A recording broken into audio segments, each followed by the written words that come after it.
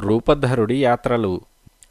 Troy నగరపు రాజైన వర్ధనుడి కుమారుడు మోహనుడు ప్రతాపుడనే గ్రీకురాజు భార్య భువనసుందరిని ఎత్తుకుపోవటము భువనసుందరిని తిరిగి తెచ్చుకునే నిమిత్తం గ్రీకులు నౌకలలో బయలుదేరి ట్రాయ్ నగరాన్ని ముట్టడించి పదేళ్ళు యుద్ధం అనంతరం కొయ్యగుర్రం సహాయంతో ట్రాయ్ నగరంలో ప్రవేశించి నగరాన్ని తగలబెట్టడము భువనసుందరి అనే గ్రీకు పురాణ గాథలో తెలుసుకున్నాం. ట్రాయ్ పైకి దండెత్తి వెళ్ళిన గ్రీకు వీరులలో ఒకడైన రూపధరుడు యుద్ధానికి బయలుదేరబోయే సమయంలోనే మరి ఇరవై సంవత్సరాల దాకా ఇంటికి తిరిగి రాడని జోస్యం చెప్పారు. ఈ ఇరవై సంవత్సరాలలో పది సంవత్సరాలు ట్రాయ్ ముట్టడిలోనే గడిచాయి. మరి పది సంవత్సరాల పాటు రూపధరుడు అతి విచిత్రమైన అనుభవాలకు గురి అయ్యాడు. ఈ అనుభవాలను చిత్రించే కథనే రూపధరుడి యాత్రలు. రూపధరుడి నౌకలు ట్రాయ్ నగరాన్ని వదలగానే ఎదురుగాలి సాగింది. నౌకలు దక్షిణ దిక్కుగా ప్రయాణించటానికి మారుగా ఉత్తరంగా వెళ్ళి ఇస్మరోస్ తీరాన్ని తాకాయి. ఇది కికోనియనులుండే నగరం. రూపధరుడి బలాలు నగరం మీద పడి వారిని దోచి నగరాన్ని ధ్వంసం చేసేశాయి. సైనికులు నగరంలోని స్త్రీలను పశువులను సంపదలను పంచుకున్నారు. మనం ఎంత త్వరగా బయలుదేరి వెళ్ళిపోతే అంత మంచిది అని రూపధరుడు చెప్పాడు. కానీ సైనికులు అతని మాటలు వినే స్థితిలో లేరు. ఎందుచేతనంటే వారికి నగరంలో అంతులేని వింతపానం దొరికింది. అందరూ తప్పతాగి సముద్ర తీరాన జంతువులను చంపి వాటిని కాల్చి విందు చేసే ప్రయత్నంలో ఉండిపోయారు. ఈ లోపుగా నగరం నుంచి తప్పించుకొని పారిపోయిన కికోనియనులు ఇతర గ్రామాలకు వెళ్ళి అసంఖ్యాకులైన యోధులను వెంటబెట్టుకు వచ్చారు. ఇలా వచ్చిన వారిలో రథాల మీద నిలబడి అవసరమైతే కిందకి దిగి సాహసంతో యుద్ధం చేయగలవారు అనేక మంది ఉన్నారు. తెల్లవారుజామున ఈ కికోనియన యోధులు మిడతల దండులాగా వచ్చి రూపధరుడి సైనికులపై పడ్డారు. ఘోరమైన యుద్ధం జరిగింది. కికోనియనుల సంఖ్య హెచ్చు పొద్దెక్కుతున్న కొద్దీ రూపధరుడి బలాలు తగ్గసాగాయి. చచ్చిపోయిన గ్రీకుల సంఖ్య నౌకకు ఆరుగురు చొప్పున ఉన్నది. మిగిలిన వారు ఆలస్యం కాకుండా తమ నౌకలలో దూకి ప్రాణాలు రక్షించుకున్నారు. వారు సముద్రం మీద కొద్ది దూరం వెళ్ళేసరికి వాయవ్య దిశ నుంచి జంఝామారుతం సాగింది. భూమి వైపు నుంచి సముద్రం వైపు నుంచి కూడా నీలిమేఘాలు వచ్చి ఆకాశాన్ని ఆవరించాయి. రాత్రి ముంచుకు వచ్చింది. ఆ హోరుగాలికి తెరచాపలు ఉబ్బి పడవలు వాయువేగాన కొట్టుకుపోసాగాయి. త్వరలోనే తెరచాపలు గాలితాకిడికి తట్టుకోలేక చినిగి చీలికలైపోయాయి. ఎవరి ప్రాణాలు దక్కవని రూపధరుడికి భయం పట్టుకున్నది. అన్ని నౌకల తెరచాపలు దించేసి తెడ్లు వేస్తూ తీరాన్ని చేరమని అతను తన సైనికులకు చెప్పాడు. నౌకలు తీరాన్ని చేరక రెండు రోజుల పాటు గ్రీకులు తమ ప్రాణాలను అరచేతపట్టి తుఫాను నిలుపుదల కోసం ఎంతగానో ఎదురుచూశారు. ఈ రెండు రోజులు వారు సూర్యకాంతి చూసి ఎరగరు. చివరకు మూడో నాటి ఉదయం తూర్పున అరుణోదయం కనిపించేసరికి మళ్ళీ ప్రాణాలు తిరిగి వచ్చినట్టయింది. వారు మళ్ళీ తెరచాప స్తంభాలు ఎత్తి కొత్త తెరచాపలు ఏర్పాటు చేశారు. ఆ తర్వాత వారి ప్రమేయమేమీ లేకుండానే నౌకలు గాలివాలున వేగంగా పోసాగాయి. నాలుగు రోజులు ఈ విధంగా ప్రయాణం చేసి రూపధరుడి నౌకలు మలియా అగ్రాన్ని చేరుకున్నాయి. ఈ అగ్రాన్ని చుట్టి ఉత్తరంగా వెళ్తే రూపధరుడు తన స్వదేశమైన ఇథాఖాను చేరవచ్చు. గాలి ఉధృతం కొంచెం తగ్గినట్టు కనపడింది. నౌకలు అగ్రాను చుట్టి ముందుకు సాగవలసిందిగా రూపధరుడు ఆజ్ఞ ఇచ్చాడు. కానీ అంతలోనే మళ్ళీ జంఝామారుతం సాగి నౌకలను కితీరా వైపుకు వేగంగా తీసుకుపోయింది. తొమ్మిది రాత్రులు తొమ్మిది పగళ్ళు రూపధరుడి నౌకలను వాయుదేవుడు బంతి ఆడాడు. పదవ రోజున వారు ఒక తీరాన్ని తాకారు. కానీ రూపధరుడు ఈ తీరాన ఎక్కువ కాలం తన నౌకలతో నిలిచే అవకాశం లేకపోయింది. ఎందుచేతనంటే ఈ తీరాన ఉండే ప్రజలు ఒక రకం పళ్ళు తింటారు. అవి తేనె రుచిగా ఉంటాయి. వాటిలో గింజలు గాని టెంకలు గాని ఉండవు. అవి తింటే మనుషులకు పాత విషయాలేవీ జ్ఞాపకం ఉండవు. నల్లమందు తిన్నవాళ్ళలాగా తన్మయత్వంలో నిమగ్నులవుతారు. కానీ ఈ సంగతి రూపధరుడికి తెలియదు. అతను అతని అనుచరులు తీరాన వంట చేసుకు తిన్నారు. తర్వాత రూపధరుడు తన వాళ్ళను ముగ్గురిని పిలిచి ఈ తీరాన ఎలాంటి మనుషులుంటారో చూసిరండి అని పంపాడు. ఈ ముగ్గురు గ్రీకులకు అక్కడి ప్రజలు అపకారమేమీ చెయ్యకపోగా తాము తినే ఫలాలను వారికి కూడా ఇచ్చారు.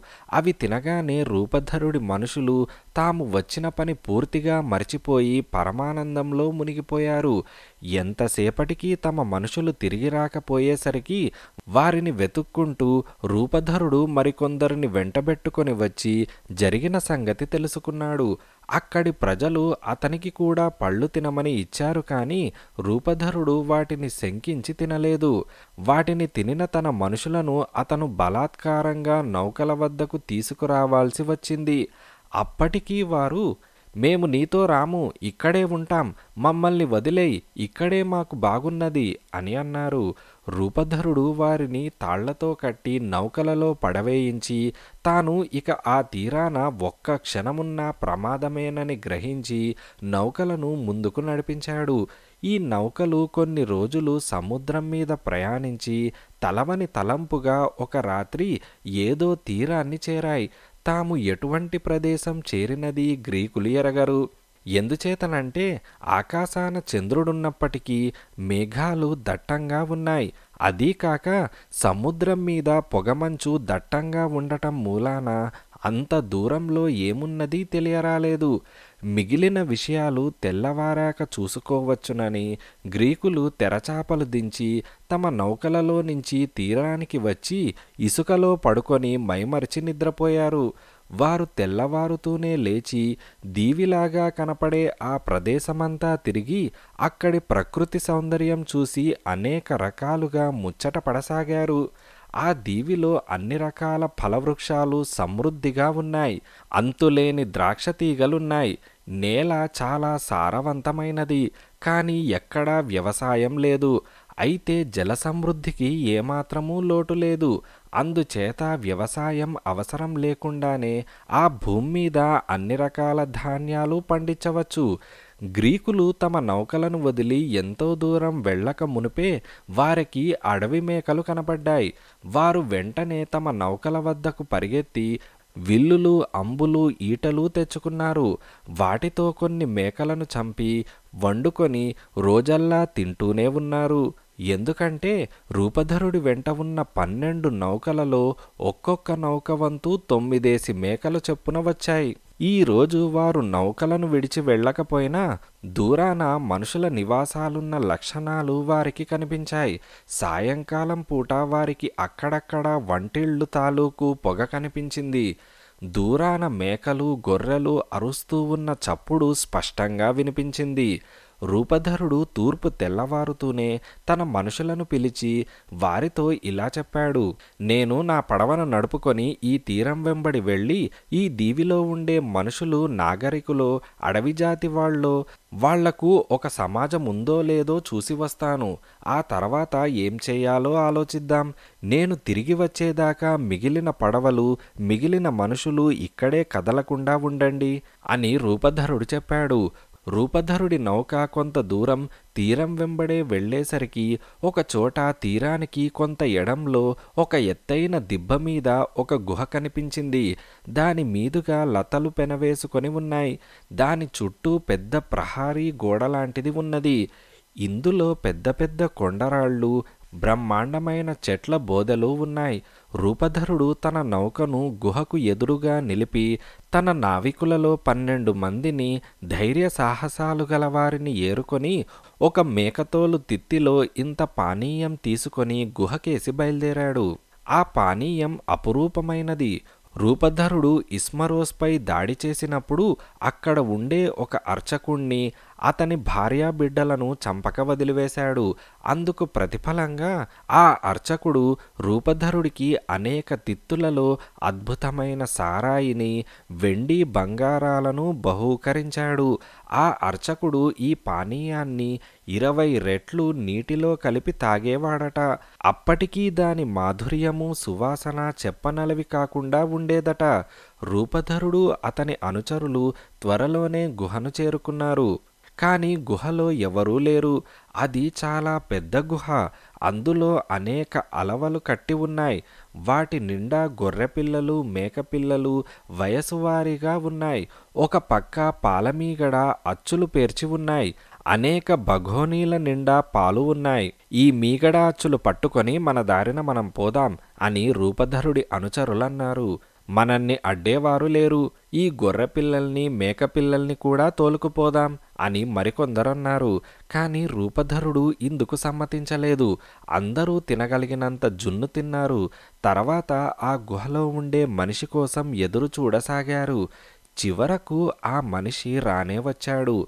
మొదట అతన్ని గ్రీకులు చూడలేదు. పెళపెళ రావంతో ఏదో వచ్చి గుహలో పడింది. అది ఒక ఎండుమానుల కట్ట. తర్వాత అసలు మనిషి వంగి గుహలోకి వచ్చాడు.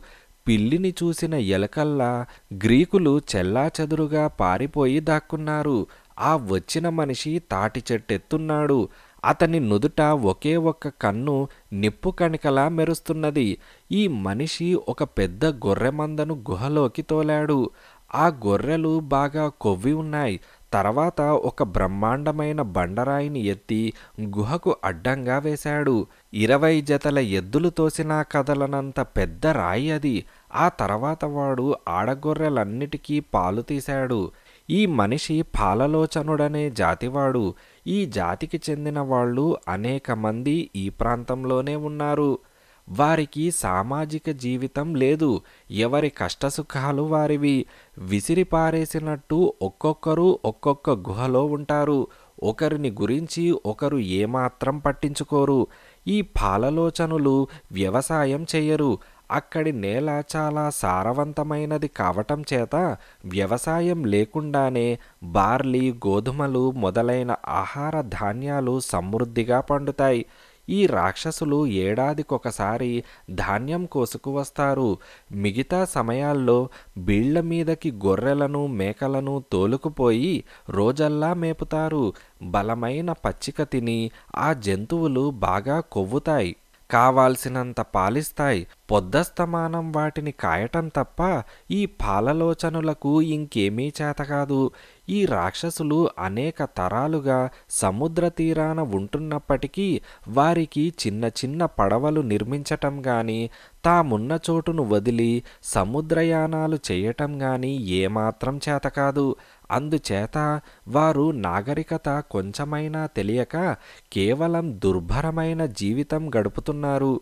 గ్రీకులు ప్రవేశించిన గుహలో ఉండే పాలలోచనుడు తాను పితికిన పాలలో సగ భాగం జున్ను చేసి బుట్టలలో పెట్టుకున్నాడు. మిగిలిన పాలను తాగటానికి కాబోలు భగోనీలలో పోశాడు. తర్వాత వాడు పొయ్యిలో నిప్పు రాజేశాడు. ఆ మంటలలో వాడి ఒంటికంటికి గ్రీకులు కనిపించారు. ఆ రాక్షసుడు తన కంటిని అతి భయంకరంగా అటూ ఇటూ తిప్పుతూ వెనక్కు తిరిగి ఎవరు మీరు? అని గుహ దద్దరిల్లేలాగా అరిచాడు. ఆ రాక్షసుడి గొంతు వినేసరికల్లా గ్రీకులకు గుండెలు అవిసిపోయాయి. రూపధరుడే సాహసించి రాక్షసుడితో ఈ విధంగా అన్నాడు అయ్యా మేము ట్రాయ్ నుంచి తిరిగి ఇళ్ళకు పోతున్న గ్రీకులం. దైవవసాన సముద్రం మీద పెనుగాలి వీచి మా నౌకలు మార్గం తప్పాయి. మేమిక్కడికి వచ్చి పడ్డాం. మా ప్రభువైన రారాజు జగద్విఖ్యాతి కన్నవాడు. ఆయన ఎన్నో దేశాలను జయించాడు. ట్రాయ్ని భస్మీపటలం చేశాడు. మేము మీకు అభ్యాగతులం.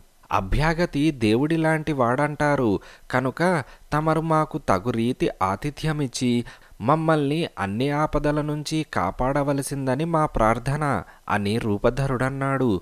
ఈ మాటలు విని రాక్షసుడు వికటాట్టహాసం చేసి ఓరి మతిమాలినవాడా మేము దేవతలను గీవతలను లక్ష్యపెట్టేవాళ్ళం కాము. మా పాలలోచనుల ముందు ఏ దేవతలు ఆగలేరు తెలిసిందా? ఇంతకు మీ పడవను ఎక్కడ లంగరు వేశారు? దగ్గరలోనేనా లేక దూరంగానా? ఆ సంగతి ముందు చెప్పు అని రాక్షసుడన్నాడు. రాక్షసుడు ఈ ప్రశ్న ఎందుకు వేశాడో రూపధరుడికి అర్థమైంది. అతను యుక్తిగా మాకింకా పడవ ఎక్కడిది? అది మీ తీరానగల కొండలకు తగిలి ధ్వంసమైపోయింది. నేను నా అనుచరులు తప్ప మిగిలిన వాళ్ళందరినీ వరుణదేవుడు తన పొట్టన పెట్టుకున్నాడు అని రూపధరుడన్నాడు. రాక్షసుడు ఇంకేమీ అనలేదు. వాడు చేతులు చాచి ఇద్దరు గ్రీకులను అందుకొని నేలకు వేసి కొట్టి చంపి వాళ్ళను వండుకొని ఎముకలు కూడా విడిచిపెట్టకుండా తినేశాడు. ఇది కళ్ళారా చూసిన రూపధరుడికి అతని అనుచరులకు ప్రాణాలు నీరసించిపోయాయి. పాలలోచనుడు తన భోజనం పూర్తి చేసి ఐదారు కడవల పాలు తాగేసి తన గొర్రెల మధ్యన చాచుకొని పడుకొని నిశ్చింతంగా నిద్రపోయాడు. రూపధరుడు కత్తి దూసి నిలబడ్డాడు. ఆ రాక్షసుడి రొమ్ము తడివి గుండె ఎక్కడ ఉన్నది తెలుసుకొని ఒక్క పోటుతో వాణ్ణి చంపేద్దామని అతను ఆలోచించాడు. కానీ అంతలోనే అతనికొక సంగతి జ్ఞాపకం వచ్చింది. అదేమిటంటే గుహకు రాక్షసుడు అడ్డం పెట్టిన రాయిని కదిలించటం తన వల్ల తన అనుచరుల వల్ల అయ్యే పని కాదు. ఇప్పుడు గనక తాను రాక్షసుణ్ణి చంపినట్టయితే తాను తన అనుచరులు ఈ గుహలోనే తిండికి మాడి ఘోరమైన చావు చావవలసి ఉంటుంది. తమన్ను రక్షించగల వారెవరూ ఉండరు.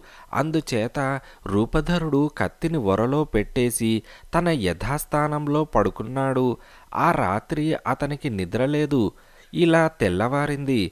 రాక్షసుడు లేచి నిప్పు చేసి తన గొర్రెలు మేకలన్నిటినీ పాలు పితికి వాటి పిల్లలను వదిలాడు. తర్వాత మరి ఇద్దరు గ్రీకులను చంపి తినేసి మందలను తోలుకొని గుహ బయటికి వెళ్ళాడు. ఈసారి వాడు పెద్దరాయిని గుహకు అడ్డంగా పెట్టి గ్రీకులు తప్పించుకుపోకుండా చూశాడు. ఆ రాక్షసుడు తన మందలను మేపుకోవటానికి వెళ్ళాక రూపధరుడు కాలు కాలిన పిల్లిలాగా అటూ ఇటూ పచార్లు చేయసాగాడు. తన అనుచరులను చంపి తిన్న ఈ రాక్షసుడిపైన ఎలాగైనా పగ తీర్చుకోవాలన్న సమస్య అతన్ని బాధిస్తున్నది. అతను తన ఇష్టదేవత అయిన బుద్ధిమతీదేవిని ఎంతగానో ప్రార్థించాడు.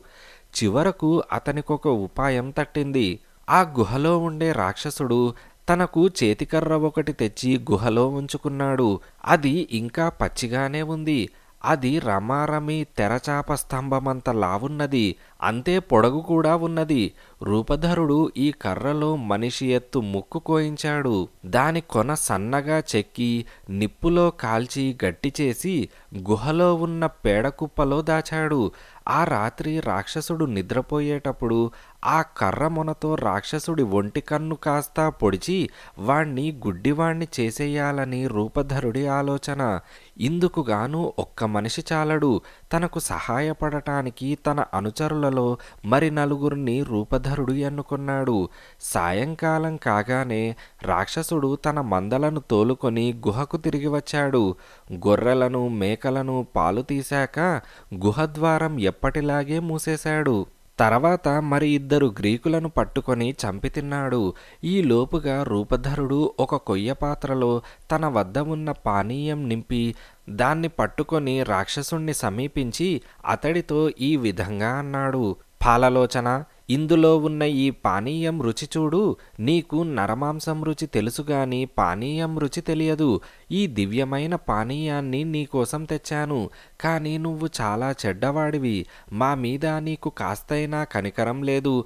ఇలా ప్రవర్తించినట్టయితే ఎవరైనా నిన్ను చూడవస్తారా? అని రూపధరుడన్నాడు. రాక్షసుడు రూపధరుడు అందించిన కొయ్య పాత్ర అందుకొని అందులోని పానీయాన్ని గడగడా తాగేశాడు. వాడికది చాలా రుచిగా కనిపించింది. ఈ పానీయం ఇంకా ఉంటే పోయి నీ పేరేమిటో కూడా చెప్పు. నీకు మా ఆచారం ప్రకారం అతిథి సత్కారం చేస్తాను. ఇక్కడ మేము కూడా ద్రాక్షరసం తాగుతాం గాని దానికి ఈ రుచి లేనేలేదు అని రాక్షసుడన్నాడు. రాక్షసుడు ఈ మాట అన్నప్పటికీ రూపధరుడు తగు జాగ్రత్త మీదనే ఉన్నాడు. నా పేరు ఉత్తుత్త మనిషి. అన్న ప్రకారం నాకు అతిథి సత్కారం చెయ్యాలి సుమా అని రూపధరుడన్నాడు. అతను రాక్షసుడికి మూడుసార్లు పానీయమిచ్చాడు. వెంటనే రాక్షసుడు అయితే ఉత్తుత్త మనిషి నిన్ను ఆఖరకు తింటాను. మిగిలిన వాళ్ళందరూ అయిపోయేదాకా నీ జోలికి రాను. ఇదే మేము చేసే అతిథి సత్కారం అని రాక్షసుడన్నాడు. ఈ మాట అంటూనే వాడు మైకం వచ్చి గొడ్డులా పడిపోయి నిద్రపోసాగాడు. రూపధరుడు పేడకుప్పలో నుంచి కర్రను తీసి దాని కొనను నిప్పుల్లో పెట్టి తన అనుచరులకు ధైర్యం రాగలందులకు ప్రోత్సాహ వచనాలు చెప్పాడు. కొద్దిసేపట్లో కర్ర కొన ఎర్రగా కాలింది. రూపధరుడి అనుచరులు మొండి ధైర్యం తెచ్చుకున్నారు. వారి సహాయంతో రూపధరుడు ఆ కర్రను రాక్షసుడున్న చోటికి తీసుకుపోయి ఎర్రగా కాలే కొనను రాక్షసుడి కంట్లో బలంగా గుచ్చేశాడు. గుహ యావత్తూ దద్దరిల్లేలాగా పెడబొబ్బలతో రాక్షసుడు ఒక్కసారిగా లేచాడు. వాడు తన కంట్లో గుచ్చుకొని ఉన్న కర్రను ఊడబెరికి దూరంగా పారేసి ఇతర పాలలోచనల కోసం కేకలు పెట్టసాగాడు. ఆ పరిసరాలలో ఉన్న గుహలలో నివసించే రాక్షసులు వాడి పెడబొబ్బలు విని పరిగెత్తుకుంటూ వచ్చారు. వాళ్ళు గుహ బయట నుంచి ఏం జరిగింది? ఎందుకలా రంకెలు పెట్టి అర్ధరాత్రి వేళ మా నిద్రను చెడగొడుతున్నావు? ఎవరన్నా నీ మందలను ఎత్తుకుపోయారా? ఎవరన్నా నిన్ను బలంతో గాని యుక్తితో గాని చంపుతున్నారా? అని అడిగాడు. అవునవును నన్ను ఉత్తుత్త మనిషి యుక్తితో చంపుతున్నాడు అని గుహలో ఉన్న రాక్షసుడన్నాడు. ఉత్తుత్త మనిషి చంపడమేమిటి? వెర్రి వేషాలు పడుకో. ఒంట్లో సరిగ్గా లేకపోతే తెల్లారే లోపల అదే సర్దుకుంటుంది అంటూ మిగిలిన పాలలోచనలు తమ దారిన తాము వెళ్ళిపోయారు. ఆ తర్వాత గుహలో ఉండే రాక్షసుడు చూడటానికి కన్ను లేదు గనక తడువుకుంటూ గుహద్వారం వద్దకు వెళ్ళి ఆ ద్వారానికి అడ్డంగా ఉన్న రాతిని ఎత్తి పక్కన పెట్టి ద్వారానికి అడ్డంగా తిష్టవేసి కావలి కూర్చున్నాడు. గ్రీకులు బయటికి వెళ్ళటానికి ప్రయత్నిస్తే పట్టుకుందామని వాడి ఉద్దేశం. కానీ రూపధరుడు వాడనుకున్నంత అమాయకుడు కాడు. ఈ గుహలో నుంచి తాను తన అనుచరులు బయటపడటానికి అనేక మార్గాలను అతను అదివరకే ఆలోచించి పెట్టాడు. వాటన్నిటిలోకి అతనికి ఒక పద్ధతి ఉత్తమంగా తోచింది. అదేమిటంటే ఈ రాక్షసుడి గొర్రెలు తెగబలిసి చాలా పెద్దవిగా ఉన్నాయి. వాటి ఒంటి మీద బొచ్చు కూడా బాగా పెరిగి ఉన్నది. రూపధరుడు మూడేసి గొర్రెలను కలిపి కట్టి మధ్య గొర్రె పొట్టకు తన అనుచరుణ్ణి ఒక్కొక్కడిని చొప్పున కట్టాడు. ఈ విధంగా తన మిగిలిన అనుచరులలో ఒక్కొక్కడి కోసము మూడేసి గొర్రెలు ఏర్పాటు చేసి చిట్ట చివరకు తానొక్కడు మిగిలాడు. గుహలో ఉన్న పెద్దదైన ఒక పోతును తనకుగాను అతను ప్రత్యేకించుకున్నాడు. కొంతసేపటికి తెల్లవారింది. గొర్రెలు మేకలు మేత కోసం బయలుదేరాయి. గుహద్వారంలో కూర్చొని బాధతో మూలుగుతున్న రాక్షసుడు బయటికి వెళ్ళే తన గొర్రెలను మేకలను వీపుల మీద తడవసాగాడు.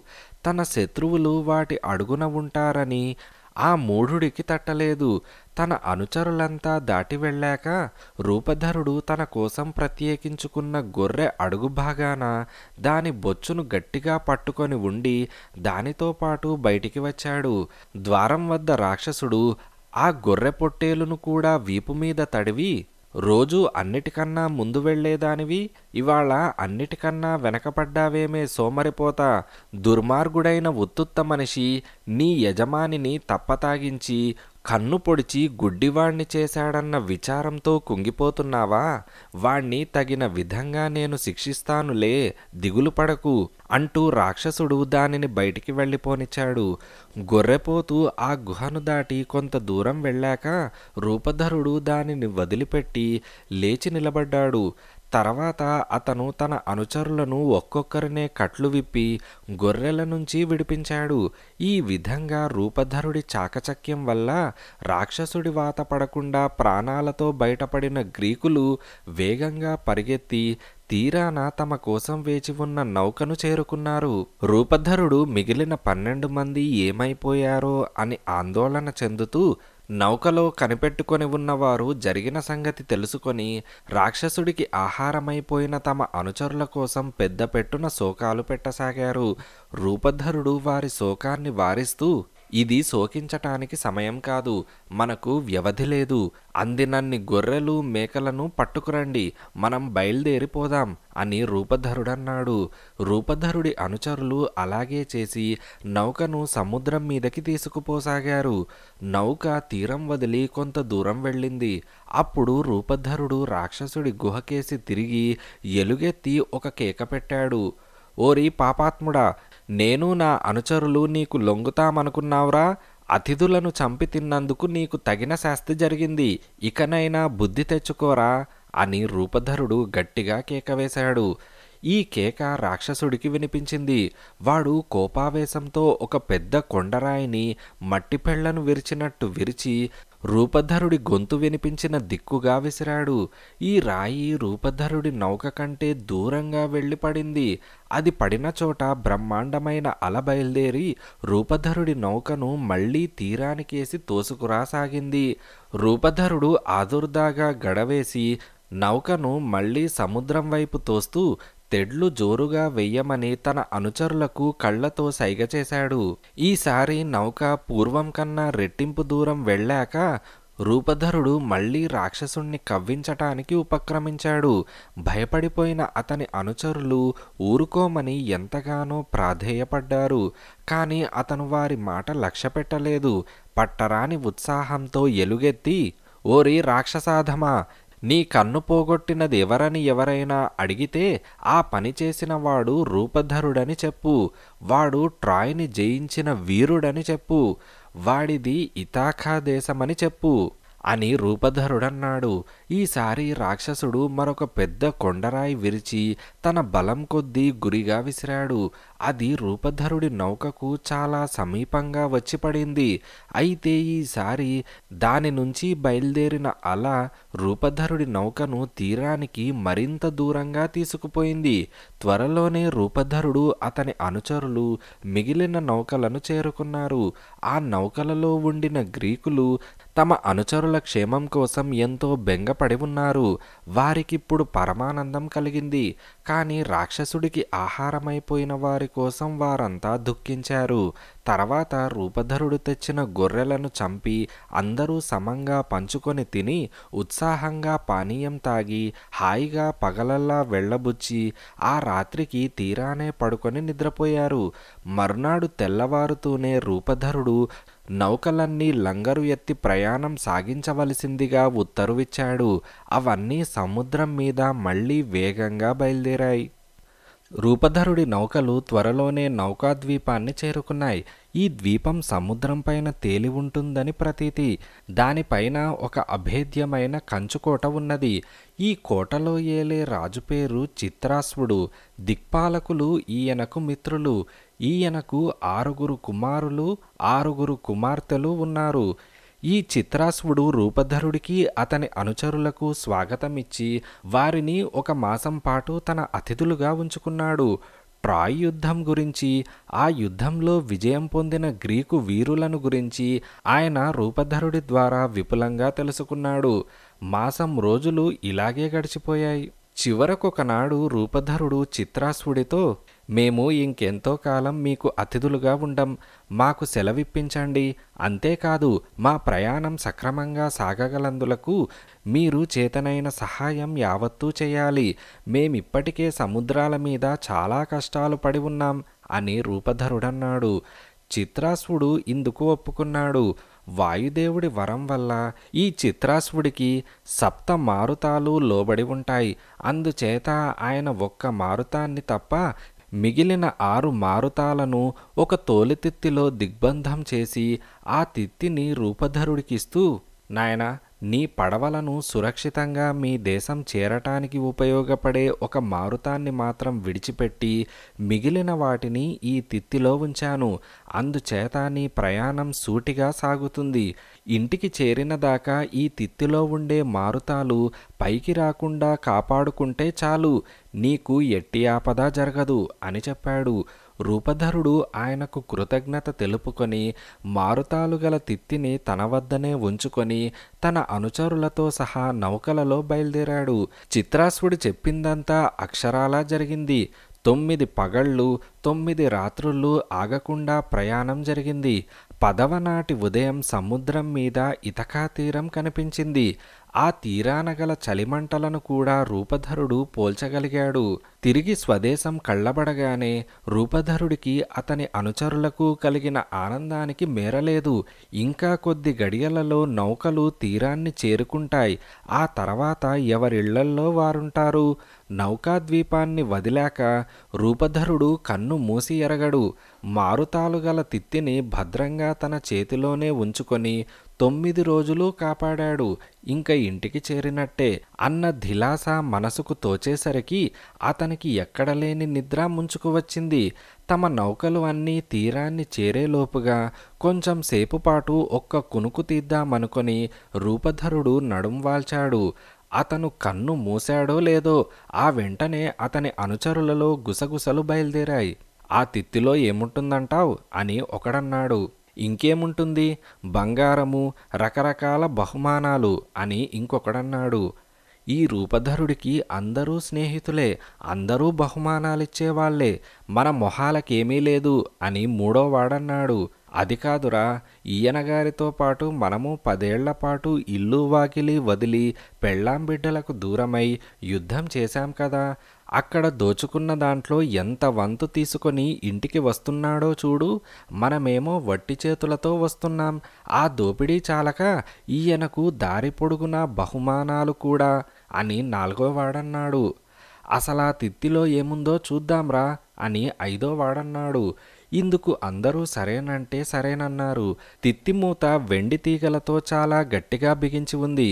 రూపధరుడి అనుచరులు ఎంతో కష్టపడి ఆ తీగను ఒక్కొక్క చుట్టే ఊడదీశారు.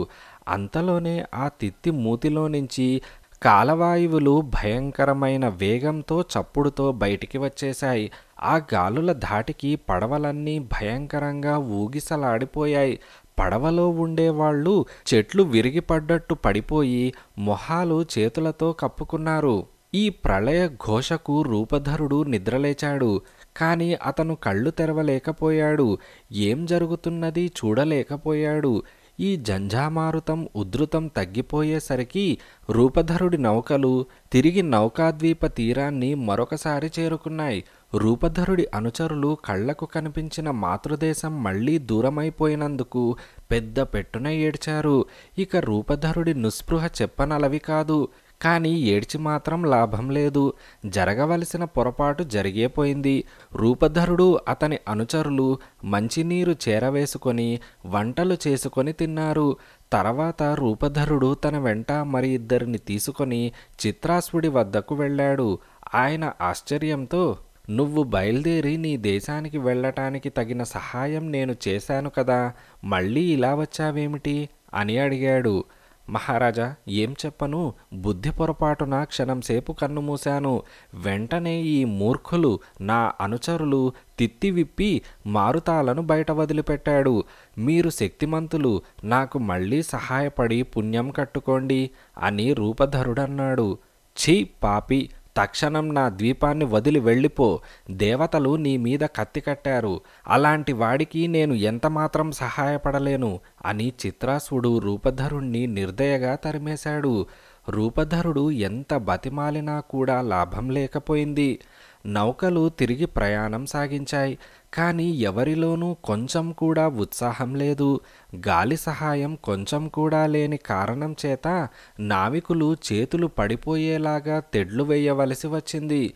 విరామమన్నది లేకుండా ఆరు రోజుల పాటు రాత్రింబగళ్ళు సముద్రం మీద ప్రయాణం చేసి రూపధరుడి బృందం చివరకు ఒక విచిత్రమైన తీరాన్ని చేరారు. ఇది ఉత్తర ధ్రువ ప్రాంతం. ఇక్కడ మాసాల తరబడి పగలుంటుంది. సూర్యుడు అస్తమించిన కాసేపటికే మళ్ళీ ఉదయిస్తాడు.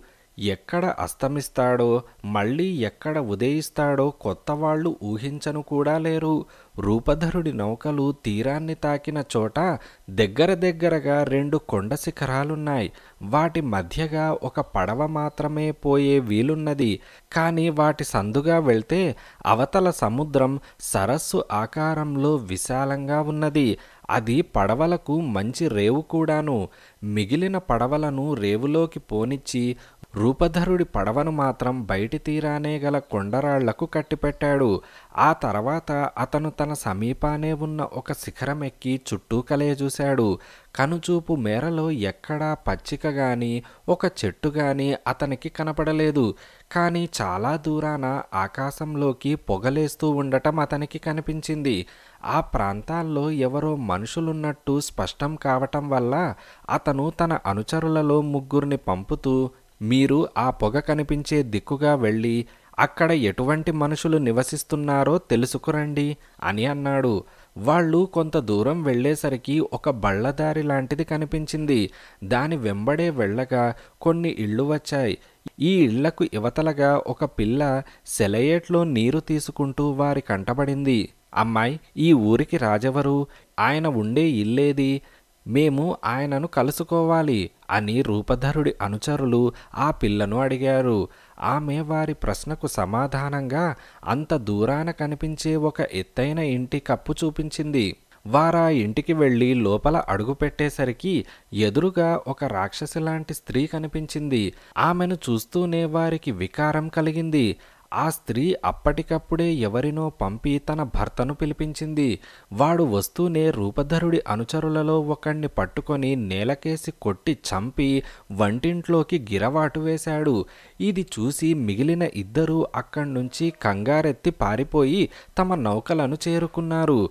అయితే ఈలోపునే ఆ రాక్షసుడు వీధిలోకి వచ్చి పెద్ద పెట్టున సింహనాదం చేశాడు.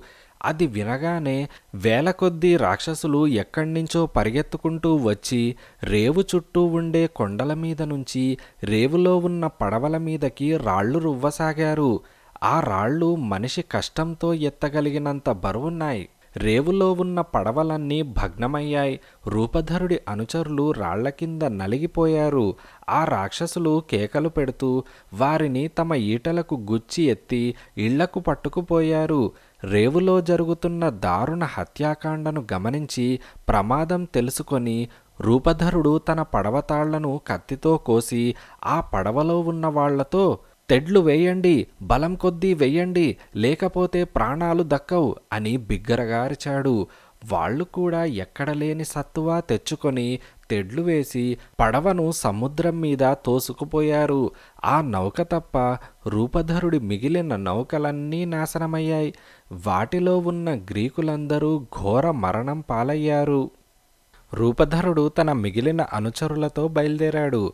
మృత్యువాత పడకుండా తప్పించుకున్నందుకు అతనికి ఆనందంతో పాటు తన మిగిలిన నౌకలు వాటిలో ఉన్న అనుచరులు చాలామంది నాశనమైనందుకు విచారం కూడా కలిగింది. కొంతకాలానికి రూపధరుడి నౌక ఒక దీవిని చేరింది.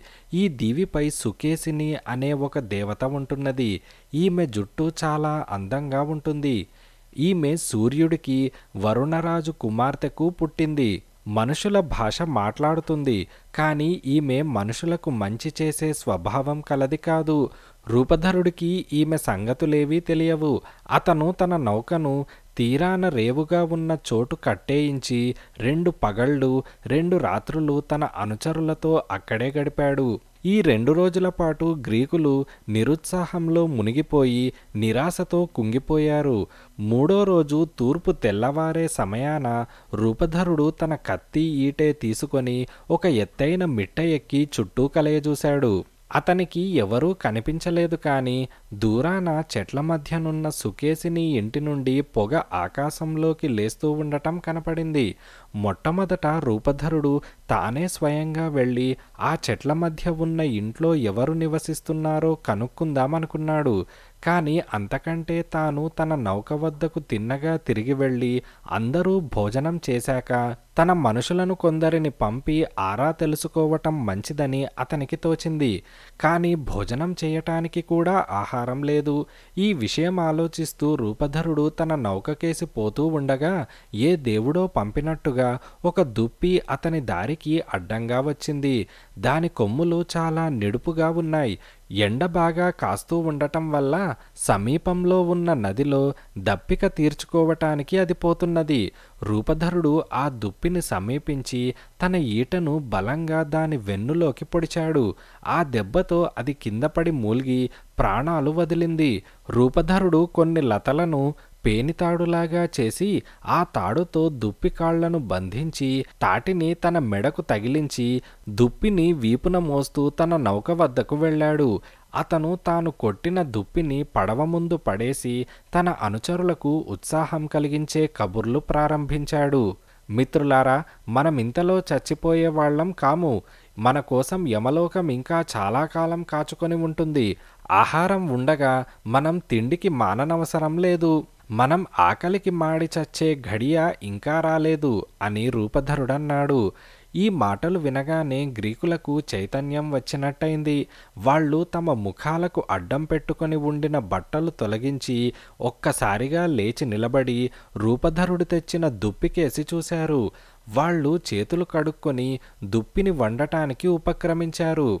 చీకటి పడే వరకు వారు తింటూ తాగుతూ గడిపి ఆ రాత్రి కూడా తీరానే పడుకొని నిద్రపోయారు. మర్నాడు తెల్లవారుతూనే రూపధరుడు తన అనుచరులను సమావేశపరిచి వారితో ఇలా అన్నాడు మిత్రులారా మనకీ ప్రదేశం కొత్త. తూర్పేదో పడమర ఏదో కూడా తెలియదు. అలాంటప్పుడు మనం ఏం చేయాలి? నా మటుకు నాకేమీ పాలుపోవటం లేదు. కానీ చేతులు కట్టుకు కూర్చోలేం. ఏదో ఒకటి చెయ్యాలి కదా. నేను ఈ సమీపంలో ఉన్న మిట్ట ఎక్కి చూశాను. ఇది ఒక లంక. కనుచూపు మేరలో ఎక్కడా మరొక తీరమన్నది నాకు కనిపించలేదు. ఈ లంక చూడబోతే ఇందులో కొండలు గుట్టలు అట్టే లేవు. లంక మధ్య చెట్లతోనూ పొదలతోనూ కూడిన తోపు ఒకటి కనిపిస్తున్నది. దాని మధ్య ఎవరో ఉన్నారు. ఎందుచేతనంటే ఆ తోపు నుంచి ఆకాశంలోకి పొగలేవటం నాకు కనిపించింది అని రూపధరుడన్నాడు. ఈ మాటలు వినగానే రూపధరుడి అనుచరుల గుండెలు చల్లబడ్డాయి. ఇలాంటి పరిస్థితిలోనే వారు ఒకసారి పాలలోచనుల వాత మరొకసారి నరభక్షకులైన రాక్షసుల వాత పడి ఉన్నారు. వారు దుఃఖం ఆపుకోలేక కడవలుగా కన్నీరు కార్చసాగారు. తర్వాత రూపధరుడు తన అనుచరులను రెండు ముఠాలుగా విభజించాడు. ఒక ముఠాకు తాను నాయకుడుగా ఉండి రెండవ ముఠాకు మాయావి అనే సాహసవంతుణ్ణి నాయకుడిగా పెట్టాడు. తోపులో ఉంటున్నదెవరో చూసి రావటానికి ఏ ముఠా వెళ్ళాలనేది నిర్ణయించటానికి రూపధరుడు మాయావి వంతులు వేసుకున్నారు. వంతు మాయావిదైంది. వెంటనే మాయావి తన ఇరవై రెండు మనుషులను వెంటబెట్టుకొని గొణుగుతూ సనుగుతూ బయలుదేరాడు. కొంత దూరం వెళ్ళగా అతనికి ఒక పల్లపు ప్రదేశంలో సుకేసిని ఉండే ఇల్లు కనిపించింది. అది చెక్కుడు రాళ్ళతో అందంగా కట్టి ఉన్నది. దాని చుట్టూ ఖాళీ స్థలమున్నది. ఇంటి చుట్టూ తోడేళ్ళు సింహాలు మొదలైన అడవి జంతువులున్నాయి.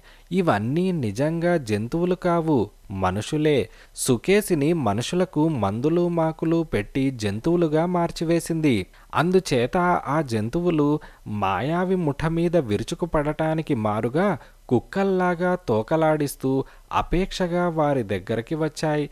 కానీ వాటి రహస్యం తెలియని గ్రీకులు ఆ మృగాలను చూసి బెదిరి పారిపోయారు. వారు ఇంటిని సమీపించక తలవాకిలికి వెలుపలగానే నిలబడి ఆలకించారు. ఇంటిలో మగ్గం నేస్తూ సుకేసిని శ్రావ్యంగా పాడుకుంటూ ఉండటం వారి చెవులబడింది.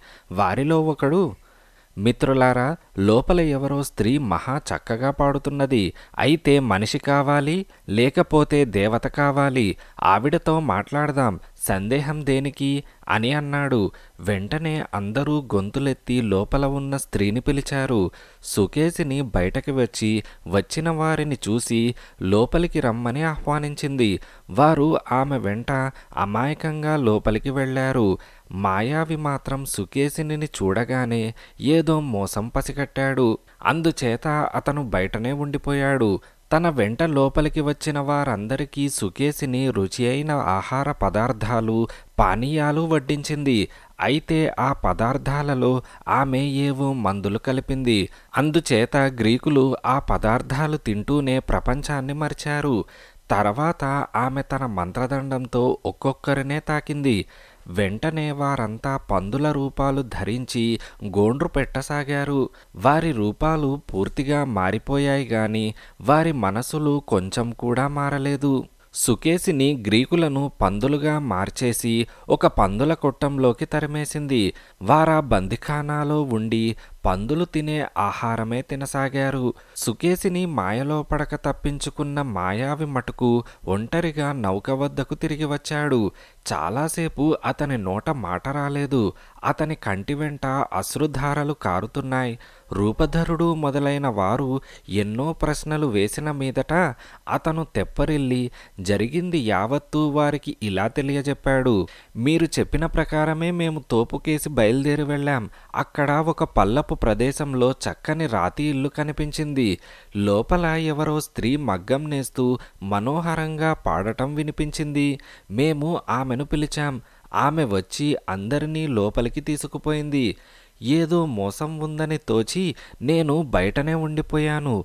లోపలికి వెళ్ళిన మన వారి జాడ మరి లేదు అని అన్నాడు.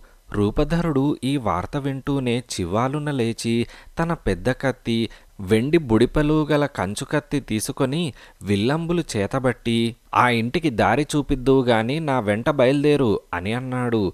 మాయావి రూపధరుడి కాళ్ళు వాటేసుకొని నాయక నన్ను అక్కడికి రమ్మనకండి. మీకు వెయ్యి దండాలు. నేను అక్కడికి రాను. ఇక్కడే ఉంటాను మీరు తిరిగి రారు నాకు తెలుసు మీ వెంట వచ్చానంటే నా పని అంతే అవుతుంది. నాలుగు కాలాల పాటు మీరు నేను మిగిలిన వాళ్ళము బతికుండాలన్న కోరిక ఏమైనా ఉంటే ఈ దిక్కుమాలిన చోటు వదిలి వెళ్ళిపోదాం పదండి అని ప్రాధేయపడ్డాడు. సరే మాయావి నీ ఇష్టం నువ్వు పడవ వద్దనే ఉండి తిని తాగు నేను మాత్రం వెళ్తాను వెళ్ళి తీరాలి అని రూపధరుడన్నాడు. అతను పల్లపు ప్రాంతానికి వచ్చి దిగువగా ఉన్న సుకేసిని ఇల్లు చూసే సమయాన ఒక యువకుడు అతనికి ఎదురుగా వస్తూ ఆగి పాపం మళ్ళీ ఎక్కడికి బయలుదేరుతున్నావు నాయనా? ఆ కనిపించే ఇల్లు సుకేసినిది తెలుసా? నీ మనుషులందరూ అక్కడ పందుల రూపంలో నిర్బంధించబడి ఉన్నారు. నువ్వు కూడా వారిని చేరబోతున్నావా? అయినా భయం లేదు. నేను చెప్పినట్టు చెయ్యి. నీకొక మూలిక ఇస్తాను. సుకేసిని నీ పానీయంలో మందు కలిపి ఇస్తుంది. ఈ మూలిక ప్రభావం చేత ఆ మందు నీ మీద పనిచెయ్యదు తర్వాత నిన్ను ఆమె మంత్రదండంతో తాకుతుంది. నువ్వు వెంటనే కత్తి దూసి చంపబోయేవాడిలాగా ఆమె పైకి ఉరుకు. ఆమె భయపడిపోయి నీకు భార్యగా ఉంటానంటుంది. దీనికి నువ్వు ఒప్పుకోవచ్చు. కానీ ముందుగా నువ్వు ఆమె చేత దేవతల మీద ప్రమాణం చేయించి నీకు ఎట్టి అపకారము చెయ్యనని మాట తీసుకో అంటూ ఆ యువకుడు నేల మీద నుంచి ఒక చిన్న మొక్క పీకి రూపధరుడికిచ్చాడు. ఆ మొక్క వేరు చాలా నల్లగా ఉన్నది. కానీ దాని పువ్వు స్వచ్ఛమైన తెలుపు రంగులో ఉన్నది. యువకుడు వెళ్ళిపోయాక రూపధరుడు దీర్ఘాలోచనలో మునిగిపోయి అడుగులో అడుగు వేసుకుంటూ సుకేసిని ఇల్లు చేరి గట్టిగా కేకపెట్టాడు. వెంటనే సుకేసిని బయటికి వచ్చి తలుపు తెరిచింది. అతను ఆమె వెంట లోపలికి వెళ్ళాడు. కానీ అతని గుండె గుబగుబలాడుతూనే ఉంది. ఆమె అతన్ని ఒక నగిషీ చేసిన కొయ్య కుర్చీలో కూర్చోబెట్టి కాళ్ళ కింద పాదపీట పెట్టింది. తర్వాత లోపలికి వెళ్ళి మందు కలిపిన పానీయం తెచ్చి అతని ముందు ఉంచింది. రూపధరుడు దానిని తాగేశాడు కానీ మూలిక ప్రభావం వల్ల మందు అతని మీద పనిచేయలేదు సుకేసినికి ఈ సంగతి తెలియదు. ఆమె మంత్రదండంతో అతనిని తాకుతూ వెళ్ళు పందుల కొట్టంలో ఉండే నీ అనుచరులను చేరు అని అన్నది. వెంటనే రూపధరుడు కత్తిదూసి ఆమె పైకి లంఘించాడు. ఆమె భయంతో వణికిపోతూ అతని కాళ్ళు పట్టుకొని ఎవరు నీవు? ఈ విశాల ప్రపంచంలో ఏ ప్రాంతం నుంచి వస్తున్నావు? మీ నగరం పేరేమిటి? నీ తల్లిదండ్రులెవరు? నా మందు నాలుకకు తగిలాక కూడా నువ్వు మారకుండా ఉండటం మామూలు మనుషుల తరం కాదు. నువ్వు రూపధరుడివై ఉండాలి. రూపధరుడు నన్ను చూడవస్తాడని ముందుగానే దేవతలు నాతో అన్నారు. మనిద్దరికీ వైరం వద్దు. ఆ కత్తి అవతల పెట్టేసి నన్ను పెళ్ళాడు. మనిద్దరము సఖ్యంగా ఉందాం అని అన్నది. వెంటనే రూపధరుడు నా అనుచరులను పందులుగా మార్చేసి కొట్టంలో బంధించిన నీతో నాకు సఖ్యం ఎలా పొసగుతుంది? నన్ను కూడా పందిగా మార్చాలని ప్రయత్నించి అది సాగకపోయేసరికి నా భార్యనవుతానంటున్నావా? నాకు మరి ఏ అపకారము తలపెట్టనని ప్రమాణం చేస్తే నీతో సఖ్యంగా ఉండటానికి నేను సమ్మతిస్తాను అని రూపధరుడన్నాడు. సుకేసిని ఆ ప్రకారమే ప్రమాణం చేసింది. తర్వాత ఆమె పరిచారికలు రూపధరుడికి చక్కగా తలంటి స్నానం చేయించారు. అతనికి తమ యజమానురాలికి భోజనం వడ్డించారు. కానీ రూపధరుడు ఆ ఆహారాన్ని ముట్టలేదు. ఎందుకు సందేహిస్తున్నావు? మళ్ళీ ఏదైనా మోసం చేస్తాననా? చెయ్యనని ప్రమాణం చేశాను కదా? అని సుకేసిని అన్నది. నా అనుచరులు పందుల రూపంలో ఉండగా ఈ విందు ఎలా ఆరగించేది? వారిని మామూలు మనుషులను చేసి నా ఎదుటకు తెచ్చిందాకా నా మనస్సుకు శాంతి ఉండదు అని రూపధరుడన్నాడు. సుకేసిని తన మంత్రదండం తీసుకొని రూపధరుడి అనుచరులందరినీ యథాప్రకారం మనుషులను చేసి తన వెంటబెట్టుకొని వచ్చింది. రూపధరుణ్ణి చూడగానే వారి ఆనందానికి మేరలేదు. వారిలో చాలామంది సంతోషం పట్టలేక ఏడ్చారు. సుకేసిని రూపధరుణ్ణి సమీపించి నేను చెప్పినట్టు చెయ్యి. సముద్ర తీరానికి వెళ్ళు. నీ సామాను ఒక గుహలో భద్రం చేయించు. తర్వాత నీ మిగిలిన అనుచరులను కూడా వెంటబెట్టుకొని ఇక్కడికి రా అని సుకేసిని అన్నది. రూపధరుడు అందుకు సరేనన్నాడు. సుకేసిని సలహా చెప్పిన ప్రకారం రూపధరుడు సముద్ర తీరాన ఉన్న తన అనుచరుల వద్దకు వెళ్ళాడు. వారు నౌక దగ్గర విచారంగా కూర్చొని ఉన్నారు. తమ నాయకుణ్ణి చూడగానే తల్లిని చూసిన లేగదూడల్లాగా వారు చెంగు చెంగున గెంతుకుంటూ వచ్చి రూపధరుడి చుట్టుముట్టారు. ఇతకాకు చేరుకున్న వారు అంతకంటే ఎక్కువ సంతోషించి ఉండరు. వారి కళ్ళ వెంట ఆనంద బాష్పాలు కారుతున్నాయి. ఏరి మన వాళ్ళంతా ఏరి అని వారు రూపధరుణ్ణడిగారు మన వాళ్ళు సుకేసిని ఇంట్లో క్షేమంగా ఉన్నారు సుఖంగా తింటున్నారు తాగుతున్నారు. ముందు మనం మన నౌకను తీరానికి లాగి మన తాళ్ళు ఇతర సామాగ్రి ఏదైనా గుహలో భద్రం చేయాలి. తర్వాత నేను మిమ్మల్ని కూడా సుకేసిని ఇంటికి తీసుకుపోతాను అని రూపధరుడన్నాడు. వెంటనే వారు పని ప్రారంభించారు. అయితే మాయావి వారితో ఇలా అన్నాడు. ఓరి మూర్ఖుల్లారా మీరెక్కడికి పోదామనుకుంటున్నారు? సుకేసిని ఇంటిక? ఆమె మిమ్మల్ని సింహాలు తోడేళ్ళుగా చేసేసి తన ఇంటి చుట్టూ కాపలా కుక్కల్లాగా కట్టేస్తుంది. ఏమనుకున్నారో? పాలలోచనుడి గుహలో ప్రవేశించి మన వాళ్ళేమయ్యారో కాస్త జ్ఞాపకం తెచ్చుకోండి. అప్పుడు ఈ రూపధరుడే పుణ్యం కట్టుకున్నాడు. ఇతని ఆలోచనే వాళ్ళను నాశనం చేసింది అని మాయావి అన్నాడు. ఈ మాటలు విని రూపధరుడికి మండిపోయింది. అతను కత్తిదూసి మాయావి కంఠం తెగవెయ్యబోయాడు కాని మిగిలిన వారు అతన్ని వారించారు. అతనికి ఇష్టం లేకపోతే నౌకను కనిపెట్టుకొని ఇక్కడే ఉండనిద్దాం. మేము నీ వెంట సుఖేసిని ఇంటికి వస్తున్నాం. మమ్మల్ని తీసుకుపో. అని వారు రూపధరుడితో అన్నారు. కానీ తీరా అందరూ బయలుదేరాక మాయావి కూడా సుకేసిని ఇంటికి బయలుదేరాడు. సుకేసిని రూపధరుడి అనుచరులందరికీ తలంటి స్నానాలు చేయించి మంచి మంచి బట్టలు కట్టబెట్టింది. అంతకు మునిపే మాయావి వెంట వచ్చిన వారు అప్పుడే భోజనాలు చేస్తున్నారు. రెండు ముఠాల వాళ్ళు ఒకరినొకరు చూసుకొని సంతోషం పట్టలేక గోలగా అరవసాగారు. సుకేసిని రూపధరుడి వద్దకు వచ్చి మీ వాళ్ళు గడిచిపోయిన కష్టాలను మర్చిపోతే బాగుంటుంది. నువ్వు నీ అనుచరులు పడ్డ కష్టాలను నేనెరుగుదును. సుఖంగా తినండి పానీయం తాగండి మీ ఇతకాలో ఉన్నట్టే ఆనందంగా ఉండండి అని సుకేసిని అన్నది.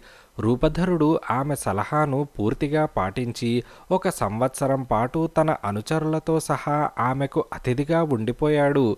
సంవత్సరం పూర్తి కాగానే రూపధరుడి అనుచరులందరూ కలిసి ఏమిటిది? మనమిక ఇంటికి ప్రయాణమైపోయేది లేదా ఏమిటి? అని అన్నారు. రూపధరుడు సుకేసినితో నా అనుచరులు స్వదేశానికి పోవటానికి తొందరపడుతున్నారు. నేనిక బయలుదేరటం మంచిది. మా ప్రయాణానికి నీ సహాయం కావాలి అని అడిగారు. ఆ మాటలకు సుకేసిని నిన్ను బలవంతాన ఉంచటం నాకు ఇష్టం లేదు. కానీ నువ్వు మీ దేశానికి వెళ్ళిపోయే ముందు ఇంకొక ప్రయాణం చేయవలసి ఉంది. యముల వాళ్ళుండే నరకంలో సాంకేతికుడనే దివ్యజ్ఞాని ఉన్నాడు. చనిపోయినా అతనికి దివ్యజ్ఞానం పోలేదు. నువ్వు అతన్ని ఒకసారి కలుసుకొని అతని సలహా తీసుకోవాలి అని సుకేశిని అన్నది. ఈ మాట వినగానే రూపధరుడు హతాశుడైపోయాడు. అయ్యో సుకేసిని నరకానికి ప్రయాణం చేయటం నా వల్ల అయ్యే పనేనా? ఎవరైనా నరకానికి నౌకలో వెళ్ళి ఉన్నారా? అని అతను అడిగాడు. నువ్వు పడవ చుక్కాని పట్టి దిక్కులు చూస్తూ కూర్చోనవసరం లేదు. తెరచాప స్తంభం లేపి తెరచాప ఎత్తి మాట్లాడకుండా కూర్చో. ఉత్తర వాయువు నీ నౌకను నేరుగా నరకం చేర్చుతుంది. నీ నౌక సముద్రం దాటాక తీరం వస్తుంది. అక్కడ నరక వృక్షాలుంటాయి. నీ నౌకను తీరాన కట్టేసి యమలోకానికి కాలినడకన బయలుదేరు. కొంత దూరం వెళ్ళాక నీకు ఒక గుట్ట కనిపిస్తుంది. దాని సమీపంలోనే అగ్ని నది అశ్రు నది కలిసి వైతరణి నది అవుతుంది. ఆ రాతి దగ్గర మూరెడు పొడగు మూరెడు వెడల్పు గల గొయ్యి తవ్వు ఆ గోతిలో పితృదేవతలకు తర్పణాలు విడిచి పిండ ప్రదానం చెయ్యి ఈ విధంగా పితృదేవతలను అర్చించి నిన్ను క్షేమంగా ఇతకా చేర్చమని వారిని ప్రార్థించు. ఇల్లు చేరాక వారికి బలులిస్తానని వాగ్దానం చెయ్యి సాంకేతికుడికి విడిగా ఒక నల్ల గొర్రెపోతును బలి ఇస్తానని దండం పెట్టుకో. తర్వాత ఒక నల్ల ఆడగొర్రెను నల్ల గొర్రెపోతును అక్కడ బలి ఇచ్చి అగ్నిలో వేల్చు. ఇలా చేసి యమధర్మరాజుకు నరకవాసులకు దండాలు పెట్టుకో. ఇంతలో పితృదేవతలు బలి ఆరగించటానికి వస్తారు. వారిలో సాంకేతికుడు కూడా ఉంటాడు. ఆయన నీకు ఇంటికి పోయే ఉపాయము మార్గము చెప్పేదాకా పితృదేవతలెవరూ బలులు అంటకుండా చూసుకో అని సుకేసిని రూపధరుడికి వివరించి చెప్పింది. ఇంతలో తెల్లవారింది. రూపధరుడు తన అనుచరులను నిద్రలేవగొట్టి నిద్ర లేవండి. ఈ ప్రదేశం నుంచి మనం బయలుదేరి వెళ్ళాలి. సుకేసిని మనకొక ప్రయాణం కల్పించింది అని రూపధరుడన్నాడు. పాపం రూపధరుడి అనుచరులు ఇంటికి బయలుదేరుతున్నాం కదా అని ఎంతో ఉబలాటపడ్డారు. కానీ తాము పోబోతున్నది యముల వాళ్ళుండే నరకానికని తెలియగానే వారు మొర్రో అని గోలపెట్టారు. వారిలో కొందరు జుట్టు పీక్కున్నారు. కానీ వారు ఆ చోటుకు వెళ్ళక తప్పేది లేదు. అందరూ కలిసి బయలుదేరి నౌక వద్దకు వెళ్ళేసరికి అప్పటికే సుకేశిని వచ్చి అక్కడ ఉన్నది. ఆమె ఆ నౌక వద్ద ఒక నల్లని ఆడగొర్రెను నల్లని గొర్రెపోతును ఉంచి ఎవరితోనూ మాట్లాడకుండా తిరిగి వెళ్ళిపోయింది. గ్రీకులు తమ నౌకను తీరం నుంచి నీటిలోకి లాగారు. తెరచాప స్తంభమెత్తి తెర విప్పారు నల్ల గొర్రెలను తీసుకొని అందరూ నౌకలలోకి ఎక్కారు. సుకేసిని అనుగ్రహం వల్ల ఉత్తరం నుంచి మారుతం వచ్చి తెరచాపను నించింది. నౌక కదలిపోసాగింది. సాయంకాలం దాకా ప్రయాణం సాగించింది. తర్వాత సూర్యుడు అస్తమించి అంతటా అంధకారం ఆవరించింది. ఆ చీకట్లోనే నౌక తీరాన్ని తాకింది. రూపధరుడు సుకేసిని చెప్పిన ప్రకారమే అగ్నినది అశ్రునది కలిసే చోట గుండం తవ్వి తర్పణాలు విడిచాడు. పిండ ప్రదానం చేసి పితృదేవతలను ధ్యానించాడు. తర్వాత అతను గొర్రెలను బలి ఇచ్చి అగ్నిలో హోమం చేశాడు. మరుక్షణమే పితృదేవతలు కోలాహలం చేస్తూ గుంపులు గుంపులుగా బలులు ఆరగించటానికి వచ్చారు. అతను యమధర్మరాజుకు యముల వాళ్ళకు దన్నాలు పెట్టి పితృదేవతలతో నేను సాంకేతికుణ్ణి కొన్ని ప్రశ్నలు వేసేదాకా ఎవరూ బలులు ముట్టడానికి వీల్లేదు అని రూపధరుడన్నాడు. మిగిలిన వారిని తోసుకుంటూ ఒక స్త్రీ ముందుకు వచ్చింది. ఆమెను చూసి రూపధరుడు నిర్ఘాంతపోయాడు. ఎందుచేతనంటే ఆమె రూపధరుడి తల్లే. రూపధరుడు ట్రాయ్పై యుద్ధానికి బయలుదేరే నాటికి ఆమె జీవించే ఉన్నది. ఆమె ఎప్పుడు చనిపోయింది? రూపధరుడు ఎరగడు. ఆమెను చూసి రూపధరుడు కంటతడి పెట్టుకున్నాడు చాలా జాలిపడ్డాడు. అయినప్పటికీ అతను ఆమెను బలులు తాకనివ్వలేదు. ఆమె వెనకనే సాంకేతికుడు చేతిలో బంగారు కర్ర పట్టుకొని వచ్చాడు. ఆయన రూపధరుణ్ణి గుర్తించి నాయన ఎన్నడూ సూర్యకాంతి ఎరగని ఈ పితృలోకానికి నువ్వెందుకు రావాల్సి వచ్చింది? కాస్త అడ్డం తొలగితే బలి ఆరగించి నీకు చెయ్యవలసిన సహాయం చేస్తాను అని అన్నాడు. రూపధరుడు పక్కకు తొలగి ఆయనను బలి ఆరగించనిచ్చాడు. తర్వాత ఆయన రూపధరుడికేసి తిరిగి నాయన నువ్వు స్వదేశానికి పోవాలని తహతహలాడుతున్నావు. నిజానికి స్వదేశం కన్నా స్వర్గం ఎక్కడున్నది? అయితే దేవతలు నీపై అలిగి ఉన్నారు. అందుచేత నువ్వు పడరాని పాటలు పడతావు. తప్పదు. ఎన్ని కష్టాలు పడినా నువ్వు క్షేమంగా ఇంటికి చేరుకుంటావు. నువ్వు ఇంటికి వెళ్ళే దారిలో త్రినాపియా అనే దీవి వస్తుంది. అక్కడ సూర్యభగవానుడి తాలూకు పసుగణాలుంటాయి నువ్వు గాని నీ అనుచరులు గాని వాటి జోలికి పోవద్దు. ఒకవేళ ఆ పశువులకు అపచారం జరిగిందో నీ అనుచరులు గాని నీ నౌక గాని ఇతకా చేరటం కల్లా. నువ్వు మటుకు చావు తప్పి కన్నులొట్టపోయినంత పని అయి ఇంకొకరి నౌకలో ఒంటరిగా ఇంటికి చేరుకుంటావు. అప్పటికీ నీ కష్టాలు అంతం కావు. నీ ఇంటి నిండా నీ శత్రువులుండి తమను పెళ్ళాడమని నీ భార్యను పీడిస్తుంటారు. అయితే నువ్వు వారిని ఎలాగో హతమార్చగలుగుతావు? ఆ శత్రువులనందరినీ తుదిముట్టించాక నువ్వు దేవతల పట్ల నీ ధర్మాన్ని నెరవేర్చాలి. అది ఎలా చేయాలో నీకు చెబుతాను. నౌకలు నడిపే తెడ్డు ఒకటి తీసుకొని అన్నంలో ఉప్పు వాడని వారు సముద్రమంటే ఏమిటో ఎరగని వారు కనపడేదాకా ప్రయాణం చేయాలి. అటువంటి మనుషులను గుర్తించే మార్గం కూడా నీకు చెబుతాను. వాళ్ళు నీ భుజాన ఉండే పడవ తెడ్డును గుర్తించలేక అది వ్యవసాయపు తెడ్డ అని అడుగుతారు. అటువంటి మనుషులు కనబడిన చోట నీ తెడ్డును భూమిలో గుచ్చి వరుణదేవుడికి బలులివ్వు. ఒక గొర్రెపోతును ఒక ఎద్దును ఒక ఏదు పందిని బలి ఇచ్చి ఇంటికి తిరిగి వెళ్ళు. నువ్వు దీర్ఘకాలం బ్రతికి చిట్ట చివరకు సముద్రం మూలానే నిశ్చింతగా సుఖమైన చావు చస్తావు. ఆ సమయంలో నీకు ఆప్తులందరూ నీ చుట్టుంటారు అని జోస్యం చెప్పాడు. సరే కానివ్వండి విధిని తప్పించుకోవటం నా వశమా? కానీ ఒకటి చెప్పండి అక్కడ నా తల్లి ప్రేతాత్మ నిలబడి ఉన్నది. ఆమె నా కేసి చూడదు నాతో మాట్లాడదు బలుల కేసి మాత్రమే చూస్తుంది. ఆవిడ నన్ను గుర్తించే మార్గముంటే చెప్పండి అని రూపధరుడన్నాడు. నాయన బలి ముట్టేదాకా పితృదేవతలు నిజమేమిటో తెలుసుకోలేరు చెప్పలేరు. ఆ సంగతి జ్ఞాపకముంచుకో అంటూ సాంకేతికుడు యమలోకానికి తిరిగి వెళ్ళిపోయాడు. రూపధరుడు అక్కడే నిలబడి తన తల్లి వచ్చి బలి ఆరగించేదాకా వేచి ఉన్నాడు. బలి ఆరగించగానే ఆమె తల ఎత్తి చూసి తన కొడుకును గుర్తించి నాయన బతికుండే ఈ లోకానికి ఎలా వచ్చావురా? అది ఎవరికీ సాధ్యమయ్యే పని కాదే. ట్రాయ్ నుంచి ఇదే రావటమా? ఇంకా ఇతకాకు వెళ్ళలేదా? నీ భార్యను చూడలేదా? అని రూపధరుడి తల్లి అడిగింది. లేదమ్మా నేనిల్లు చేరలేక అష్టకష్టాలు పడుతున్నాను. ఇక్కడ ఉండే సాంకేతికుడి సలహా కోరి నేనిక్కడికి రావాల్సి వచ్చింది. చూడమ్మా నువ్వు ఎలా చనిపోయావు? జబ్బు చేసిందా? లేక ఆకస్మిక మరణం సంప్రాప్తమైందా? నాన్న ఎలా ఉన్నాడు? నా కొడుకేం చేస్తున్నాడు? వాళ్ళు నన్నే నమ్ముకొని నా కోసం ఎదురు చూస్తున్నారా లేక నేనిక తిరిగి రాననుకొని ఇంకెవరి పంచనైనా చేరారా? నా భార్య ఏమంటున్నది? ఏం చేద్దామనుకుంటున్నది? కొడుకుతో సహా ఆస్తిని చూసుకుంటున్నదా? లేక ఎవరినన్నా మంచివాణ్ణి చూసి పెళ్ళాడేసిందా? అని రూపధరుడు తల్లిని అడిగాడు. అది నీ ఇంట్లోనే ఉంటుంది నాయన. దాని ఓర్పు ఎటువంటిదనుకున్నావు? అహోరాత్రులు దాని గుండె దహించుకుపోతున్నదనుకో. నీ ఆస్తి హోదా ఇంకా నీ పేరునే ఉన్నాయి.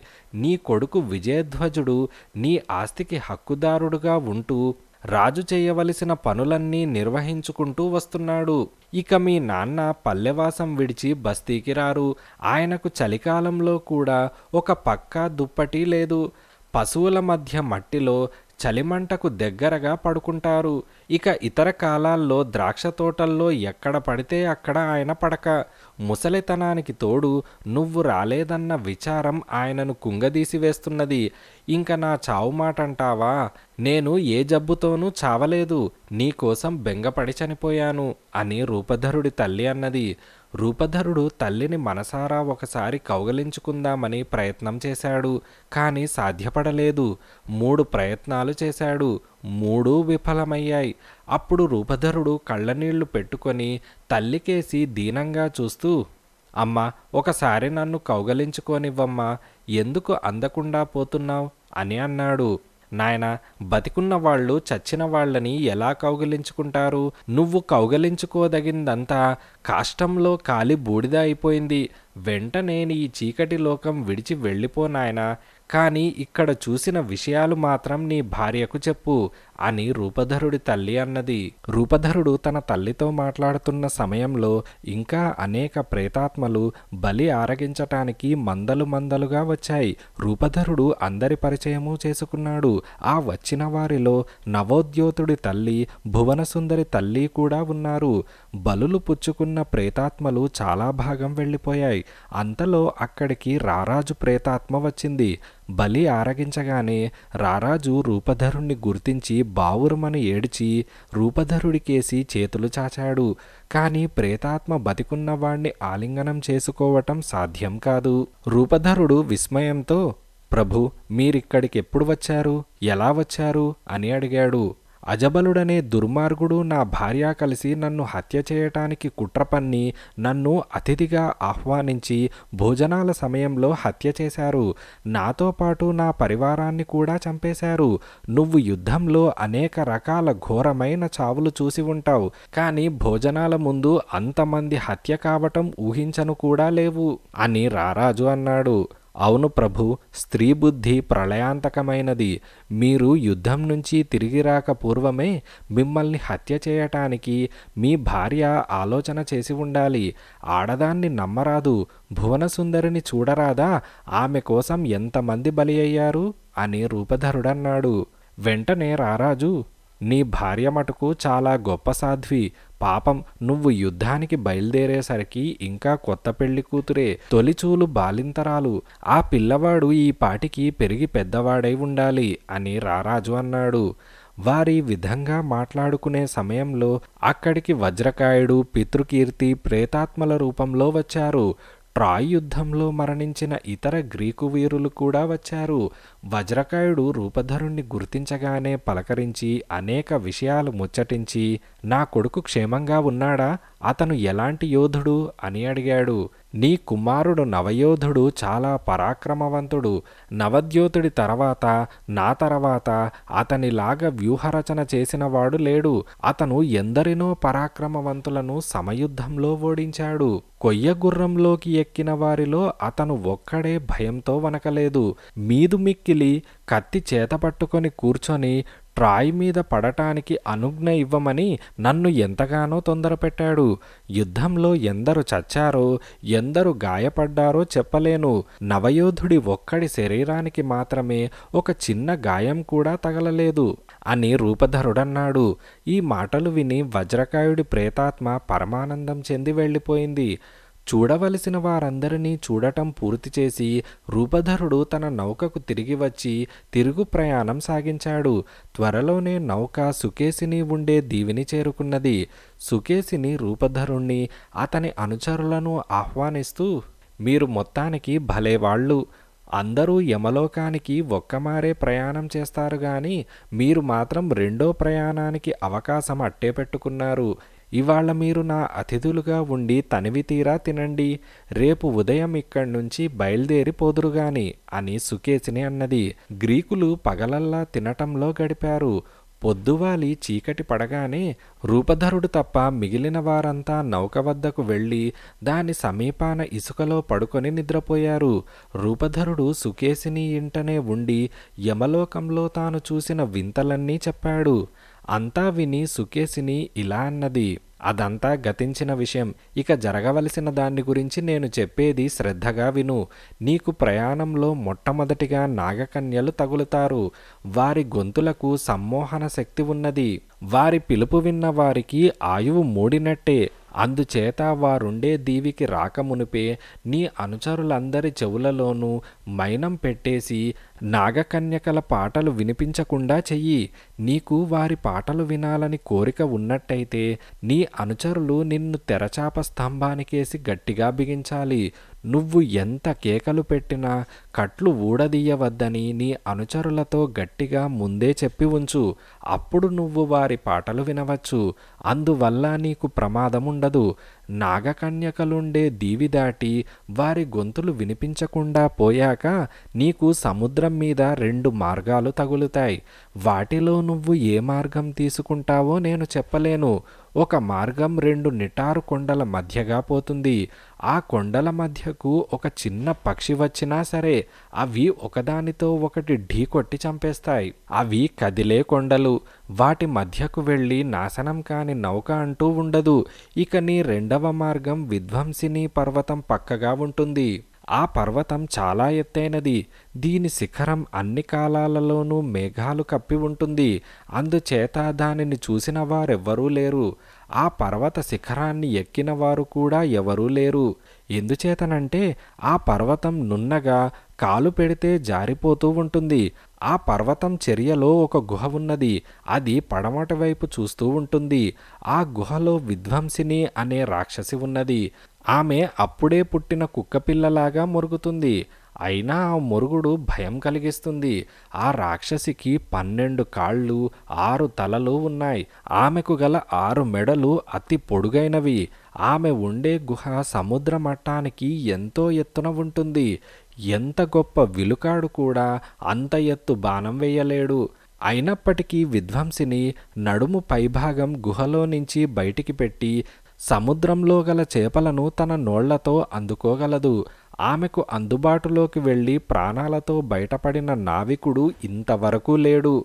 ఆ కొండకు బాణం వేటు దూరంలో ఒక సుడిగుండం ఉన్నది ఈ సుడిగుండంలో చిక్కుకున్న నౌక నాశనం కాకుండా చేసే శక్తి ఈశ్వరుడికి కూడా లేదు. నీ నౌక ఈ సుడిగుండం మీదుగా తీసుకుపోవటం కంటే విధ్వంసిని పర్వతం పక్కగా తీసుకుపోవటం చాలా క్షేమం. నౌక వేగంగా పోయిన పక్షంలో విధ్వంసిని తన ఆరు నోళ్ళతోనూ ఆరుగురిని పట్టుకున్నప్పటికీ మిగిలిన వాళ్ళు దక్కుతారు. తర్వాత నువ్వు త్రినాసియా దేవి చేరుకుంటావు. అక్కడ సూర్యభగవానుడి ఆవుల మందలు గొర్రెల మందలు ఉంటాయి. మందకు యాభై చొప్పున ఏడు ఆవుల మందలు ఏడు గొర్రెల మందలు ఉంటాయి. వాటిని సూర్యుడి కుమార్తెలిద్దరూ కాస్తూ ఉంటారు. ఆ మందలకు చావు పుట్టుక లేదు. నువ్వు గాని నీ అనుచరులు గాని ఆ మందల జోలికి పోవద్దు. అలా పోయినట్టయితే నీ నౌక అనుచరులు నాశనమైపోతారు. నీకు ఎలాగో కష్టాలు తప్పవు. అందుచేత వీటిని అనవసరంగా పెంచుకోకు అని సుకేసిని అన్నది. సుకేసిని ఇలా చెప్పిన అనంతరం తూర్పున తెల్లవారింది. రూపధరుడు తన నౌక వద్దకు తిరిగి వచ్చి తన అనుచరులను లేపాడు. త్వరలోనే నావికులు లంగరు ఎత్తి నౌకను బయలుదేరదీశారు. సుకేసిని అనుగ్రహం వల్ల ఆ సమయంలో అనుకూలమైన గాలి వీచి తెరచాపను నించింది. మొట్టమొదట రాబోయే ప్రమాదం నాగకన్యకల నుంచి. అందుచేత రూపధరుడు తన అనుచరులతో సుకేసిని చెప్పిన విషయాలన్నీ చెప్పి వారందరి చెవులలోనూ మైనం కుక్కి వాళ్ళను చెవిటివాళ్ళుగా చేశాడు. తర్వాత వారు రూపధరుణ్ణి తెరచాప స్తంభానికేసి మోకుతో కట్టేశారు. నేను కట్లు విడిపించుకోవటానికి ప్రయత్నిస్తే మరింత గట్టిగా కట్టండి అని అతను వారితో ముందుగానే చెప్పాడు. నాగకన్యకలు తమ దీవి నుంచి రూపధరుడి నౌకను చూసి గొంతెత్తి పాడసాగారు. వారు రూపధరుణ్ణి పేరు పెట్టి పిలిచి తీయని తమ పాటలు విని మరీ వెళ్ళమన్నారు. వారి పాట వింటున్న కొద్దీ రూపధరుడికి ఇంకా వినాలనిపించింది. తన కట్లు విప్పమని అతను తన అనుచరులను బతిమాలాడు. అతని వాలకం చూసి వారు అతన్ని మరింత గట్టిగా కట్టారు. కొద్దిసేపట్లో నౌక దూరం వెళ్ళిపోయింది. నాగకన్యకల గొంతు ఇక వినిపించటం లేదు. అప్పుడు రూపధరుడి అనుచరులు తమ చెవులలో పెట్టుకున్న మైనం తీసేశారు. రూపధరుడి కట్లు విప్పేశారు. అంతలోనే రూపధరుడికి అంత దూరాన గుండ్రంగా తిరుగుతూ బ్రహ్మాండమైన అల ఒకటి కనిపించింది. అదే సుడిగుండం. దాన్ని చూసి చూడటంతోనే రూపధరుడి అనుచరులు హడలిపోయారు. మీరేమీ భయపడకండి. ఇదేమంత ప్రమాదం కాదు. నౌకను ఆ కనపడే కొండ సమీపంగా నడపండి అని రూపధరుడన్నాడు. అతను తన అనుచరులతో ఆ కొండ గుహలో ఉండే విధ్వంసిని గురించి చెప్పలేదు. చెబితే వారు బెంబేలెత్తి తెడ్లు అవతల పారేసి ఉండేవారే. రూపధరుడు మాత్రం కొండకేసి పరీక్షగా చూశాడు. మబ్బులు ఆవరించి ఉండటం చేత అతనికి రాక్షసి ఉండే గుహ గాని రాక్షసి జాడగాని కనిపించలేదు. మిగిలిన వారి కళ్ళు మాత్రం సుడిగుండం మీదే ఉన్నాయి. ఇంతలో రాక్షసి ఆరు తలలు చాచి రూపధరుడి అనుచరులను ఆరుగురిని పట్టుకొని తన గుహకేసి లాగేసుకున్నది.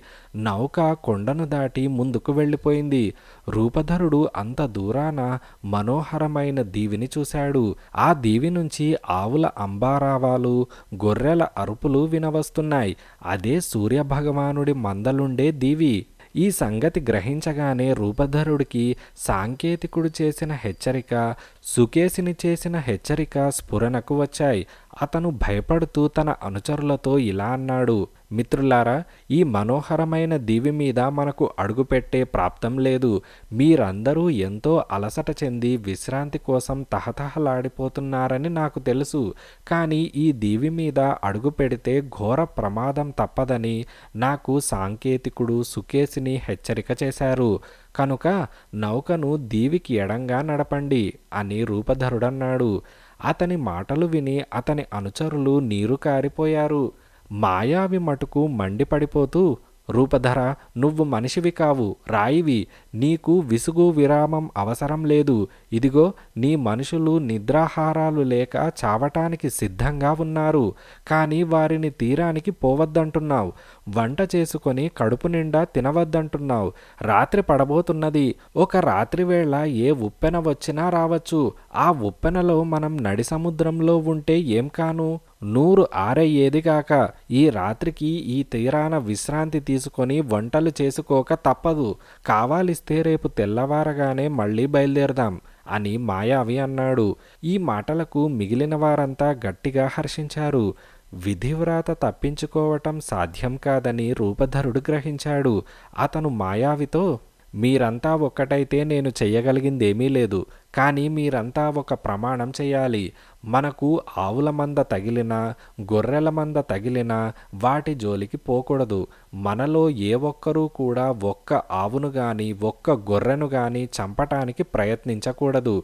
మనకు సుకేసిని ఇచ్చిన ఆహారం మినహాగా ఇంకేమీ ముట్టవద్దు. ఆ ప్రకారం మీరంతా ప్రమాణాలు చేశారంటే ఈ త్రినాసియా దీవి మీద అడుగు పెట్టడానికి నేను అంగీకరిస్తాను అని రూపధరుడన్నాడు. మిగిలిన వారంతా ఆ ప్రకారమే ప్రమాణాలు చేశారు.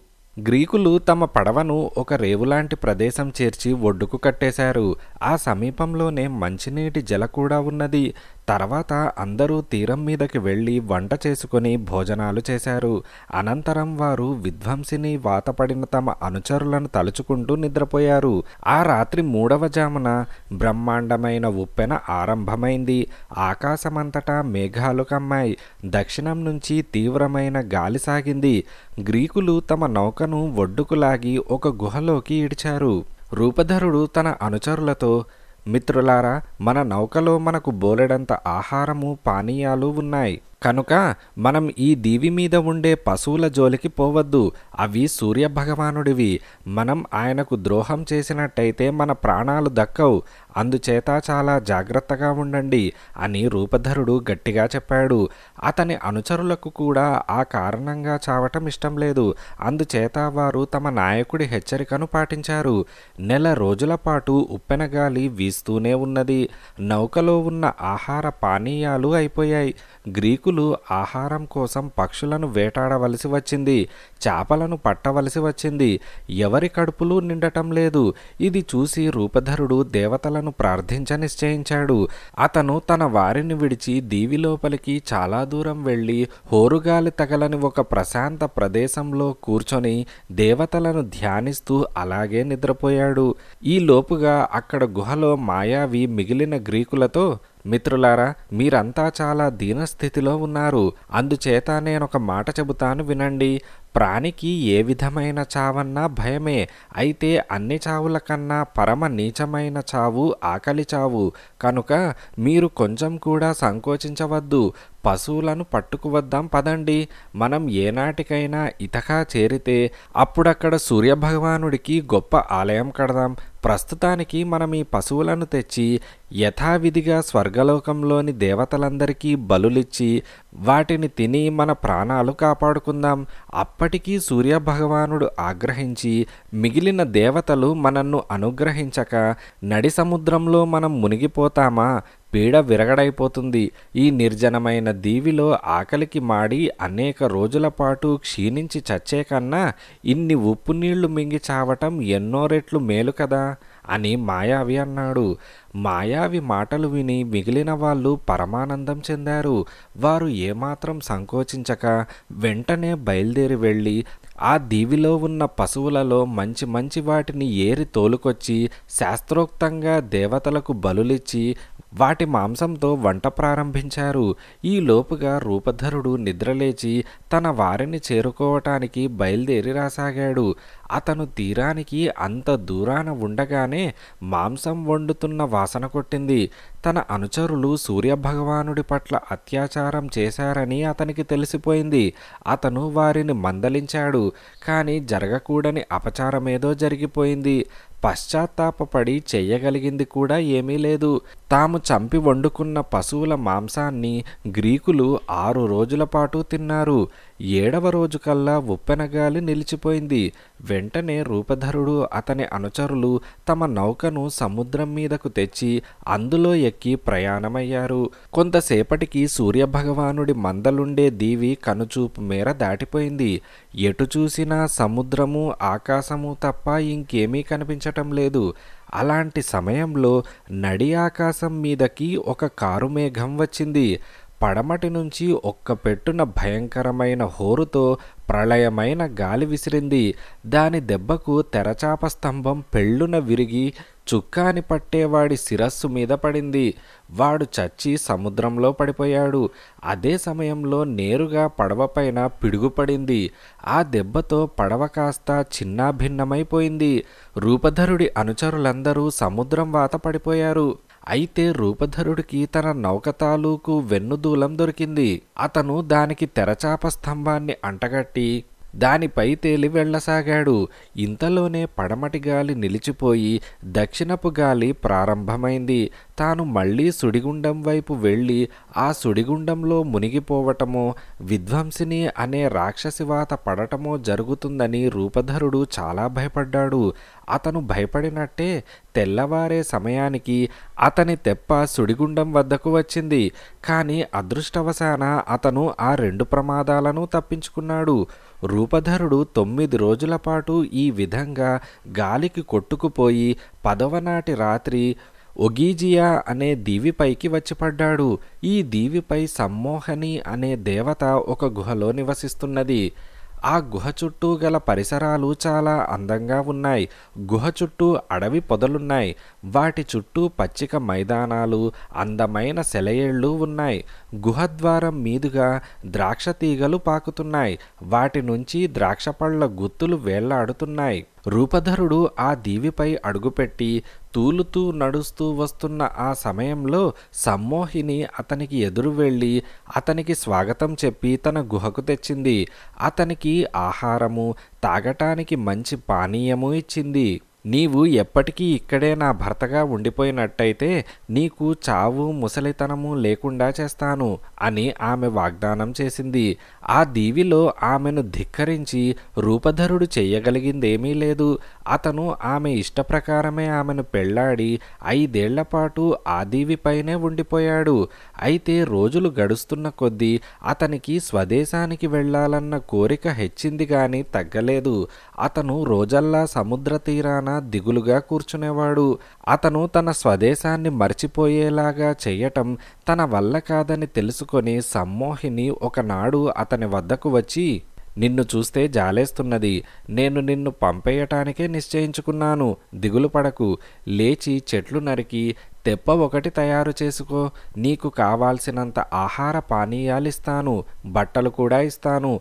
అనుకూల వాయువు కూడా ఇస్తాను. వాటి సహాయంతో ఇంటికి వెళ్ళిపో అని అన్నది.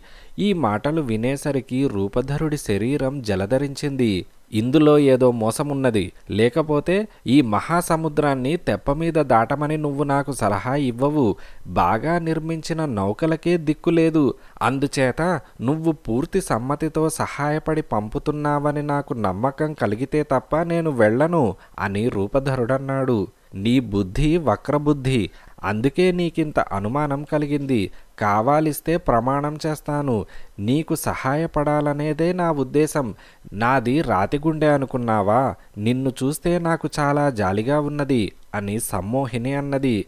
ఆమె అతన్ని తన గుహకు తీసుకువెళ్ళి సమస్తమైన భోజన పదార్థాలు వడ్డించి భోజనం పెట్టించింది.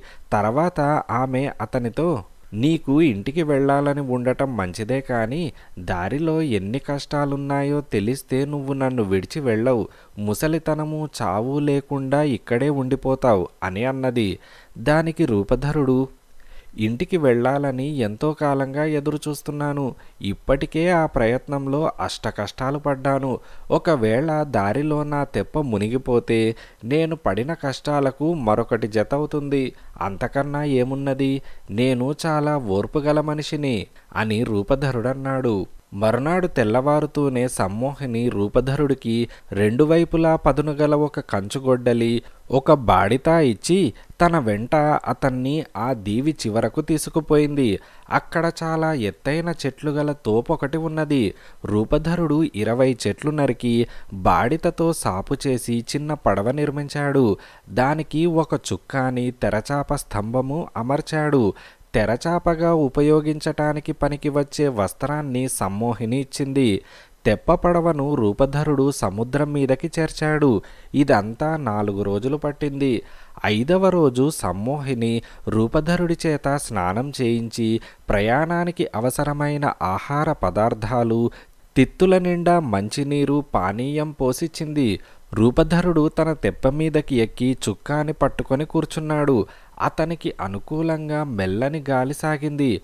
రాత్రి అతను నిద్రపోక నక్షత్రాల సహాయంతో తెప్పను నడపసాగాడు. అతను సముద్రం మీద బయలుదేరేటప్పుడు సమ్మోహిని సప్త మహర్షులు నీ ఎడమ చేతి వైపున ఉండేటట్టుగా ప్రయాణం చేయి అని హెచ్చరించింది. రూపధరుడు పదిహేడు రోజుల పాటు ప్రయాణించాక సముద్రం మీద మళ్ళీ బ్రహ్మాండమైన తుఫాను బయలుదేరింది.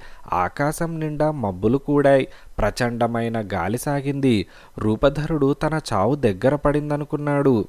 నేనెంత అదృష్టహీనుణ్ణి? ట్రాయ్ యుద్ధంలో చనిపోయిన వారు నాకన్నా ఎన్నో రెట్లు అదృష్టవంతులు. వారి శవాలకు సంస్కారం జరిగింది. ఈ నడి సముద్రంలో ఒంటరిగా దిక్కులేని చావు చచ్చే కన్నా వజ్రకాయుడు చచ్చినప్పుడే నేను పోయి ఉంటే ఎంత బాగుండేది? అని రూపధరుడు అనుకున్నాడు ఇంతకు దేవతలు అతనిపై కత్తి కట్టారు. గాలి ఊపుకు చుక్కాని అతని చేతిలో నుంచి లాగేసినట్టుగా పోయింది. మరుక్షణం తెప్ప గుండ్రంగా తిరిగింది.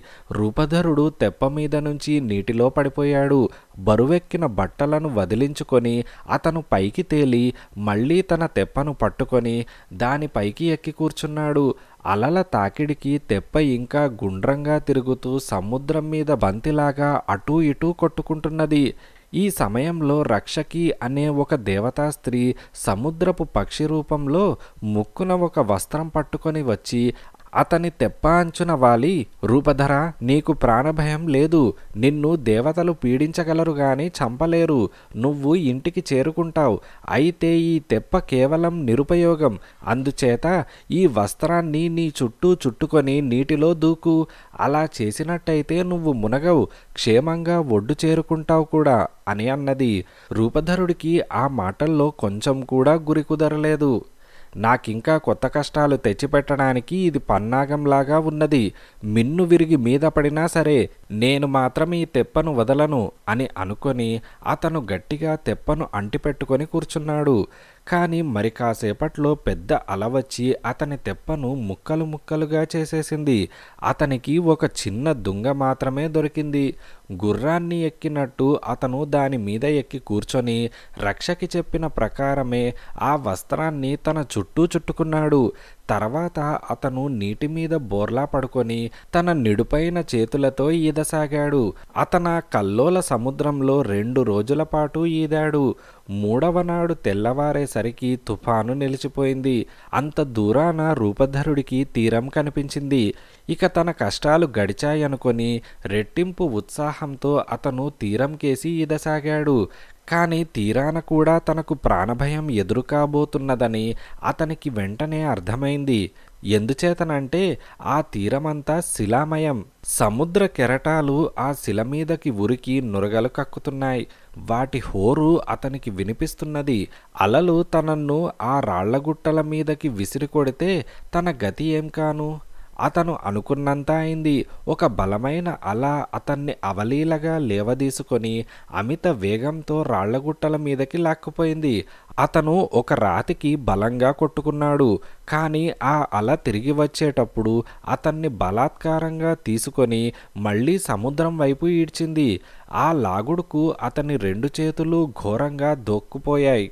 ఈసారి రూపధరుడు తీరం కేసి ఈదటం మానేసి తీరం చుట్టూ ఈదసాగాడు. ఇలా కొంత దూరం ఈదాక అతనికి ఒక నదీ ముఖం ఎదురైంది. అతనికి ప్రాణం లేచి వచ్చింది. తనను కాపాడమని నదిని ధ్యానిస్తూ అతను నేల మీదకి వచ్చి వెంటనే స్పృహ తప్పిపడిపోయాడు రూపధరుడు మాత్రం ప్రాణాలతో వేరొక కొత్త తీరాన వచ్చిపడ్డాడు ఆ దేశాన్నేలే రాజు పేరు మహామేధి. ఆయనకు వారుని అనే కుమార్తె ఉన్నది. తెల్లవారుజామున ఆమెకొక వింత కల వచ్చింది. ఆ కలలో ఆమె స్నేహితురాలొకత్తి కనిపించి ఏమే వారుని? నీకింత సోమరితనమేమిటే? బోలెడన్ని మాసిన బట్టలు ఉతకవలసి ఉంది కదా. రేపు పెళ్ళికి మాసిన బట్టలు కట్టుకుంటావా?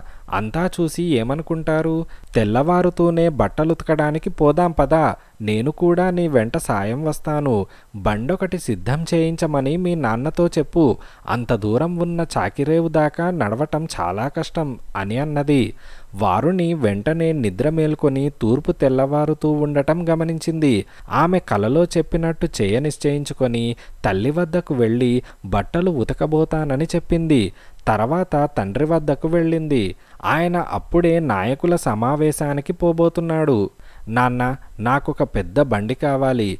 నేను నదికి వెళ్ళి ఈ పూట మనకున్న మంచి బట్టలన్నీ ఉతుకుతాను. ఎంతో కాలంగా మైల బట్టలు చాలా పేరుకొని ఉన్నాయి. చూడబోతే ఇంటి నిండా జనమున్నారు. అందరూ ఎప్పటికప్పుడు చలవ బట్టలు తెమ్మంటున్నారు అని ఆమె తండ్రితో అన్నది. అందుకు మహామేధి దానికేం భాగ్యమమ్మా? పనివాళ్ళతో చెప్పి నీకు కావాల్సినంత పెద్ద బండి కట్టించుకో అని అన్నాడు. వెంటనే కంచరగాడిదలతో సహా బండి తయారైంది. వారునికి దాసీలకు సరిపడా భోజన పదార్థాలు కూడా తీసుకున్నారు. వారుని బండెక్కి కొరడా తీసుకొని కంచరగాడిదలను అదిలిస్తూ బండి తోలసాగింది. చాలామంది దాసీలు కబుర్లాడుతూ బండి వెనకే నడవసాగారు. కొంతసేపటికి వారు నది వద్ద చాకిరేవు చేరుకున్నారు. కంచరగాడిదలను విప్పి నది ఒడ్డున మేతకు వదిలారు. తర్వాత వారు మైలబట్టలను పోటీలు పడి ఉతకసాగారు. బట్టలుతకడం ముగియగానే వారందరూ సముద్ర తీరానికి వెళ్ళి అక్కడ స్నానాలు చేసి నది ఒడ్డుకు తిరిగి వచ్చి బట్టలన్నీ ఆరవేసి భోజనాలు చేశారు. తర్వాత వాళ్ళు పాటలు పాడుతూ బంత ఆట ఆడసాగారు. ఆటలో బంతి ప్రమాదవశాన నీటిలో పడిపోయింది.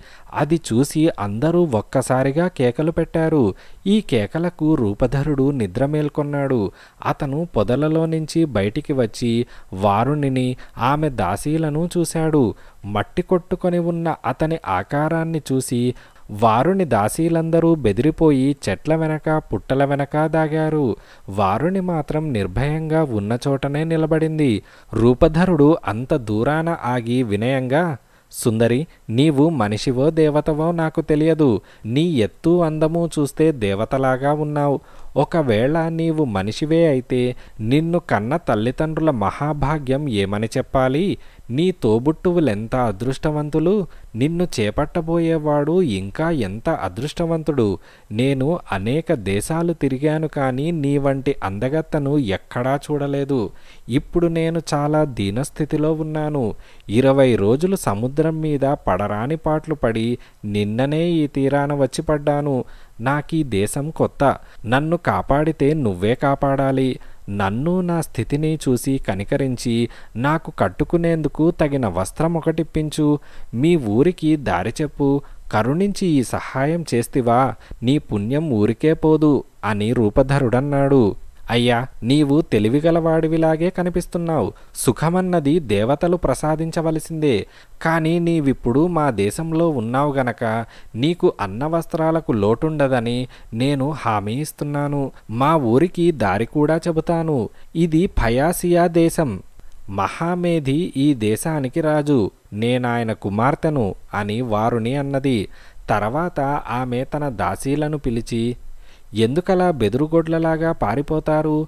ఈయనకు తినటానికేమైనా ఇవ్వండి అని అన్నది. దాసీలు రూపధరుడికి స్నానాల రేవు చూపించి స్నానమనంతరం వంటికి మర్దనా చేస్తూనే తైలము కట్టుకోవటానికి బట్టలు ఇచ్చారు. రూపధరుడు నదిలో దిగి తన శరీరం మీద పేరుకొని ఉన్న ఉప్పు మట్టి కడుక్కొని శరీరమంతా నూనెమర్ధన చేసుకొని రాజకుమార్తె ఇప్పించిన బట్టలు కట్టుకొని పులికాపు చేసిన విగ్రహంలాగా నిగనిగలాడుతూ యువతలకి వచ్చాడు. అతన్ని మొట్టమొదట చూసి వికారంగా ఉన్నాడనుకున్న వారుని ఇప్పుడు అతన్ని చూసి స్వర్గంలో ఉండే దేవతలాగా ఉన్నాడనుకున్నది. తనకు అటువంటి భర్త దొరికితే బాగుండునని ఆమెకు అనిపించింది. అతను శాశ్వతంగా తమ దేశంలోనే ఉండిపోవాలని ఆమె కోరుకున్నది. తర్వాత దాసీలు రూపధరుడికి భోజనం పెట్టారు. అతను భోజనం చేసి అప్పటికి చాలా రోజులైంది. ఈ లోపుగా జరగవలసిన దాన్ని గురించి వారుని దీర్ఘంగా ఆలోచించింది. ఆమె యుక్త వయస్కురాలు. పెళ్ళి కానిది. ఆ దేశంలో అనేక మంది యువకులు ఆమెను పెళ్ళాడటానికి సిద్ధంగా ఉన్నారు. వారందరినీ ఆమె అదివరకే నిరాకరించింది. అటువంటి పరిస్థితిలో ఆమె రూపధరుణ్ణి తన వెంట నగరానికి తీసుకుపోవటం భావ్యంగా ఉండదు. ఎవరినో ఊరు పేరు లేనివాణ్ణి భర్తగా సంపాదించి వెంట తెచ్చుకున్నదని అందరూ ఆడిపోస్తారు. అందుచేత ఈ కొత్త వ్యక్తి తన అతిథిగా రావటం కంటే అతనంతట అతనే తన ఇంటికి వచ్చి ఆతిథ్యం కోరటం అన్ని విధాలా మంచిదని వారుని నిశ్చయించింది. దాసీలు ఆరిన బట్టలను పోగువేస్తూ ఉండగా ఆమె రూపధరుడితో ఇలా అన్నది మనమిక బయలుదేరిపోదాం. నీవు మిగిలిన వారితో పాటు నా బండి వెనకనే నడిచిరా. ఈ విధంగా కోటగోడల దాకా రావచ్చు. కానీ నాతో పాటు నగరంలో ప్రవేశించవద్దు. నలుగురు నోటికి వచ్చినట్టు మాట్లాడతారు. నగరం వెలుపల ఒక తోట ఉన్నది. అందులో నువ్వు విశ్రాంతి తీసుకో. నేనిల్లు చేరటానికి కొంత వ్యవధి ఇచ్చి అప్పుడు బయలుదేరి నేరుగా మా ఇంటికి వచ్చేయి. మా ఇల్లు పిల్లలను అడిగినా చెబుతారు. మా ఇల్లు చేరుకున్నాక ఎక్కడా ఆగకుండా నేరుగా లోపలికి రా. అక్కడ నీకు మా నాన్న అమ్మ కనిపిస్తారు. నీవు సంకోచించకుండా మా అమ్మను సమీపించి ఉపాయంగా ఆవిడతో ప్రసంగించి ఆతిథ్యం కోరు. నీ ధోరణి ఆవిడకు నచ్చిందంటే నీ పని సానుకూలమైనట్టే. మా రాజభవనంలో ఆవిడ మాటకు ఏనాడూ తిరుగులేదు. నీ అదృష్టం బావుండి ఆవిడ అనుగ్రహిస్తే నీకు ఎంత సహాయమైనా లభిస్తుంది అని వారుని అన్నది. తర్వాత వారుని బండెక్కి కంచరగాడిదలను అదిలించింది. అందరూ బయలుదేరారు. వారు తోటను చేరగానే రూపధరుడు అక్కడ దిగబడిపోయాడు. మిగిలిన వారు ముందుకు సాగారు. అప్పటికి సూర్యాస్తమయమైంది. రూపధరుడు తన ఇష్టదేవత అయిన బుద్ధిమతిని చాలాసేపు ధ్యానించి తాను కూడా రాజభవనానికి బయలుదేరాడు. ఈ లోపుగా రాజకుమార్తె వారుని ఇల్లు చేరుకున్నది. ఆమె అన్నలు ఐదుగురు వచ్చి ఉతికిన బట్టలను లోపలికి తీసుకుపోయారు. అప్పుడే పొయ్యిలు రాజేసి వంట ప్రారంభించినట్టు వారుని తెలుసుకున్నది. రూపధరుడు నగరంలో ప్రవేశించాడు. కానీ చీకటిలో అతన్ని ఎవరూ గమనించలేదు పలకరించలేదు. అతనికి ఒక చిన్నపిల్ల నీటి కుండతో సహా ఎదురైంది. రూపధరుడు ఆమెను పలకరించి చూడమ్మా నేను పరదేశీని. నాకు మహామేధి మహారాజు గారి ఇంటికి దారి చూపగలవా? అని అడిగాడు. నేను చూపిస్తాను రా బాబయ్య నువ్విలా ఇక్కడి వాళ్ళను పలకరించకూడదు తెలుసా? పరదేశీలంటే ఇక్కడి వాళ్ళకు చాలా అనుమానం. అందుచేత మాట్లాడకుండా ఎవరికేసి చూడకుండా నా వెనకనేరా అని ఆ పిల్ల అన్నది. ఆమె వెంట రూపధరుడు రాజభవనం చేరాడు. ఆ భవనం దేదీప్యమానంగా ఉన్నది. రూపధరుడు లోపల ప్రవేశించటానికి జంకాడు. అతను చాలాసేపు అక్కడే నిలబడి అక్కడ ఉన్న దివిటీల వెలుగులో చకచకా పనులు చేస్తున్న బానిసలను నాలుగెకరాల పళ్ళ తోటను చూశాడు. చివరకు అతను సాహసించి లోపల ప్రవేశించాడు. వారుని చెప్పిన ప్రకారమే అతను నేరుగా లోపలికి వెళ్ళాడు. లోపల ఒక విశాలమైన చావిడిలో నగరపు పెద్దలందరూ భోజనాలకు కూర్చొని ఉన్నారు. రూపధరుడు చావిడికుండా నడిచి అలా లోపలికి వెళ్ళగా అతనికి రాజు రాణి కనిపించారు. రూపధరుడు నేరుగా రాణి ముందు మోకరించి మహారాణి నేనొక నిర్భాగ్యుణ్ణి శరణార్థిగా మీ ముందుకు వచ్చాను. మీరు మీ పరివారము పుత్రపౌత్రాభివృద్ధిగా వర్ధిల్లాలి.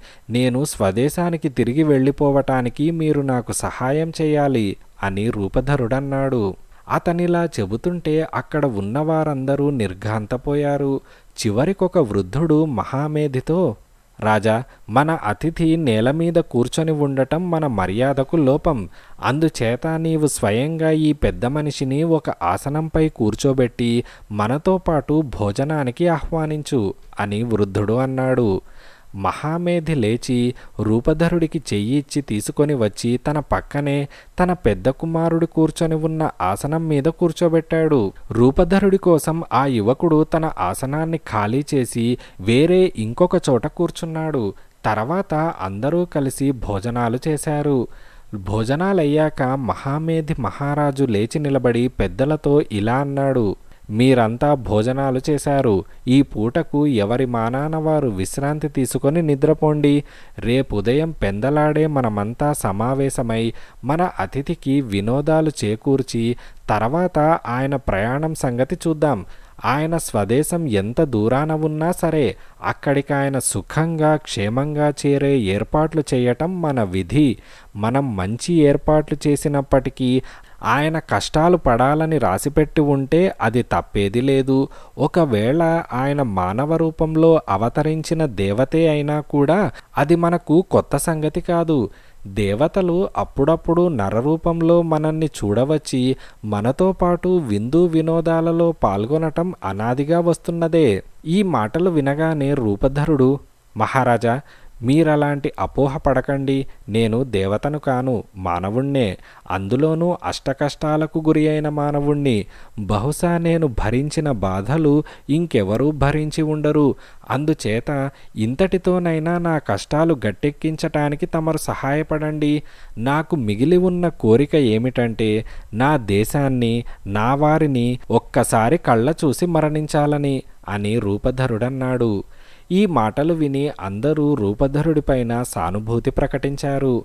అందరూ అక్కడి నుంచి వెళ్ళాక రూపధరుడు రాజు రాణి మాత్రం మిగిలారు. రాణి రూపధరుడికేసి తిరిగి అతను ధరించిన దుస్తులు తాను కుట్టినవేనని గుర్తించి నాయన నిన్ను మొట్టమొదట ప్రశ్న నేనే అడుగుతాను. నువ్వెవరు? ఎక్కడి నుంచి వస్తున్నావు? ఈ దుస్తులు నీకెవరిచ్చారు? నువ్వు సముద్రం మీద కొట్టుకు వచ్చానని చెప్పావు కదూ? అని అన్నది. తాను సమ్మోహిని చెర నుంచి బయటపడినది మొదలు ఈ దేశం తీరాన వచ్చి పడే వరకు జరిగిన కథ యావత్తు రూపధరుడు రాణికి రాజుకు వివరించి చెప్పాడు. తర్వాత వారుని రావటము తను ఆమెకు తన దీనావస్థ గురించి చెప్పటము ఆమె తనకు తిండి బట్ట ఇవ్వటము కూడా దాచకుండా అతను వారితో చెప్పేశాడు. అంతా విని మహామేధి అయ్యా నా కూతురు చాలా పొరపాటు చేసింది.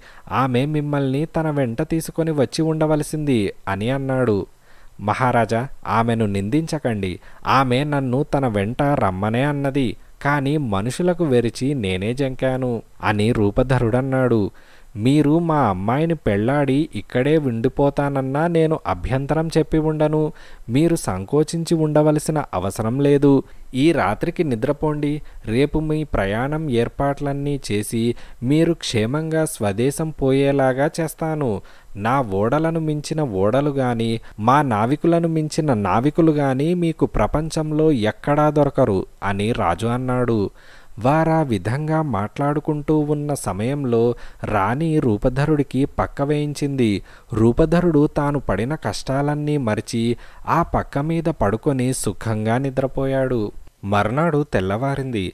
మహామేధితో పాటే రూపధరుడు కూడా నిద్రలేచాడు. ఇద్దరూ కలిసి సభాభవనానికి వెళ్ళారు.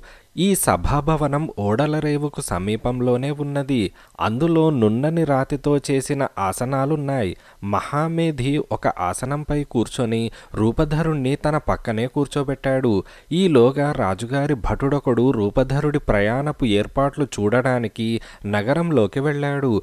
అతను పెద్దలందరినీ పేరు పేరున సభాభవనానికి ఆహ్వానించి ఎవరో అపూర్వ పురుషుడు రాజుగారికి అతిథిగా వచ్చినట్టు తెలియజేశాడు. ఈ కొత్త వ్యక్తిని చూడటానికి పెద్దలందరూ వెంటనే బయలుదేరి వచ్చారు. త్వరలోనే సభాభవనంలోని ఆసనాలన్నీ భర్తీ అయ్యాయి. అక్కడ సమావేశమైన వారితో రాజు ఇలా అన్నాడు. మహాజనులారా నా పక్కన ఆసీనుడై ఉన్న ఈ వ్యక్తి నా ఇంటికి అతిథిగా వచ్చాడు. ఈయన ఎవరో నాకు తెలియదు. ఈయన సముద్రం మీద వచ్చాడు. ఆయన తూర్పు నుంచి వచ్చాడో పడమటి నుంచి వచ్చాడో కూడా నాకు తెలియదు. అయితే ఆయన తన ప్రయాణానికి సహాయం చేయమని నన్ను కోరాడు. దానికెన్నడూ అభ్యంతరం లేదు. ఎందుకంటే నా ఇంటికి అతిథిగా వచ్చి అసంతృప్తితో వెళ్ళిపోయిన వారెవరూ లేరు. కనుక మనం మన ఆచారం తప్ప తప్పకుండా ఈ వ్యక్తికి సహాయం చేయవలసి ఉన్నది. మనం ఒక కొత్త నౌకను ఈయన పరం చేసి తెడ్లు వేసే వారిని యాభై రెండు మందిని తోడిద్దాం. తెడ్లు వేయడంలో సమర్థులైన వారు బయలుదేరి వెళ్ళి నౌకలో తెడ్లు అమర్చి భోజనానికి నా ఇంటికి వచ్చేయండి. మిగిలిన పెద్దలు కూడా మా ఇంటికే విందుకు రావాలి. విందు ఏర్పాట్లు పెద్ద ఎత్తున చేయిస్తాను. విందు సమయంలో వినోదంగా పాడడానికి గాను వెంటనే తగిన మనిషిని చూసి పిలిపించండి అని మహామేధి అన్నాడు. మహామేధి మహారాజు సభికులతో ఈ మాటలు చెప్పి రూపధరుణ్ణి వెంట తీసుకొని తన భవనానికి బయలుదేరి వెళ్ళాడు. వెంటనే పాడేవారికి కబురు వెళ్ళింది. యాభై రెండు మంది సమర్థులైన నావికులు కొత్త పడవను జలప్రవేశం చేయించి తెడ్లు అమర్చారు. దానికి వారు ఒక తెల్లని తెరచాప ఎత్తి నౌకను లోతునీటిలో లంగరు వేసి రాజభవనానికి వెళ్ళారు రాజభవనంలోని గదులు చావడులు ప్రాంగణాలు అతిథులతో నిండిపోయాయి. విందుకుగాను గొర్రెలను అడవి పందులను ఎద్దులను కోశారు. విందు సమయంలో పాడడానికి ఒక గాయకుడు పిలిపించబడ్డాడు. అందరూ ఎంతో సంతోషంగా భోజనాలు చేసే సమయంలో ఆయన పాడిన పాట రూపధరుడి జీవితంలో జరిగిన ముఖ్యమైన సంఘటనకు సంబంధించినదే. ఆ సంఘటన ఏమిటంటే ట్రాయ్ యుద్ధం ఇంకా ఆరంభం కాలేదు. రారాజు భవిష్యత్తు తెలుసుకునే నిమిత్తమై మైధో వద్దనున్న సూర్యాలయానికి వెళ్ళాడు. ట్రాయ్ పతనమయ్యే లోపుగా నీ యోధుల మధ్య కలహం వస్తుంది అని సూర్యభగవానుడు రారాజుకు తెలియబరిచాడు. అలాగే జరిగింది కూడా. ఒకనాడు భోజనాల దగ్గర రూపధరుడు వజ్రకాయుడు తగాదా పడి ఒకరినొకరు గట్టిగా తిట్టుకున్నారు. రారాజు ఈ తగాదా చూసి విచారించడానికి బదులు సంతోషించాడు. ఎందుచేతనంటే ఇది తనకు శుభసూచకమని సూర్యభగవానుడు అదివరకే ఆయనకు చెప్పి ఉన్నాడు. ఆ గాయకుడు ఈ విందులో పై సంఘటనను పాట కట్టి పాడాడు. కానీ ఈ పాట వింటుంటే రూపధరుడికి దుఃఖావేశం ముంచుకు వచ్చింది తన కంటినీరు ఇతరులు చూస్తారని అతడు తన ముఖాన్ని బట్టకొంగుతో కప్పేసుకున్నాడు. మధ్య మధ్య గాయకుడు పాట నిలిపినప్పుడు రూపధరుడు తన కళ్ళు తుడుచుకొని ముఖానికి అడ్డం తొలగించేవాడు. మళ్ళీ గాయకుడు పాట ఆరంభించగానే అతని కంటి వెంట అశ్రుధారలు కారేవి. అతను ముఖాన్ని తిరిగి బట్టతో కప్పేసుకునేవాడు. రూపధరుడి చర్యలను ఇతరులెవరూ గమనించలేదు కానీ అతని పక్కనే కూర్చొని భోజనం చేస్తున్న మహామేధి మాత్రం గమనించాడు. రూపధరుడు బాధతో మూల్గటం కూడా అతనికి వినిపించింది. చిట్ట చివరకు మహామేధి తన అతిథులతో మిత్రులారా మనం కడుపు నిండా భోజనం చేశాం. ఇక ఆ పాట చాలించి మనం వ్యాయామ క్రీడలు తిలకించుదాం. అవి మన అతిథి కోసం ప్రత్యేకంగా ఏర్పాటు చేయబడినవి. మల్ల యుద్ధంలోనూ దూకటంలోనూ మన ప్రజ్ఞ ఎంత అసాధారణమైనదో మన అతిథి చూసినట్టయితే ఆయన తన దేశవాసులకు చెప్పగలుగుతాడు అని అన్నాడు. రాజుగారు లేవగానే మిగిలిన అందరూ లేచి ఉత్సాహంగా మైదానానికి బయలుదేరారు. అక్కడ అనేక వేల మంది గుమికూడారు. వ్యాయామ క్రీడలలో ఆరితేరిన యువకులంతా పోటీలలో పాల్గొనడానికి సిద్ధంగా ఉన్నారు. మొదట పరుగు పందెం జరిగింది. తర్వాత మల్లయుద్ధము దూకటము బరువు విసరటము మొదలైనవి జరిగాయి.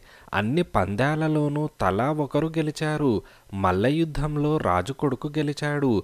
అతను తన అనుచరులతో ఒరేయ్ మన అతిథి చిన్నతనంలో ఏ ఏ వ్యాయామ క్రీడలు అభ్యసించాడో తెలుసుకుందామా? మనిషి చూడడానికి దృఢంగానే ఉన్నాడు. తొడలు పిక్కలు మెడ బలిష్టంగా ఉన్నాయి.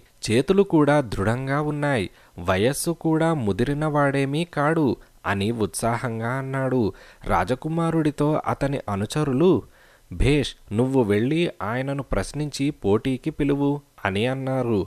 రాజకుమారుడు రూపధరుణ్ణి సమీపించి అయ్యా మీకు వ్యాయామ క్రీడలతో పరిచయం ఉన్నట్లయితే ఆటలలోకి రండి. ప్రతి మనిషికి వ్యాయామ క్రీడలు తెలిసి ఉండాలి. మీరు నిరుత్సాహంగా ఉండవలసిన పని లేదు. మిమ్మల్ని మీ దేశానికి చేర్చడానికి మీకోసం నౌకా నావికులు కూడా సిద్ధంగా ఉన్నారు అని రాకుమారుడు చెప్పాడు. అలా ఎందుకంటున్నావు నాయనా? మీరంతా నన్ను వేళాకోళం పట్టిస్తున్నారులాగా ఉంది. ఇప్పుడు కష్టాలకు తప్ప ఆటలకు చోటు లేదు. మీ అతిథిగా నేని ఆటల పోటీలు చూస్తున్నానే గాని చూసి ఆనందించడానికి కాదు. ప్రస్తుతం నాకు కావాల్సిందల్లా మా ఇల్లు చేరడమే అని రూపధరుడన్నాడు. అతన్ని రెచ్చగొట్టే ఉద్దేశంతో ఇంకొక యువకుడు రూపధరుడితో కాకపోయినా మీ అవతారం చూస్తే వ్యాయామ క్రీడలు తెలిసినట్టు లేదులేండి. ఏ వర్తక నౌకనో నడుపుకుంటూ బేళ్ళు లెక్కించడము జమా ఖర్చులు చేసుకోవడము మాత్రమే చాతనైన మనిషిలాగా కనపడుతున్నారు అని అన్నాడు. రూపధరుడికి నిజంగానే కోపం వచ్చింది. అతను కనుబొమ్మలు ముడివేసి అబ్బాయ్ కొందరిని భగవంతుడు వికారంగా సృష్టిస్తాడు కానీ వారు నోరు తెరిస్తే ముత్యాలు రాల్తాయి. వారి మాటలు వినడానికి ప్రజలు ఎగబడతారు. మరికొందరు చూడడానికి అందంగానే ఉంటారు కానీ వారు నోరు విప్పితే అందరూ చెవులు మూసుకోవాల్సిందే. భగవంతుడు నీకు అందమిచ్చాడు గాని మెదడివ్వలేదు. నేను చాలా కష్టాలు పడి శుష్కించి ఉన్నాను.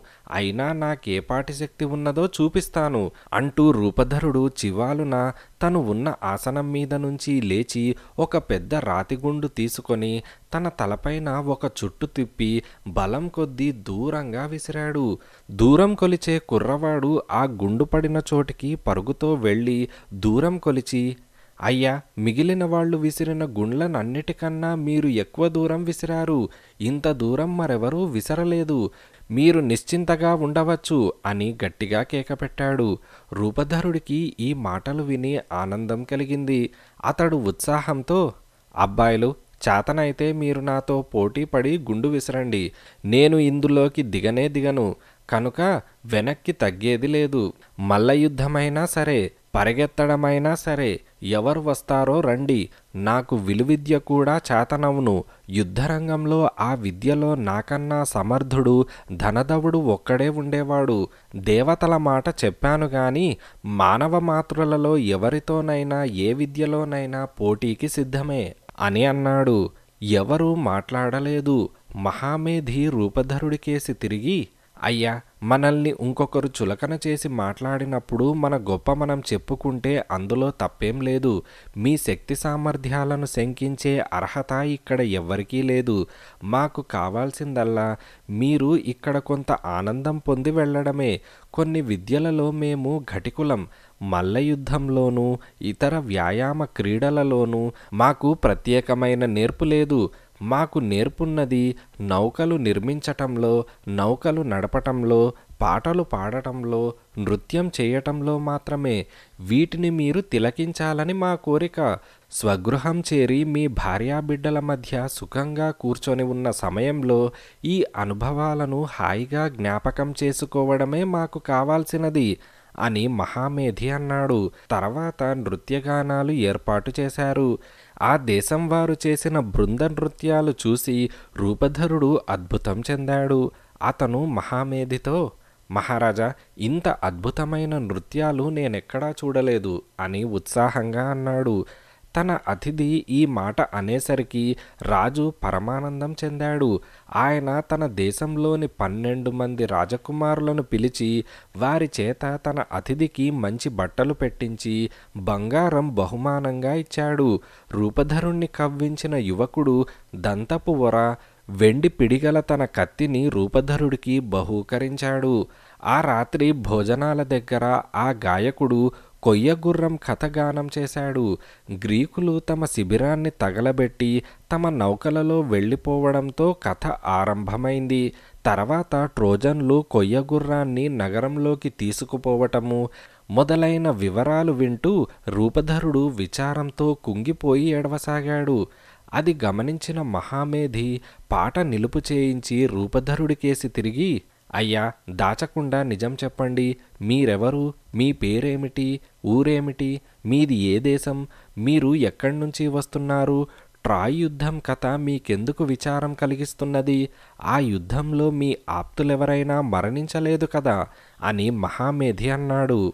రూపధరుడు మహామేధి మహారాజుకు తన ఊరు పేరు తెలుపుకొని ట్రాయ్ పతనాంతరం తనకు కలిగిన ఇక్కట్లు అనుభవాలు వివరించి చెప్పాడు. అతను తన కథ ముగించాక మహామేధితో పాటు అందరూ ఆశ్చర్యం పొందారు. చివరకు మహామేధి అక్కడ చేరిన వారితో మన అతిథికి ఉమ్మడి ఖర్చులో మనమందరము బహుమతులిద్దాం. నేను స్వయంగా ఈయనకు కొంత బంగారము ఉడుపులు ఇతర కానుకలు ఇస్తున్నాను అని మహామేధి అన్నాడు. దీనికి అందరూ సంతోషంగా ఒప్పుకున్నారు. మర్నాడు తెల్లవారుతుండగానే బహుమతులన్నీ రేవు చేరాయి మహామేధి స్వయంగా దగ్గర ఉండి వాటిని పడవలో తగిన చోట్ల పెట్టించాడు. ఆ పూట రాజభవనంలో రూపధరుడికి బ్రహ్మాండమైన వీడుకోలు విందు జరిగింది. అందరూ ఎంతో ఉత్సాహంగా ఉన్నారు. కానీ ఎప్పుడు బయలుదేరి తన దేశం చేరుదామా అని ఆత్రపడుతున్న రూపధరుడు మాత్రం పొద్దుకేసి చూడసాగాడు. చివరకు భోజనాలు ముగిసి పానీయాలు వచ్చాయి. రూపధరుడు లేచి నిలబడి మహాజనులారా మీ పుణ్యం వల్ల ఇంతకాలానికి నా చిరకాల వాంఛితం ఈడేరి నా దేశానికి నేను వెళ్ళిపోతున్నాను. మీరు నాకు చూపిన ఆదరము చేసిన సహాయము ఇచ్చిన కానుకలు ఎన్నటికీ మరువలేను. దేవతలు మీకు సంతోషము సౌఖ్యము అఖండ విజయాలు చేకూర్చుతురుగాక. మీ దేశానికి ఎలాంటి అరిష్టాలు కలగకుండుగాక అని రూపధరుడన్నాడు. ఈ మాటలకు అక్కడ చేరిన వారందరూ హర్షించారు. రూపధరుడు రాణి వద్ద కూడా సెలవు పుచ్చుకున్నాడు. ఆమె అతనికి అందమైన దుస్తులు బహూకరించింది. దాసీల చేత అతని పడవ వద్దకు పుష్కలంగా రొట్టెలు ఎర్ర ద్రాక్ష రసము పంపింది. పడవ నడిపే యువకులు పడవలోపల రూపధరుడి కోసం కంబళి పరిచి పక్కా దుప్పటి ఏర్పాటు చేశారు. రూపధరుడు పడవ ఎక్కి ఆ పక్క మీద పడుకున్నాడు. నావికులు తమ స్థానాల్లో కూర్చొని తెడ్లు వేయసాగారు. పడవ కదిలింది. రూపధరుడికి వెంటనే నిద్ర పట్టింది. తన కష్టాలు తీరిపోయాయన్న ఆనందంలో అతను మైమరిచి గాఢ నిద్రలో మునిగిపోయాడు. పడవ వాయువేగంతో ప్రయాణించి మరునాడు వేగుచుక్క పొడిచే సమయానికి ఇతకా చేరింది. ఇతకా తీరాన ఒక మంచి రేవున్నది. ఆ రేవులో చేరిన పడవలు లంగరు కూడా దించవలసిన అవసరం లేదు. ఈ రేవుకు దగ్గరగా ఒక పెద్ద చెట్టున్నది. ఆ చెట్టుకు నిడుపైన ఆకులున్నాయి. ఆ చెట్టు పక్కనే ఒక గుహ ఉన్నది. అందులో తేనె పట్లున్నాయి. ఎత్తైన రాతి స్తంభాలున్నాయి. ఈ గుహకు దేవకన్యలు వస్తారని ప్రతీతి. అందులోకి మనుషులు పోవచ్చు. పడవ రేవును తగలగానే నావికులు ఒడ్డుకు దూకేశారు. మైమర్చి నిద్రపోతున్న రూపధరుణ్ణి వారు నిద్రలేపకుండా ఉన్నవాణ్ణి ఉన్నట్టుగా ఎత్తుకు వచ్చి తీరాన ఉన్న ఇసుకలో పక్కతో సహా పడుకోబెట్టారు. తర్వాత అతని వస్తువులన్నిటినీ చెట్టు కింద పేర్చిపెట్టి పడవను నడుపుకుంటూ వారి దేశానికి వెళ్ళిపోయారు. రూపధరుడు నిద్రలేచి కళ్ళు తెరిచి చుట్టూ కలయజూశాడు. పొగమంచు దట్టంగా అలుముకొని ఉండటం చేత అతనికి తాను ఎక్కడ ఉన్నది తెలియరాలేదు. ఎదుట ఉన్న రేవును పక్కన ఉన్న కొండలను కూడా అతను పోల్చుకోలేకపోయాడు. అతను నిరాశతో అయ్యో మళ్ళీ ఎక్కడికో వచ్చి పడ్డానే? ఇక్కడ ఎలాంటి మనుషులుంటారో? వారు క్రూరులు నరభక్షకులు కారు కదా. నా వెంట ఈ వస్తువులన్నీ కూడా దేనికి? వీటిని ఎక్కడ దాచేది? మహామేధి మహారాజు నాకు పూర్తిగా తోడ్పడ్డాడు కాదు. ఇతకాకు చేర్చుతానని మాట ఇచ్చి ఇక్కడెక్కడో దిగబెట్టాడు అని రూపధరుడనుకున్నాడు. అతను వస్తువులన్నీ ఎంచి చూసుకున్నాడు. ఒక్కటి కూడా పోలేదు. అతను తన దేశాన్ని గురించి ఆలోచిస్తూ అటూ ఇటూ పచార్లు చేస్తూ ఉండగా అటు కేసి ఒక గొర్రెల కాపరి వచ్చాడు. రూపధరుడికి ప్రాణం లేచి వచ్చినట్టయింది. అతన యువకుణ్ణి సమీపించి నాయన దేవుడల్లే కనిపించావు. నువ్వే నన్ను కాపాడాలి. అబద్ధమాడకుండా చెప్పు. ఇది ఏ దేశం? ఇక్కడ ఎలాంటి మనుషులుంటారు? ఇది ద్వీపమా లేక తీరమా? అని అడిగాడు. దానిక యువకుడు అయ్యా మీకు ప్రపంచ జ్ఞానం తక్కువలాగా ఉంది. లేక మీరు దూరదేశం వారై ఉండాలి. ఎందుకంటే మా దేశం ఊరు పేరు లేనిది కాదు. ఇతకా దేశాన్ని గురించి ట్రాయ్ నగరంలో కూడా చెప్పుకుంటారు అని అన్నాడు. రూపధరుడు చాలా చతురుడు తాను చేరినది ఇతక అని తెలిసి అతను లోలోపల చాలా పొంగిపోయాడు.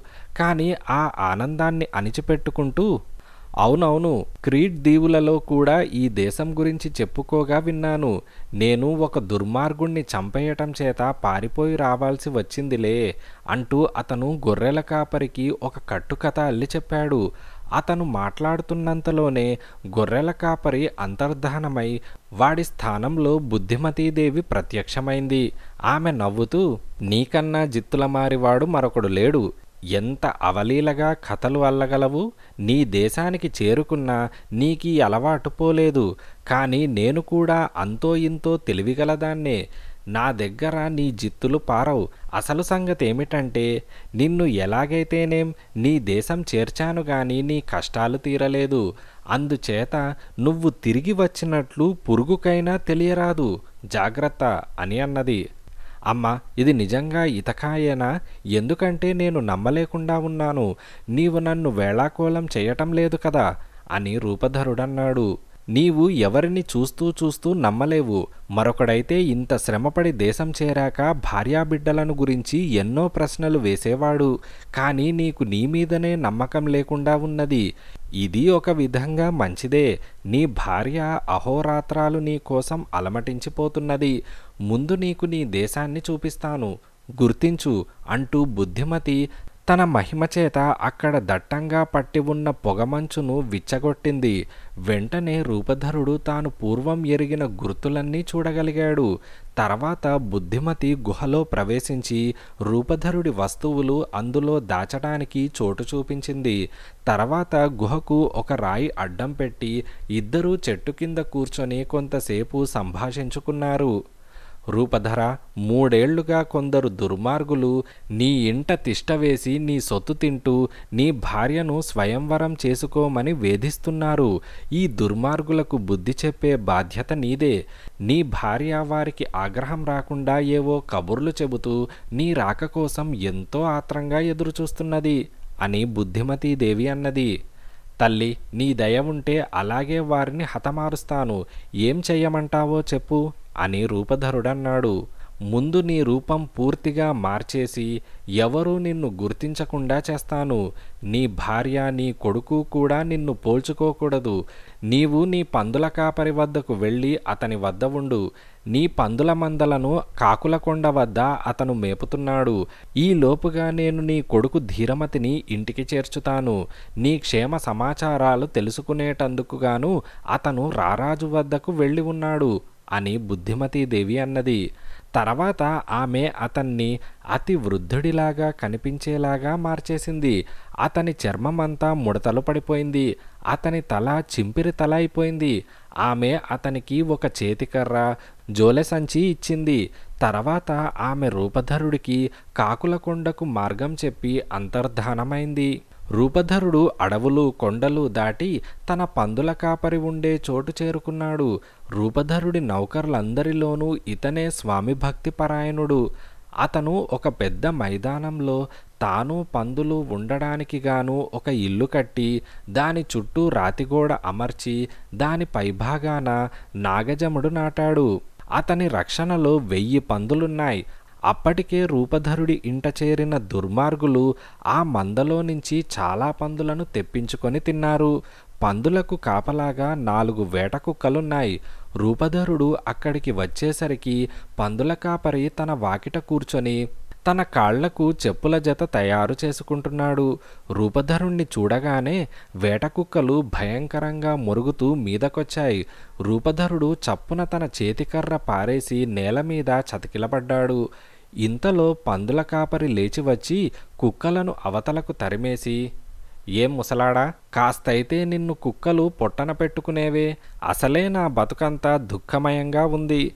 బంగారమంటి యజమాని దేశాలు కాని దేశాలు పట్టి కూడుగుడ్డ లేకుండా అలమటిస్తున్నాడు. ఇక్కడ పనికి మాలిన మూక ఒకటి దాపరించి పడి కొవ్విన పందినల్లా కోసుకు తింటున్నారు. లోపలకొచ్చి ఇంత కూడు తిని నీ సంగతేమిటో వివరంగా చెబుదువుగాని రా. అని రూపధరుడితో అన్నాడు. రూపధరుడు భోజనం చేసినంతసేపు పందుల కాపరి తన యజమాని గొప్పతనం గురించి ఆయన రారాజు వెంట ట్రాయ్ నగరం మీదకి యుద్ధానికి వెళ్ళి ఆచూకీ లేకుండా పోయిన విషయము బాధతో చెప్పాడు. అంతా విని రూపధరుడు అయ్యా మీ యజమాని గురించి ఎంత గొప్పగా చెబుతున్నావు? ఎవరైనా నేను చాలా దేశాలు తిరిగాను. నాకా మనిషి తగిలి ఉంటే వార్త చెబుతాను అని అన్నాడు. దానికి పందుల కాపరి. నువ్వు వెయ్యి చెప్పేది కాక అమ్మగారు అబ్బాయి గారు నీ మాటలు నమ్మేది కల్లా. ఇప్పటికెందరో చెప్పారు అన్నీ వట్టి అబద్ధాలు. తిండి కోసమో బట్ట కోసమో ఆశపడితే వాళ్ళలాగే నాలుగు కబుర్లు నువ్వు కూడా చెప్పవచ్చు అని అన్నాడు. అయ్యా కూటికి గుడ్డకు ఆశపడి అబద్ధాలు చెప్పడం చాలా నీచం. నేను ప్రమాణం చేసి నిజం చెబుతున్నాను విను. అమావాస్య వెళ్ళేలోపుగా నీ యజమాని తిరిగి వస్తాడు. అతని శత్రువులకు పరాజయం తప్పదు. నాకిప్పుడైతే బహుమానం వద్దు. నా మాట నిజమైతే ఏదైనా తీసుకుంటాను అని రూపధరుడన్నాడు. పిచ్చివాడా ఆయన ఇంకెక్కడొస్తాడు ఏనాడో ఆయన పోయాడు. ఆయన వస్తే ఇంకా ఆ భార్యకు కొడుకు కావాల్సిందేముంది? నిక్షేపమంటి అబ్బాయి నాయనలాగే అంతెత్తు పెరిగాడు. ఏమందమనుకున్నావు? అని పందుల కాపరి అన్నాడు. తర్వాత ఇద్దరూ చాలాసేపు సంభాషించుకున్నారు. రూపధరుడు తన విషయం చెప్పుకుంటూ తాను క్రీట్ దేశస్థుడని ట్రాయ్ యుద్ధంలో పాల్గొన్నానని రూపధరుణ్ణి స్వయంగా ఎరుగుదునని చెప్పాడు. తాను తిరిగి వచ్చే దారిలో ఒక దేశంలో రూపధరుడు మళ్ళీ కలిసినట్లుగా కూడా అతను చెప్పాడు. అయితే ఆ సంగతులు మాత్రం ఆ పందుల కాపరి తాను నమ్మననేశాడు. చీకటి పడే లోపల పందుల కాపరి నౌకర్లు మందలతో తిరిగి వచ్చారు. ఆ రాత్రి పందుల కాపరి తన అతిథి కోసం భోజనం బాగా తయారు చేశాడు. బయట వాన సాగింది. ఈదురు గాలి కొట్టింది. రూపధరుడికి చలివేసింది అతను పందుల కాపరితో ట్రాయ్ యుద్ధంలో ఒకసారి ఏమైందనుకున్నావు?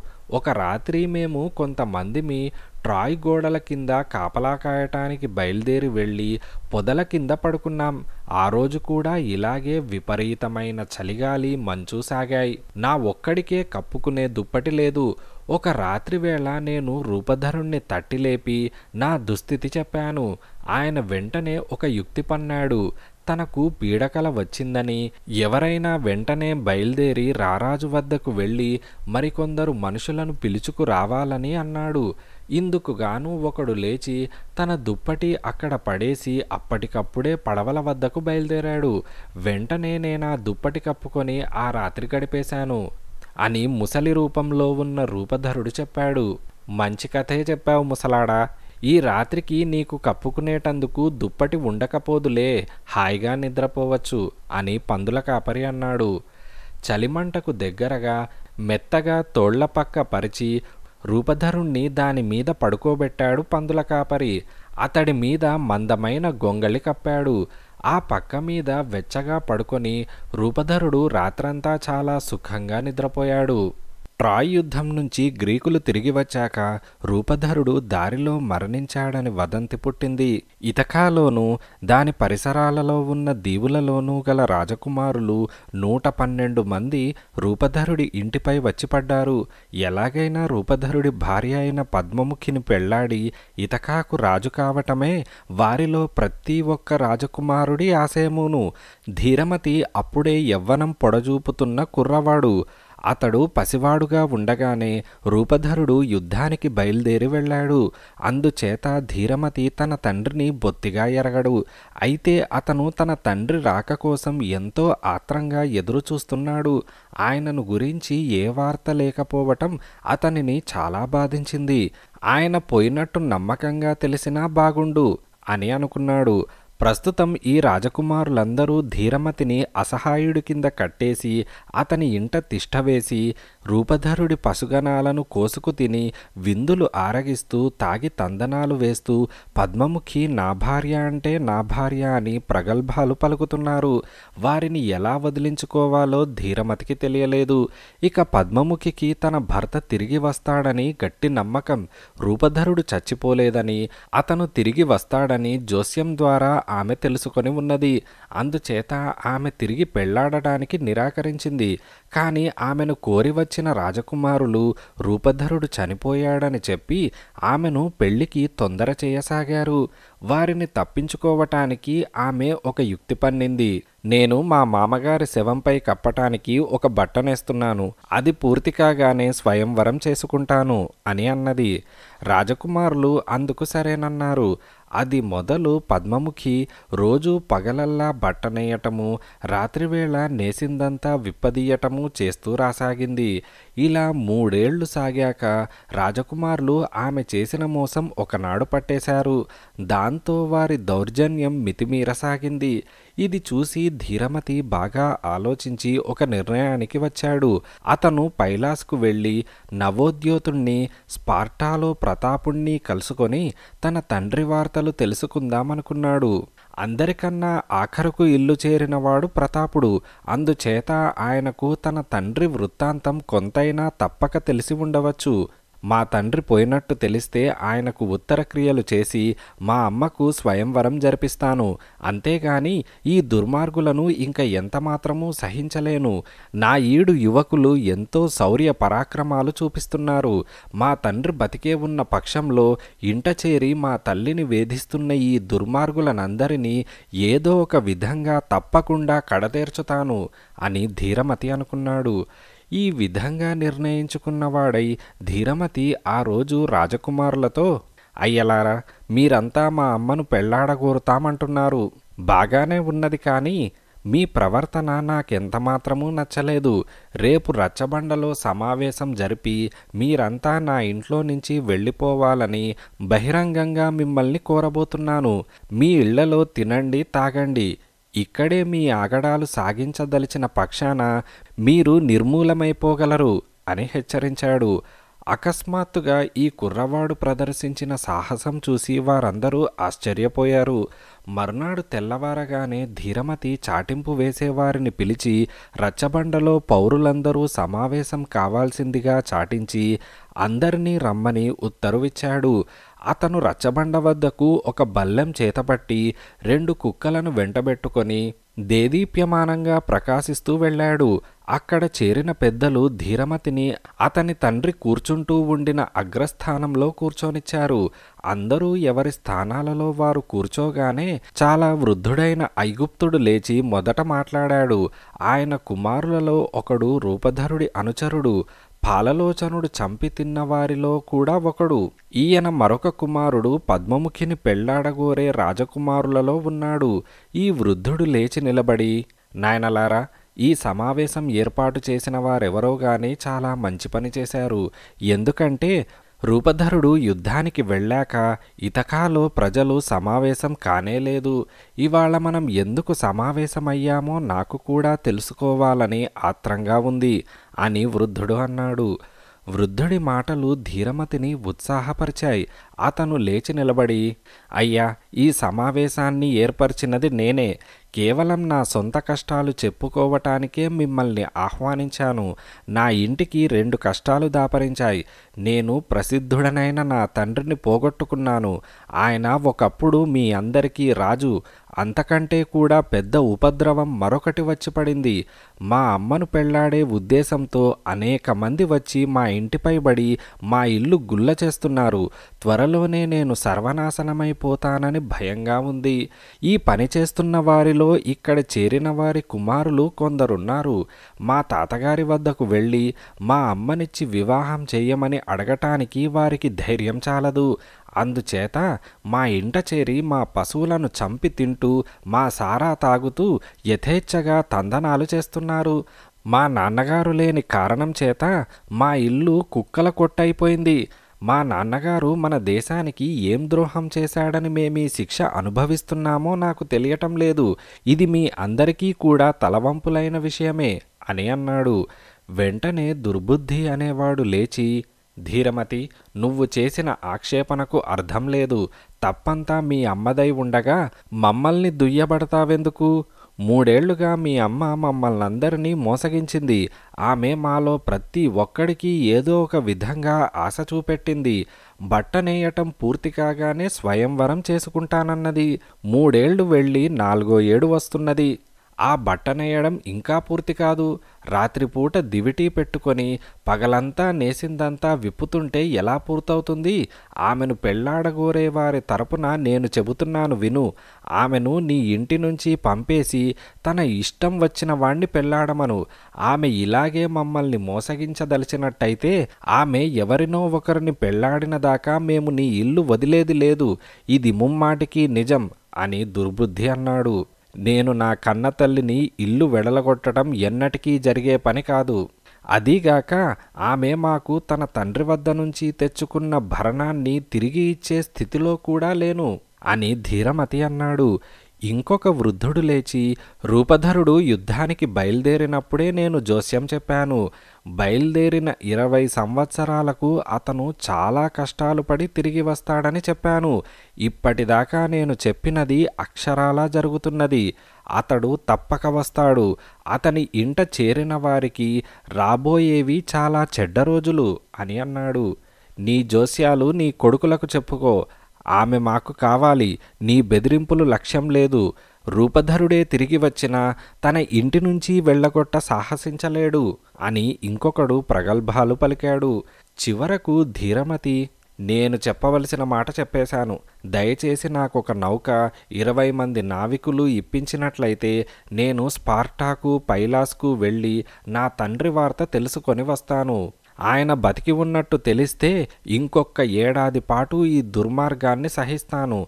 అలా కాక మా తండ్రి పోయాడని రూఢిగా తెలిస్తే ఆయనకు ఉత్తర క్రియలు జరిపి మా అమ్మ పెళ్ళి నేనే ఏర్పాటు చేస్తాను అని ధీరమతి అన్నాడు. సమావేశం ముగియగానే ధీరమతి ఇంటికి వెళ్ళక సముద్ర తీరానికి వెళ్ళాడు. అక్కడ అతనికి సహనుడు అనే ఆయన కనిపించాడు. ఈ సహనుడు రూపధరుడికి మొదటి నుంచి ఆప్తమిత్రుడు. ఆయన ధీరమతిని చూసి నాయన ఇవాళ నిన్ను చూసి నాకు చాలా ఆనందమైంది. ఆ తండ్రికి కొడుకుననిపించావు. ఇతకాలో చాలా నౌకలున్నాయి. అన్నిటిలోకి ఉత్తమమైన నౌకగా చూసి నీ ప్రయాణానికి సంపాదించి పెడతాను. ప్రయాణానికి కావాల్సిన నావికులను కూడా నేనే పోగు చేసుకువస్తాను నువ్వు మాత్రం ఇంటికి వెళ్ళి ప్రయాణ సంభారాలన్నీ పట్టించుకొని రా అని సహనుడన్నాడు. ధీరమతి వెంటనే ఇంటికి వెళ్ళాడు. అతన్ని చూడగానే అతని కొంప గుల్ల చేస్తున్న దుర్మార్గులందరూ ఒక చోట చేరి వేళాకోలం సాగించారు. అమ్మ బాబోయ్ వీడు మన రక్తం తాగాలని చూస్తున్నాడు రోయ్. ఇంతకాలము ఏమిటో అనుకున్నాం అని ఒకడన్నాడు. వీడు పైలాస్ పార్టాలకు పోవడం ఎందుకో తెలుసా? సైన్యాలను తీసుకురావటానికి అని ఇంకొకడన్నాడు. లేక ఇంత విషం తెచ్చి మన పానీయాలలో కలిపిస్తాడో? అని మూడో వాడన్నాడు. వాళ్ళ నాన్నలాగే సముద్రాల మీద అదే పోత పోతాడేమో అది కూడా ఆలోచించండి. వీడి ఆస్తి పంచుకోలేక మనం చావాలి అని నాలుగో వాడన్నాడు. ధీరమతి వారి మాటలు పట్టించుకోక సామాను కొట్టు వద్దకు వెళ్ళి తనన్ను పెంచిన దాసీతో తన ప్రయాణానికి కావాల్సిన సంభారాలన్నీ సిద్ధం చేసి ఉంచమన్నాడు. నాయనా నువ్వు వెళ్ళకు. నువ్వు కూడా సముద్రాల మీద పోతే మీ అమ్మ ఏం కాను? ఈ ఆలోచన నీకెందుకు కలిగింది? అని ఆ దాసి శోకాలు పెట్టింది. పెద్దమ్మ ఇది దైవ నిర్ణయం. నువ్వు అడ్డు చెప్పకు. ఈ రాత్రి మా అమ్మ నిద్రపోయాక బయలుదేరిపోతాను. ఆవిడ అడిగితే తప్ప నా ప్రయాణం గురించి చెప్పనని ఒట్టువేయి. ప్రయాణానికి కావాల్సిన తిండి మొదలైనవన్నీ సిద్ధంగా ఉంచు అని ధీరమతి అన్నాడు. ఈలోగా సహనుడు వీధులన్నీ తిరిగి ప్రయాణానికి అవసరమైన నావికులను ఏరి సముద్రానికి పంపాడు. మంచి నౌక కూడా దొరికింది. ఇంతలో పొద్దుకిపోయింది రూపధరుడి ఇంట అందరూ తిని తాగి నిద్రలకు పడ్డారు. ఆ సమయాన సహనుడు వచ్చి ధీరమతితో నాయన ప్రయాణానికి సర్వము సిద్ధంగా ఉన్నది. నువ్వు రావటమే ఆలస్యం అని అన్నాడు. ఇద్దరూ కలిసి సముద్ర తీరానికి వెళ్ళారు నావికులు ప్రయాణ సంబారాలను రూపధరుడి ఇంటి నుంచి తెచ్చి నౌకలోకి ఎక్కించారు. ధీరమతి నౌకలో ఎక్కాడు. నావికులు తెరచాపను ఎత్తి లంగరు పైకి లాగారు. అనుకూలమైన గాలి కూడా ఉన్నది. నౌక పైలాస్కు బయలుదేరింది. నౌక పైలాస్ తీరాన్ని తాకేసరికి మర్నాడు బాగా తెల్లవారిపోయింది. సముద్ర తీరాన ప్రజలు వరుణదేవుడికి నల్లటి ఎద్దులను బలి చేస్తున్నారు. అక్కడ తొమ్మిది జట్లు చేరి ఉన్నాయి. ఒక్కొక్క జట్టులోనూ ఐదేసి వందల మంది ఉన్నారు. తీరం పొడుగునా అక్కడక్కడ తొమ్మిది గాడిపొయ్యిలు మండుతున్నాయి. రకరకాల వంటలు సాగుతున్నాయి. నావికులు తెరచాపలు దింపి పడవను ఒడ్డున కట్టేశాక ధీరమతి అతని వెంట వచ్చిన వృద్ధుడు సహనుడు ఒడ్డుకు దిగి నడవసాగారు. అక్కడ చేరిన ప్రజలను పరిశీలనగా చూస్తూ ముందుకు నడిచారు. ఇంతలో సహనుడు మనమిప్పుడు నవోద్యోతుణ్ణి చూడబోతున్నాం. నువ్వు బిడియపడకుండా ఆయనతో వచ్చిన పని చెప్పేయి. మీ నాన్న వృత్తాంతం అడుగు. మీ తండ్రి వార్తలేమైనా ఆయనకు తెలిసాయా? లేక ఆయన మరణించాడా? మరణిస్తే ఎప్పుడు ఎక్కడ మరణించాడు? ఈ వివరాలు నవోద్యోతుడికి తెలుసునేమో కనుక్కో. నవోద్యోతుడికి నిజం తెలియాలే కాని దాచిపెట్టే రకం కాదు. చాలా పెద్ద మనిషి. ఈ ప్రశ్నలు ఆయనను నువ్వే అడగటం భావ్యంగా ఉంటుంది అని ధీరమతితో సహనుడన్నాడు. నేనింకా కుర్రవాణ్ణి. పెద్దవాళ్ళతో మాట్లాడటం చేతకాదు అదే నాకు భయంగా ఉంది అని ధీరమతి అన్నాడు. సహనుడు ఆ యువకుడికి ధైర్యం చెబుతూ నవోద్యోతుడు ఆయన కుమారులు కూర్చొని ఉన్న శిబిరానికి తెచ్చాడు. ఎవరో కొత్తవారు వస్తూ ఉండటం చూసి నవోద్యోతుడి కుమారులు ధీరమతికి సహనుడికి ఎదురు వచ్చి స్వాగతం తెలిపారు. తర్వాత వారు నవోద్యోతుడికి సమీపంగా మెత్తని తోళ్ళు ఇసుకపై పరిచి అతిథులను వాటిపై కూర్చోబెట్టి ఆహారము ద్రాక్షరసము ఇచ్చారు. వారు కడుపు నిండా భుజించాక నవోద్యోతుడు తన అతిథులకేసి తిరిగి ఇప్పుడు చెప్పండి మీరెవరు? మీరు ఏ దేశం నుంచి సముద్రం దాటి వస్తున్నారు? ఇక్కడికే పని పెట్టుకొని వచ్చారా? లేక మరెక్కడికో ఇటుగా పోతూ దారిలో ఆగారా? అని అడిగాడు. ధీరమతి ధైర్యంగా జవాబిచ్చాడు. మహారాజా మాది ఇతక. నేను సొంత పని మీదే వస్తున్నాను. ట్రాయ్ యుద్ధరంగంలో మీ సరసన యుద్ధం చేసిన నా తండ్రి రూపధరుడి వార్తలు తెలుసుకునే నిమిత్తమై నేను బయలుదేరి వచ్చాను. యుద్ధానికి వెళ్ళిన వారందరి వార్తలు తెలిశాయి. కానీ నా తండ్రి వార్త చెప్పేవారు లేకుండా ఉన్నారు. ఆయన చనిపోయినట్టు మీకు రూఢిగా తెలిస్తే ఆ సంగతి దయచేసి దాచకుండా చెప్పండి. మీరందరూ కలిసి యుద్ధరంగంలో ఎన్నో కష్టాలు పంచుకున్నారు. అందుకైనా మీకు తెలిసిన విషయాలు నాతో దాచకుండా చెప్పండి అని ధీరమతి అన్నాడు. ఈ మాటలు విని అతనితో నవోద్యోతుడు ఇలా అన్నాడు. నాయన ఒక్కసారిగా జరిగిన విషయాలు జ్ఞాపకం చేశావు. వజ్రకాయుడి నాయకత్వం కింద మేము పడవలో వెళ్ళి ట్రాయ్ నగరాన్ని ముట్టడి చేసి తొమ్మిదేళ్ళ పాటు అతి క్రూరమైన యుద్ధం సాగించాం. మా యోధులలో ఎందరో ఆ యుద్ధరంగాన ప్రాణాలర్పించారు. ఆ సంఘటనలు చెప్పాలంటే ఐదారేళ్ళు పడుతుంది. తొమ్మిదేళ్ళు నానా అగచాట్లు పడి చిట్ట చివరకు దైవకృప వల్ల విజయం పొందగలిగాం కానీ ఉపజ్ఞలో ఒక్కడు కూడా మీ తండ్రి అయిన రూపధరుడికి చాలలేదు. మా ఇద్దరి మధ్య ఒక్కసారి కూడా అభిప్రాయ భేదం రాలేదు. మా సలహాలు ఎప్పుడూ ఒకే విధంగా ఉండేవి. అయిందేదో అయిపోయిందా? తీరా తిరుగు ప్రయాణం సాగించే సమయాన మాలో కక్షలు బయలుదేరాయి. ఆఖరికి దురదృష్టవశాత్తు రారాజుకు ప్రతాపుడికి మధ్యనే తీవ్రమైన అభిప్రాయ భేదం వచ్చింది. ఇద్దరూ మాటకు మాట అనుకున్నారు ఇంకేముంది? మిగిలిన యోధులు కూడా రెండు జట్లుగా చీలిపోయి ఆ అన్నదమ్ములలో ఎవరో ఒకరి పక్షమయ్యారు. మర్నాడు ఉదయం సగం మంది మీ పడవలలో ఎక్కి ప్రతాపుడి వెంట బయలుదేరాం. మిగిలిన సగం మంది రారాజు వెంట దేవతలను ఆరాధించడానికి ఉండిపోయారు. మేము టెండోస్ చేరగానే మీ నాన్న వెనక్కు తిరిగిపోతానన్నాడు అతని వెంట కొందరు బయలుదేరారు. నేను దేవమయుడు మరికొందరు సూటిగా ఇళ్ళకు చేరుకున్నాం. ఇదే జరిగింది. నాయన నాకు మిగిలిన వారి సంగతి తెలియదు. వజ్రకాయుడి కొడుకు నవయోధుడు అతని అనుచరులు క్షేమంగా చేరారని విన్నాను. మరికొంతమంది కూడా వారి వారి దేశాలకు క్షేమంగా చేరుకున్నట్టు తెలిసింది. రారాజు స్వదేశానికి చేరుకోవడము అజబలుడు రారాజు భార్యతో కుట్ర చేసి ఆయనను దారుణంగా హత్య చేయడము. నువ్వు వినే ఉంటావు. రారాజు కొడుకు గట్టివాడు. అవకాశం సంపాదించి అజబలుణ్ణి చంపేసి తన తండ్రి హత్యకు పగ తీర్చుకున్నాడు. ఈ మాటలన్నీ విన్న ధీరమతి అతనెంత అదృష్టవంతుడు? మా అమ్మను పెళ్ళాడే ఉద్దేశంతో మా ఇంట తిష్టవేసి మా కొంప గుల్ల చేస్తున్న దుర్మార్గులపై నేనెప్పుడు పగ తీర్చుకుంటానో కదా? అని ధీరమతి బాధగా నిట్టూర్చుతూ అన్నాడు. అవును నాయన మీ ఇంట చేరిన దుర్మార్గుల సంగతి నేను విన్నాను. నువ్వు వారినెందుకు సహిస్తున్నావు? అందరూ నీకు శత్రువులేనా? అయినా ఆ బుద్ధిమతీదేవి అనుగ్రహం నీపై ప్రసరిస్తే మీ నాన్నలాగే నువ్వు కూడా శత్రువులనందరినీ నిర్మూలించగలుగుతావులే అని నవోద్యోతుడన్నాడు. వారు మాట్లాడుతూ ఉండగానే పొద్దువాలింది. ధీరమతి తన నౌకకు తిరిగిపోవటానికి లేచాడు. కాని నవోద్యోతుడు ఒప్పుకోలేదు. ఈ రాత్రి రూపధరుడి కొడుకు పడవలో పడుకోవడమా? నాకు ఇల్లు లేదా? అంటూ ఆయన ఆప్యాయంగా ధీరమతిని తన ఇంటికి తీసుకుపోయాడు. సహనుడు మాత్రం మిగిలిన నావికుల క్షేమ సమాచారాలు చూడటానికి నౌకకు తిరిగి వెళ్ళాడు. మర్నాడు ఉదయం ధీరమతి నిద్రలేచి సుఖంగా స్నానం చేసి బట్టలు మార్చుకున్నాడు. అతనిని ప్రతాపుడుండే చోటికి తీసుకుపోవడానికి ఒక గుర్రపు బండి సిద్ధం చేశారు. దారిలో తినడానికి భోజనం వెంటబెట్టుకొని నవోద్యోతుడి కుమారుడొకడు ధీరమతి వెంట బండిలో వచ్చాడు. వారిద్దరూ ఆ రోజు మరునాడు ప్రయాణం చేసి ప్రతాపుడుండే దేశం చేరుకున్నారు. సరిగ్గా ఆ సమయానికే ప్రతాపుడు తన కుమార్తెను వజ్రకాయుడు కొడుక్కిచ్చి పెళ్ళి చేస్తున్నాడు. ఈ పెళ్ళికి పరిసర ప్రాంతాల నుంచి చాలామంది వచ్చారు. ఒక విశాలమైన సావిడిలో విందులు వినోదాలు జరుగుతున్నాయి. ఇంతలో ప్రతాపుడి అంగరక్షకుడొకడు వచ్చి మహారాజా ఎవరో ఇద్దరు యువకులు బండిలో వచ్చి దిగారు. వారిని లోపలికి ఆహ్వానించమన్నారా? లేక మరెక్కడికైనా వెళ్ళమని చెప్పనా? అని అడిగాడు. ప్రతాపుడు చిరాకుతో నువ్వు ఇంత మూర్ఖుడవని నాకు తెలియదే. మనం పరాయి దేశాలలో దిక్కులేని స్థితిలో ఎన్నిసార్లు ఇతరుల ఆతిథ్యం తీసుకోలేదు. వెంటనే వెళ్ళి ఆ యువకులను భోజనానికి రమ్మను అని అన్నాడు. తర్వాత కాసేపటికి ధీరమతి అతని అనుచరుడు విందు జరిగే సావిడిలోకి వచ్చి ఆశ్చర్యంతో చుట్టూ కలయజూశారు.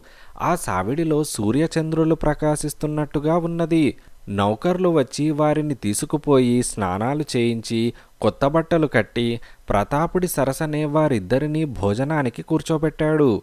ప్రతాపుడు వారితో నాయనలారా మిమ్మల్ని చూస్తే రాజకుమారులల్లే ఉన్నారు కానీ సామాన్యులుగా లేరు. ముందు భోజనాలు చేయండి. మీరెవరో ఏం పని మీద వచ్చారో తర్వాత చెబుదురుగాని అని అన్నాడు. ఇద్దరూ భోజనం పూర్తి చేశాక ధీరమతి తన అనుచరుడి చెవిలో రహస్యంగా ఇక్కడ ఎంత కంచు ఎంత వెండి ఎంత బంగారము ఎంత దంతము ఉందో చూశావా? అని అన్నాడు. ఈ మాటలు ప్రతాపుడి చెవులపడ్డాయి నాయనలారా నేనీ సంపద యావత్తూ నానా దేశాలు తిరిగి సంపాదించాను. కానీ ట్రాయ్ కోటగోడల ముందు నా అనుచరులు ఎందరో ప్రాణాలు విడిచారు.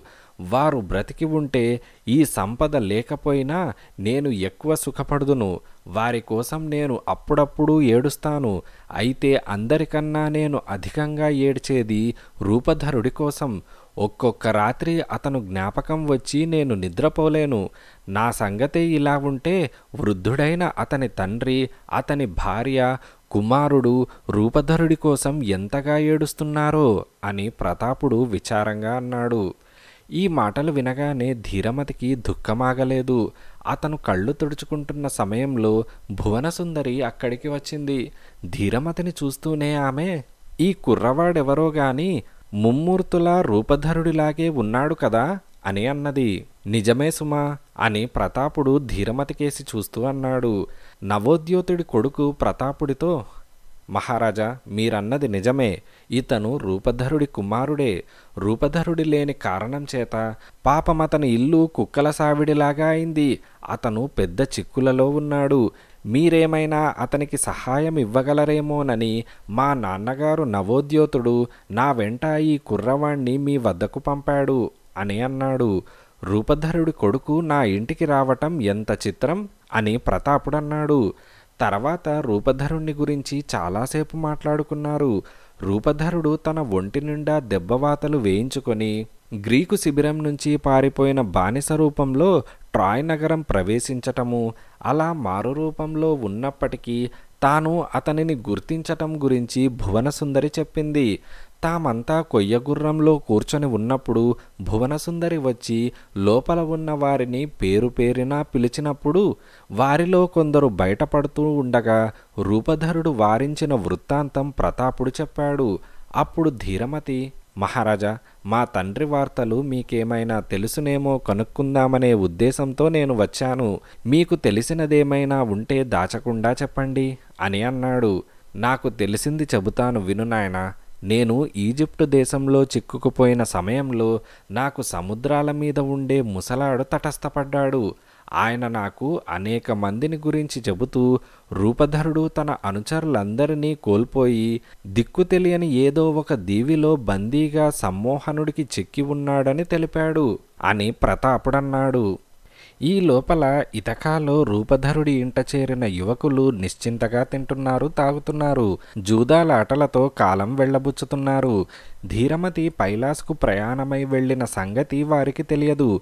ఇంటి బయట జూదాలాడుతున్న ఈ దుర్మార్గుల వద్దకు ఒక యువకుడు వచ్చి దుర్బుద్ధి అనే వాడితో అయ్యా పైలాస్ నుంచి ధీరమతి ఎప్పుడు తిరిగి వస్తాడో తమకు తెలుసా? ఎందుకంటే అతను నా పడవ తీసుకెళ్ళాడు. నాకా పడవతో ఇప్పుడు ఒక ముఖ్యమైన పని వచ్చింది. నేను అవతలి ఒడ్డుకు పోయి ఒక అడవి గుర్రాన్ని తెచ్చుకుందామనుకుంటున్నాను అని అన్నాడు. అందరూ ఒకరి మొహాలొకరు చూసుకొని ఆశ్చర్యపోయారు.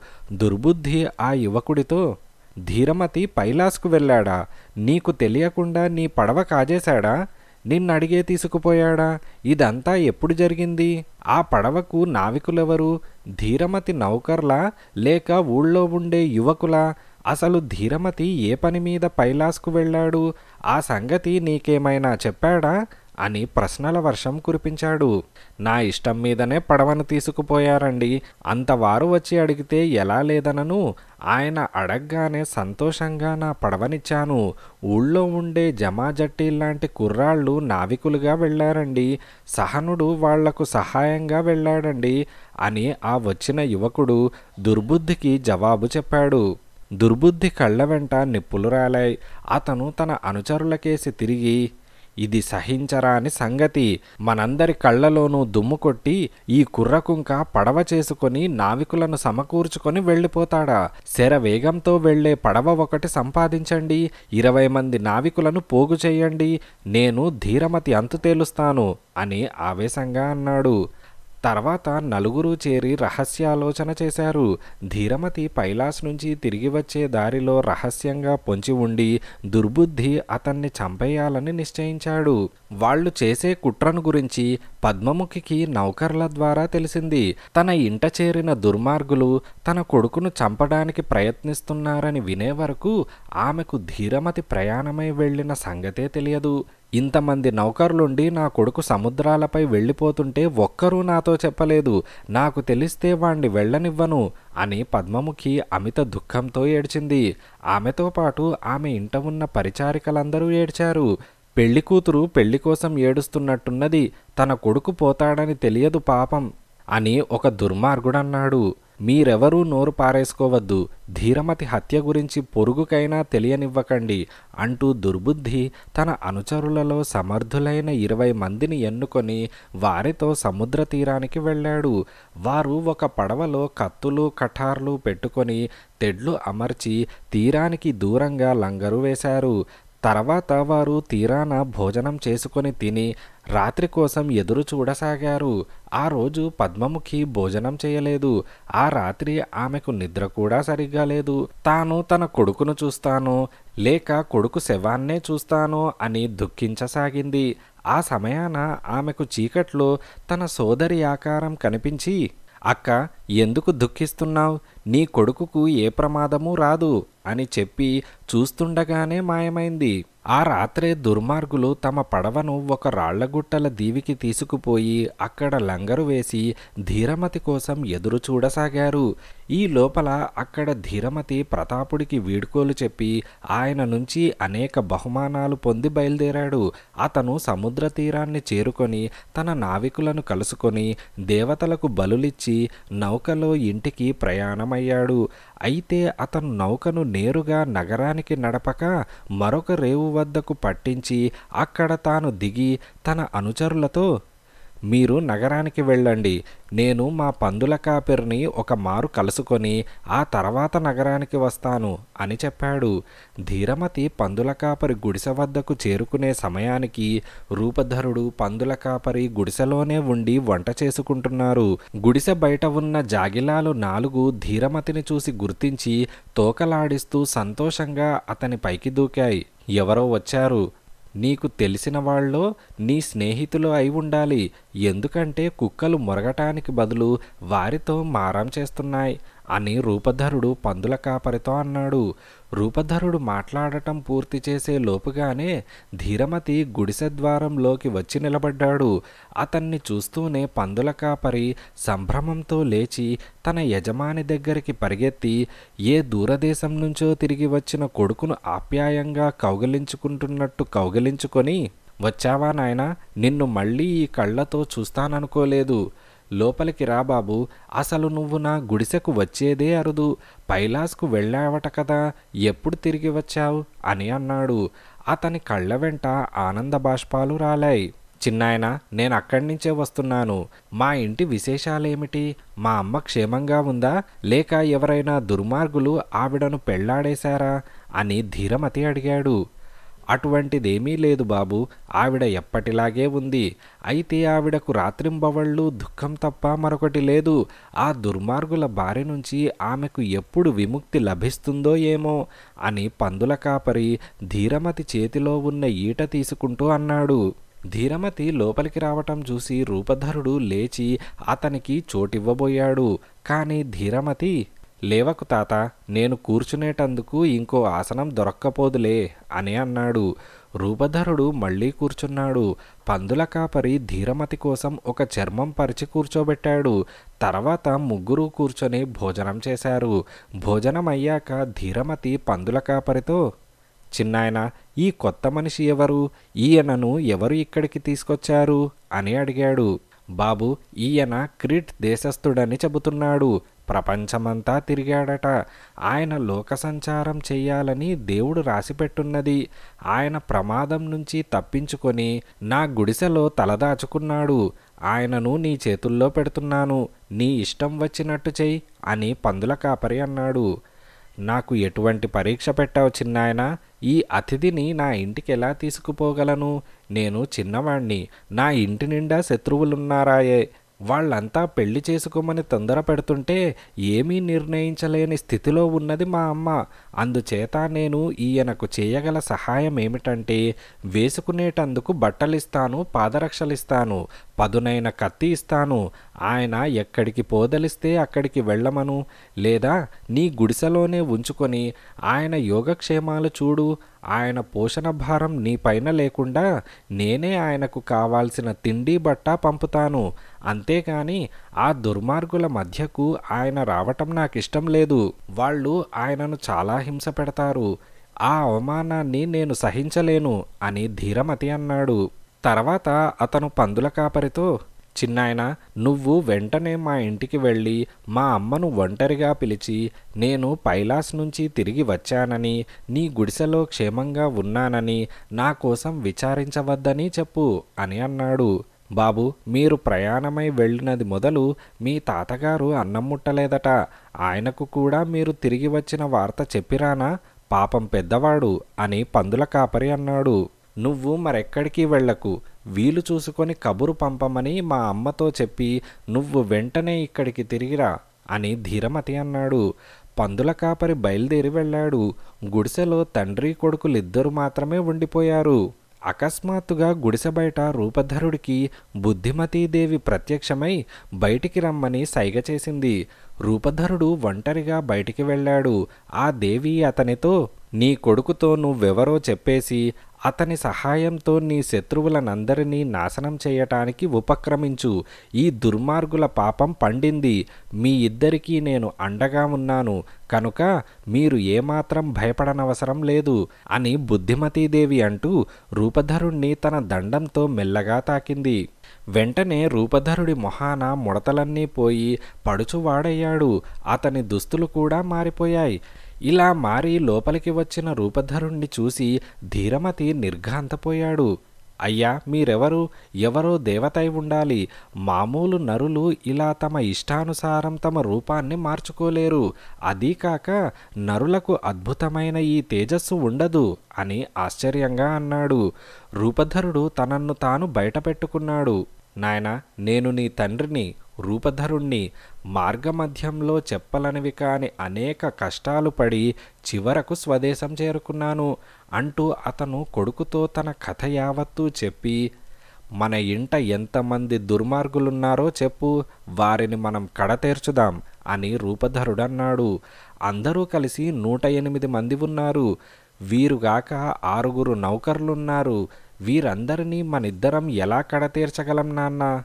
అని ధీరమతి అనుమానంగా అడిగాడు.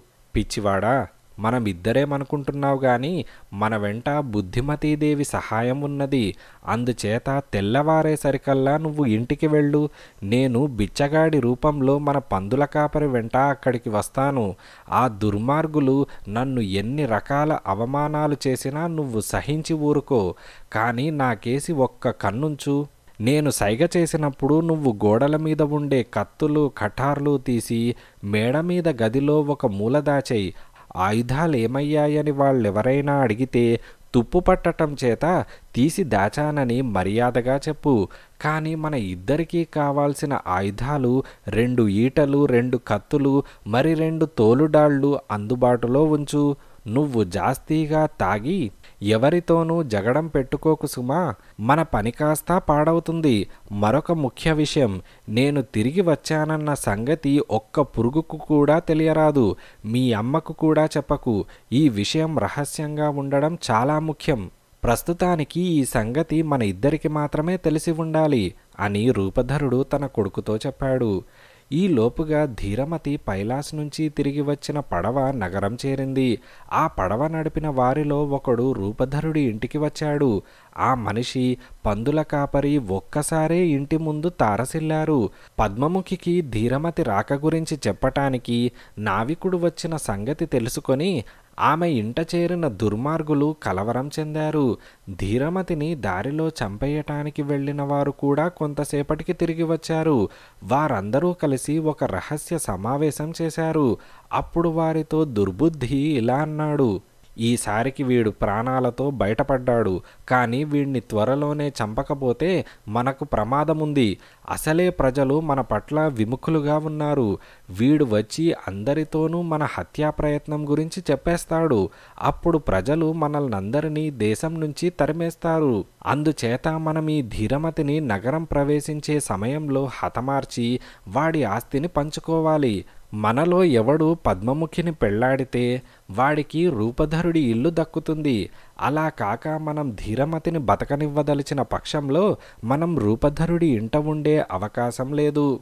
ఎవరి ఇంట వారుండి పద్మముఖిని పెళ్ళాడే ప్రయత్నం చేయడం బాగుంటుంది. ఎలా నిర్ణయిస్తారో చెప్పండి. అని దుర్బుద్ధి అన్నాడు. ధీరమతిని హత్య చేసే ప్రయత్నానికి కొందరు అభ్యంతరం చెప్పారు. ధీరమతికి చచ్చే యోగం ఉన్నది లేనిది తెలుసుకోకుండా మనం ఏం చేయకూడదు. చచ్చే యోగం ఉన్నట్టు దేవతలు చెబితే ఆ హత్యను నేనే స్వయంగా చేస్తాను. అంతదాకా మనం తొందరపడవద్దు అని ఒకడన్నాడు. ఈ సలహాను అందరూ ఆమోదించి ఇంటికి తిరిగి వెళ్ళారు ఆ సాయంకాలం పందుల కాపరి తిరిగి తన గుడిసెకు వచ్చేలోగా బుద్ధిమతీదేవి మళ్ళీ రూపధరుడి ఆకారాన్ని గుర్తించరాకుండా ముసలివాడిగా మార్చేసింది. ఆ రాత్రి భోజనాలయ్యాక ధీరమతి తన తండ్రితో పాటు పందుల కాపరి గుడిసెలోనే హాయిగా నిద్రపోయాడు. తెల్లవారుతూనే ధీరమతి లేచి నగరానికి ప్రయాణమయ్యాడు. అతను పందుల కాపరితో చిన్నాయన నేను ఇంటికి వెళ్ళాలి. మా అమ్మ నన్ను కళ్ళ చూసిన దాకా బెంగమానదు ఇక ఈ ముసలివాడున్నాడే. ఈయన తిరుగుడు అలవాటు పడ్డవాడు. ఈ మూల కూర్చుంటే ఆయనకేం తోస్తుంది గాని అందుచేత నగరానికి తెచ్చి దిగబెట్టు. నాలుగు వీధులు తిరిగి ఆకలైతే ఎక్కడో ఒక చోట ఇంత తిండి ముష్టెత్తుకుంటాడు అని అన్నాడు. అవునాయన నన్నిక్కడ ఉండమన్నా ఉండను. ముష్టెత్తుకునేవాడికి అన్నీ తన ఇళ్ళేగా. నువ్వు వెళ్ళు బాబు ఇంకాసేపు చలిమంట దగ్గర కూర్చొని బయట కాస్త ఎండ ముదిరినాక ఈయనను వెంటబెట్టుకొని నగరానికి పోతాను. నా వంటిన ఉన్న గుడ్డలు చూడు ఎలా చీలికలు పేలికలై ఉన్నాయో. అందుచేత చలికి తట్టుకోలేను. ఎండ ముదిరి చలి తగ్గాక నగరానికి పోతాను అని రూపధరుడు ధీరమతితో అన్నాడు. ధీరమతి అతి వేగంగా ఇంటికి వెళ్ళిపోయాడు. తన ఇంట చేరిన దుర్మార్గులతో తాను తన తండ్రి చెయ్యబోయే యుద్ధం గురించి అతను ఆలోచిస్తున్నాడు. అతను ఇల్లు చేరుతూనే తన చేతిలో ఉన్న ఈటను ఒక స్తంభానికి ఆనించి లోపలికి వెళ్ళాడు. ఇంటి దాసీలు అతన్ని చూసి పరమానందం చెందారు. ఇంతలోనే పద్మముఖి మేడపై నుంచి దిగివచ్చి కొడుకును వాత్సల్యంతో ఆలింగనం చేసుకొని వచ్చావా నాయనా? నిన్ను మళ్ళీ కళ్ళ చూస్తాననుకోలేదు. మీ నాన్న గురించి తెలుసుకుందామనే ఉద్దేశంతో నాతో కూడా చెప్పకుండా పైలాస్కు వెళ్ళి వచ్చావు కదా. ఏం వార్త తెచ్చావు? అని అడిగింది. అమ్మా నేను వెంట్రుక వాసిలో చావు తప్పించుకున్న మాట నిజమే కానీ మనం కంటతడి పెడుతూ కూర్చోవడానికి ఇది సమయం కాదు. నువ్వు వెంటనే చక్కగా స్నానం చేసి మన పగ తీరేలాగా అనుగ్రహించమని దేవుడికి మొక్కుకో నేనీలోగా ఒకసారి ఊళ్ళోకి వెళ్ళి వస్తాను.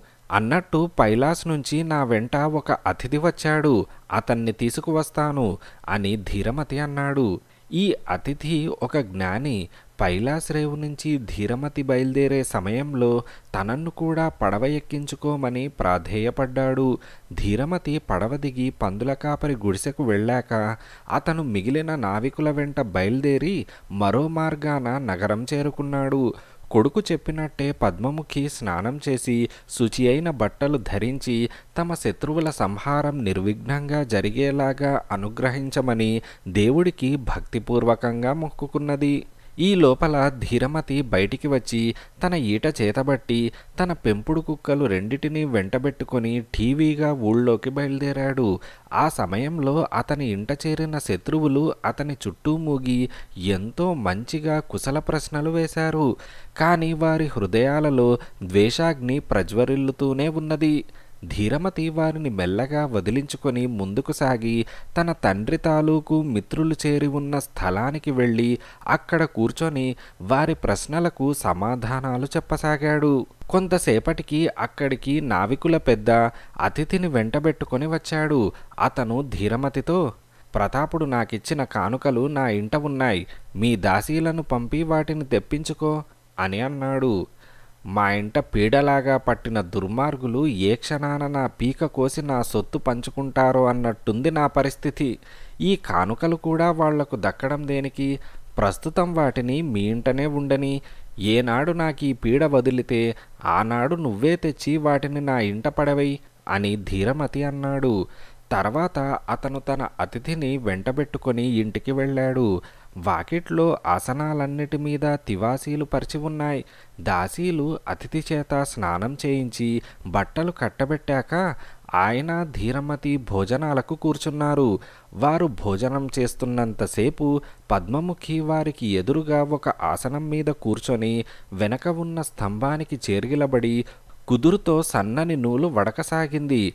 భోజనాలు ముగిశాక ఆమె తన కొడుకుతో నాయనా ఈ దుర్మార్గులు వచ్చే లోపున మీ తండ్రి వార్తలు ఏం తెచ్చావో చెబుదావా అని అన్నది. అంతా చెబుతానమ్మా నేను పైలాస్కు వెళ్ళి నవోద్యోతుణ్ణి చూశాను.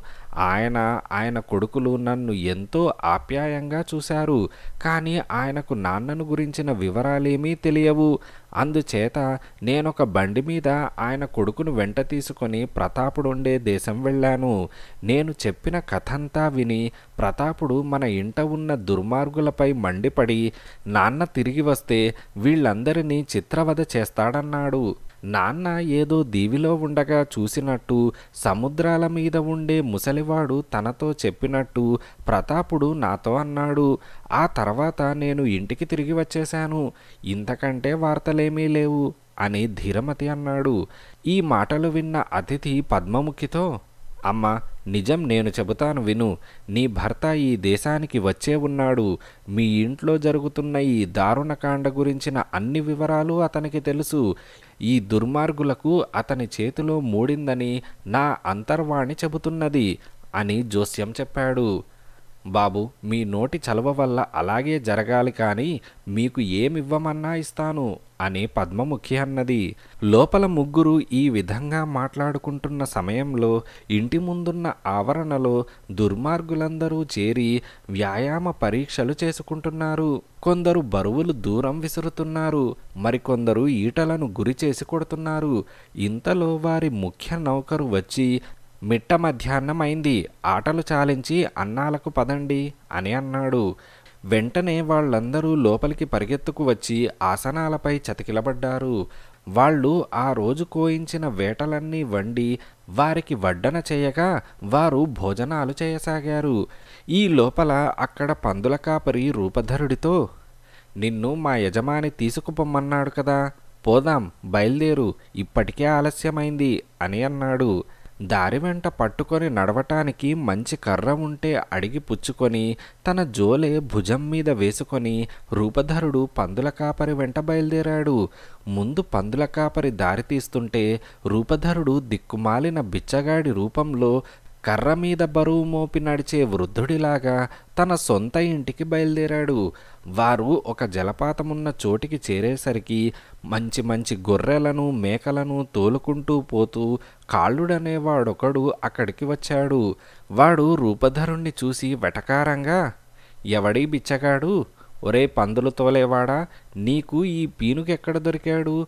వీళ్ళతాడు తెగ. ఈ బిచ్చగాళ్ళు అడుక్కు తినటానికి ప్రజలను వేధించడానికి తప్ప ఇంకెందుకు పనికిరారు?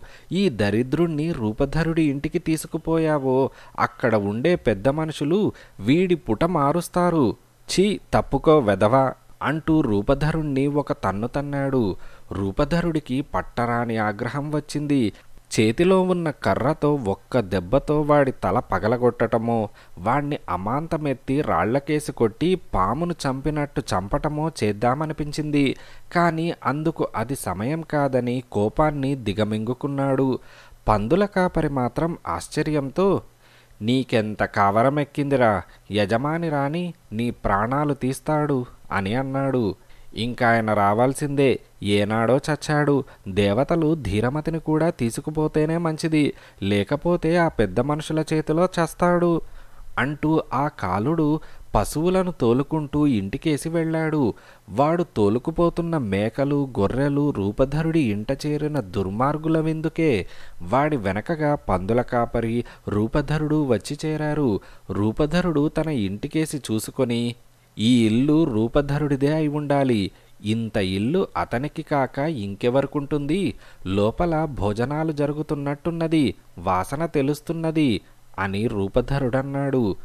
వాసన తెలియకేం చేస్తుంది కానీ మనమేం చెయ్యాలో త్వరగా నిర్ణయించు. ముందుగా నువ్వే లోపలికి పోతావా? లేక నన్ను వెళ్ళి రమ్మన్నావా?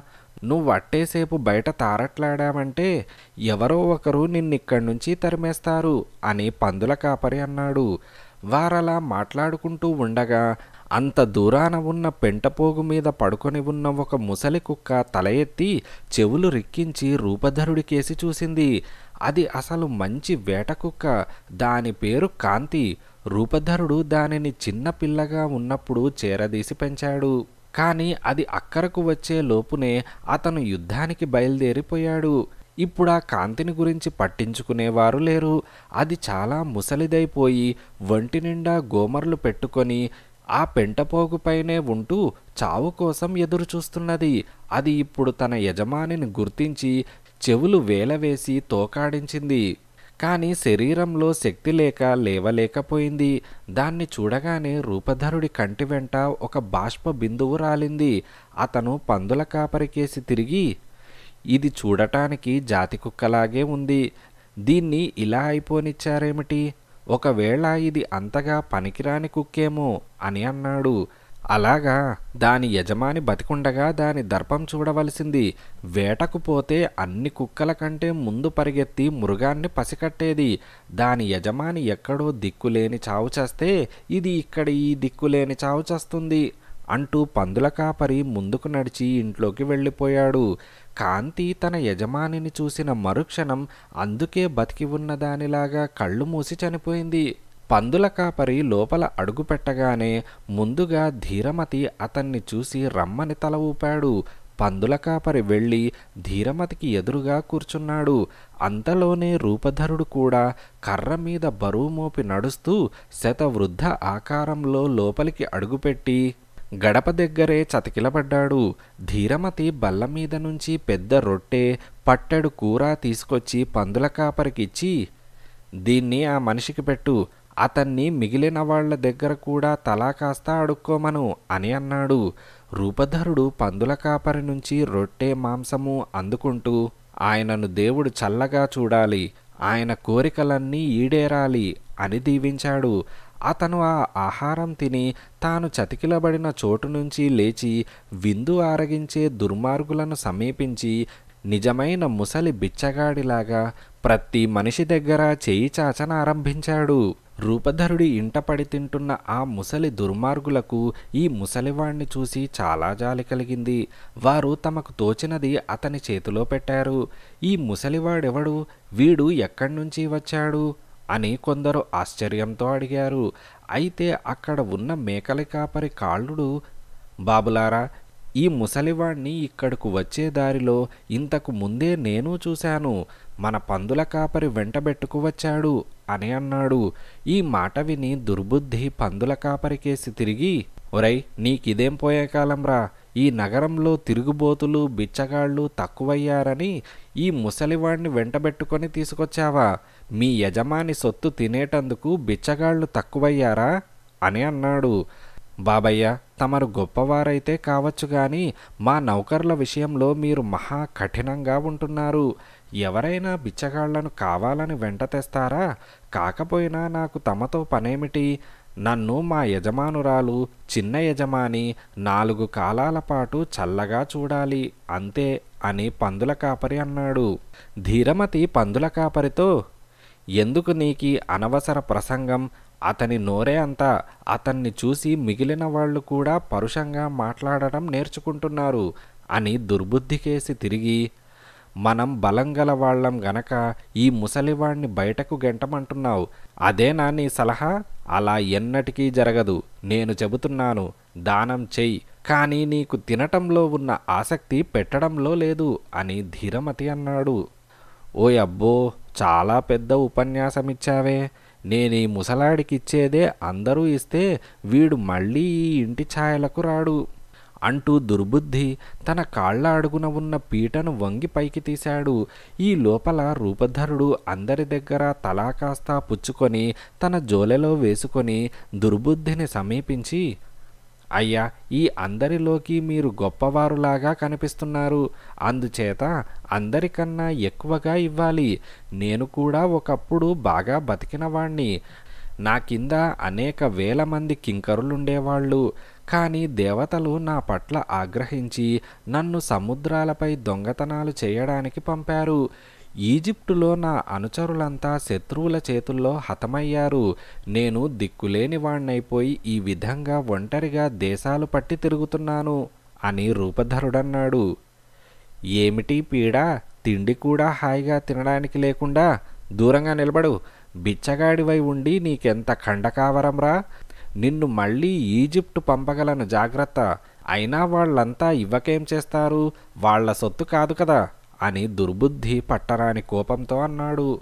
అయ్యా తమరు చూడటానికి గొప్పగా ఉన్నా బుద్ధి మాత్రం చాలా చిన్నదిలాగా ఉంది. మీ సొత్తు కానప్పుడే ఇంత పెట్టలేని వారు మీ సొత్తైతే ఉప్పు నలుసు కూడా విధిలించేటట్టు లేరే. ఇక్కడ ఇంత తినడానికి ఉన్నది కదా ఒక చిన్న రొట్టె ముక్క పారేయకూడదా బాబు? అంటూ రూపధరుడు అక్కడి నుంచి కదిలాడు. ఎంత మాటన్నావురా? అంటూ దుర్బుద్ధి తన చేతిలో ఉన్న పీట రూపధరుడి వీపున కుడిభుజం పైన విసిరాడు. అది రూపధరుడి వీపున కుడిభుజం పైన బలంగా తగిలింది. కానీ రూపధరుడు ఆ దెబ్బకు చలించలేదు.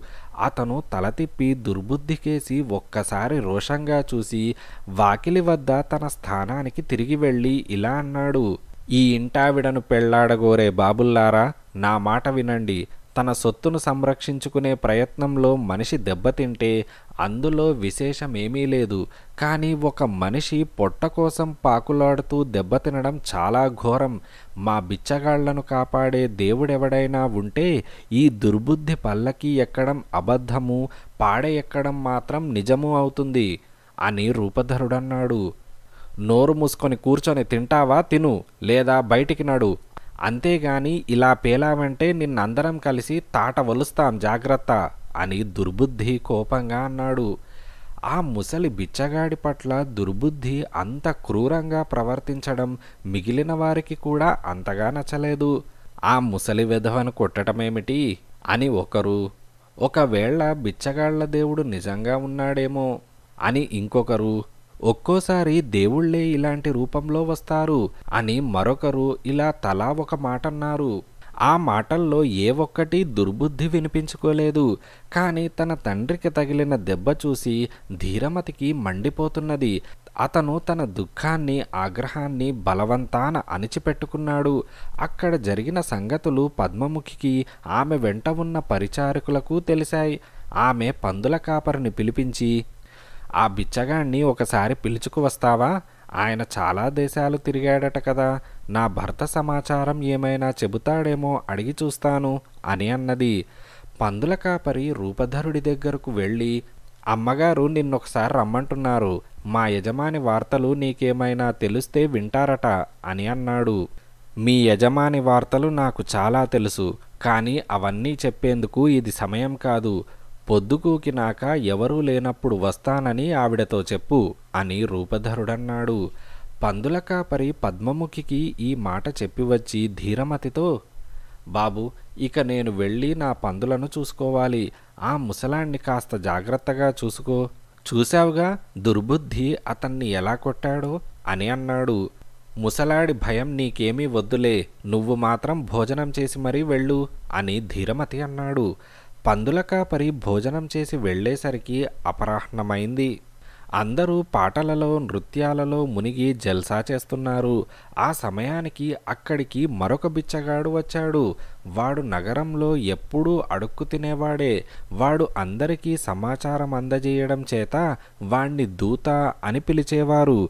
ఈ దూత లోపలికి వస్తూనే రూపధరుణ్ణి చూసి ఏయ్ ముసలాడా ఎవడివిరా నువ్వు? అవతలికి పోతావా? లాగి పారేయమన్నావా? అని గద్దించాడు. నేను నిన్నేమైనా అన్నానా? నా జోలి నీకెందుకు? నీ మానాన నువ్వు అడుక్కోరాదు. లాగటం మాట వస్తే ముసలివాణ్ణైనా నేనే నిన్ను లాగి పారేయవచ్చు అని రూపధరుడన్నాడు. ఏమిరా నీ పొగరు? లేచి నిలబడు. ఎవరి బలమో తేల్చుకుందాం. ముసలి తొత్తువు నా వంటి పడుచువాడి మీదకి కాలు దువ్వుతావా? అని దూత అన్నాడు. ఇద్దరు బిచ్చగాళ్ళు కాట్ల కుక్కల్లాగా తయారు కావడం చూసి దుర్బుద్ధికి పరమానందమైంది. స్నేహితులారా వీళ్ళిద్దరిలో ఎవరు గెలుస్తారో తేల్చుకుందాం.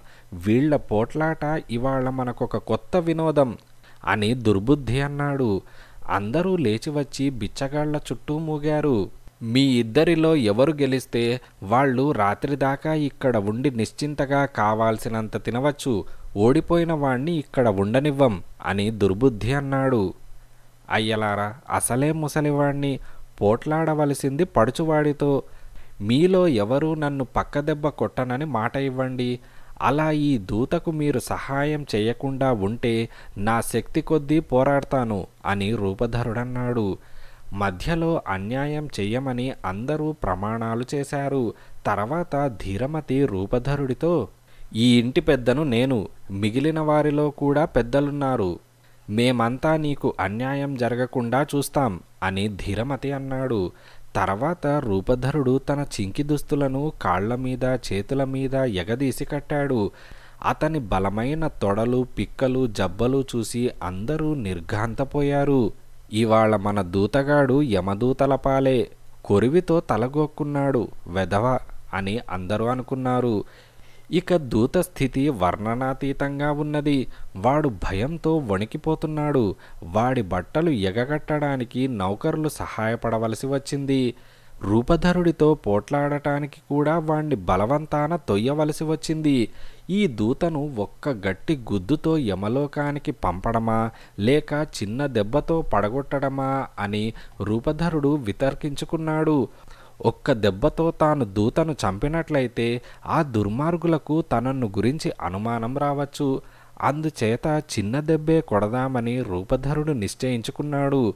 ఇద్దరు యోధులు ఒకరినొకరు ఎదుర్కోగానే దూత రూపధరుడి కుడి భుజాన్ని కొట్టబోయాడు. కానీ రూపధరుడు దూత దవడ మీద ఒక్క దెబ్బ కొట్టేసరికి వాడి దవడ ఎముక విరిగిపోయింది. వాడు నోట నెత్తురు కక్కుతూ కింద పడిపోయి కాళ్ళు గిలగిలా తన్నుకున్నాడు. ప్రేక్షకులు చేతులు పైకెత్తి అల్లరిగా నవ్వారు.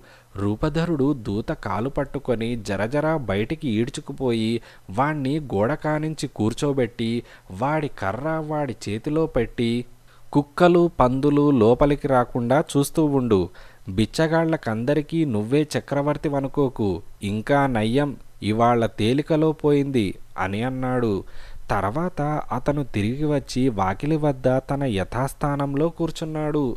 సాయంకాలం కాగానే పద్మముఖి ఎన్నడూ రానిది కిందకి దిగి వచ్చింది. ఆమె సౌందర్యం చూసి అందరూ తన్మయత్వం చెందారు. ఆమె తన కుమారుడితో ధీరమతి అంతకంతకు నువ్విలా అయిపోతున్నావేమిటి? పరాయివాడు మన పంచన చేరితే అతనిపై చేయి చేసుకోనిస్తావా? ఆ మనిషికేదైనా ప్రమాదం లాంటిది జరిగితే మనకు నలుగురిలో అప్రతిష్ట కదా? అని అన్నది. అమ్మా నీకు కోపం రావటం సహజమే. వాళ్ళంతా నా చుట్టూ మూగి నన్ను ఉక్కిరి బిక్కిరి చేస్తున్నారు. నేనేం చేసేది? ఇంతకు ఈ వృద్ధుడి మీద చేయి చేసుకున్న దూతకు మంచి శాస్తే అయిందిలే అని ధీరమతి అన్నాడు. దూరం నుంచి విపుల యోధుడనే వాడు. పద్మముఖి నీ అందాన్ని దేశంలో ఉండే జనమంతా చూడగలిగితే అందరూ రేపు మీ ఇంటనే ఉంటారు. అందరూ నిన్ను పెళ్ళాడగోరుతారు. నిజంగా ఈ దేశపు స్త్రీలకు నీవు ఆణిముత్యానివి అని గట్టిగా అన్నాడు.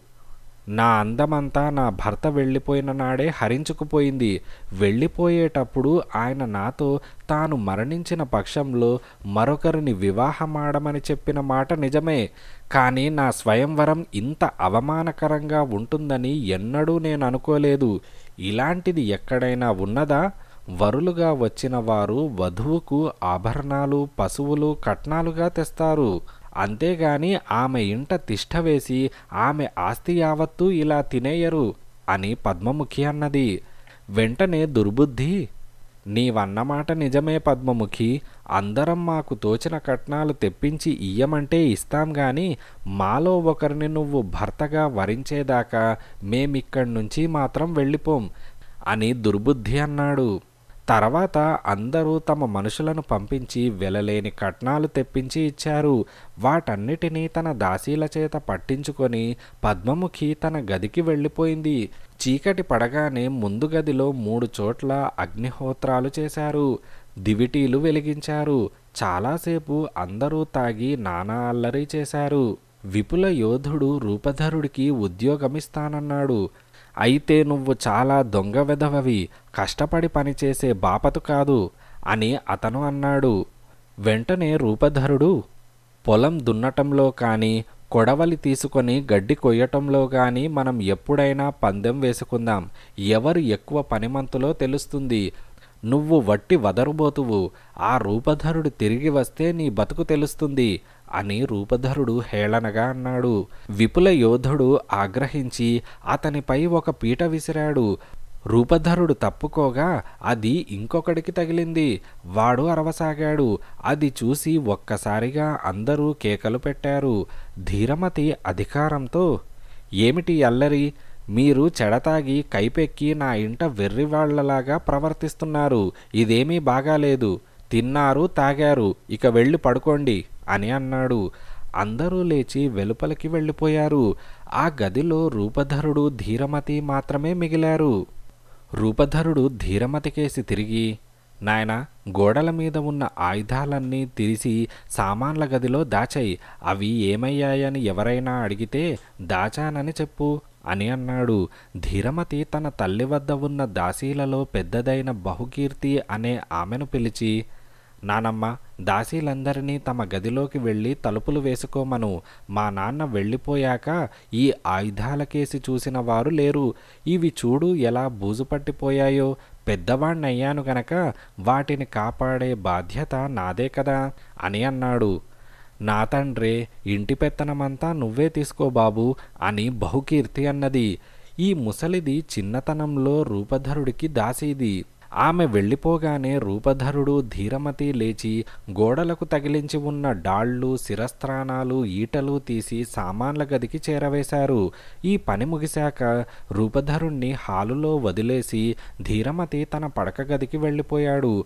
కొద్దిసేపట్లో పద్మముఖి దిగివచ్చి హాలులో ఒక ఆసనం పైన కూర్చున్నది. దాసీలు చలికుంపట్లలో కొత్త కట్టెలు వేసి మంటలు చేశారు.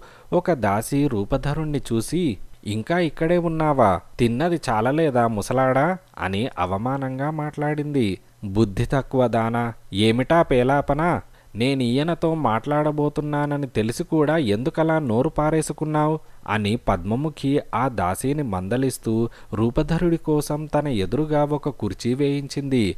రూపధరుడు అందులో కూర్చున్నాక అయ్యా మీరెవరు? మీది ఏ దేశం?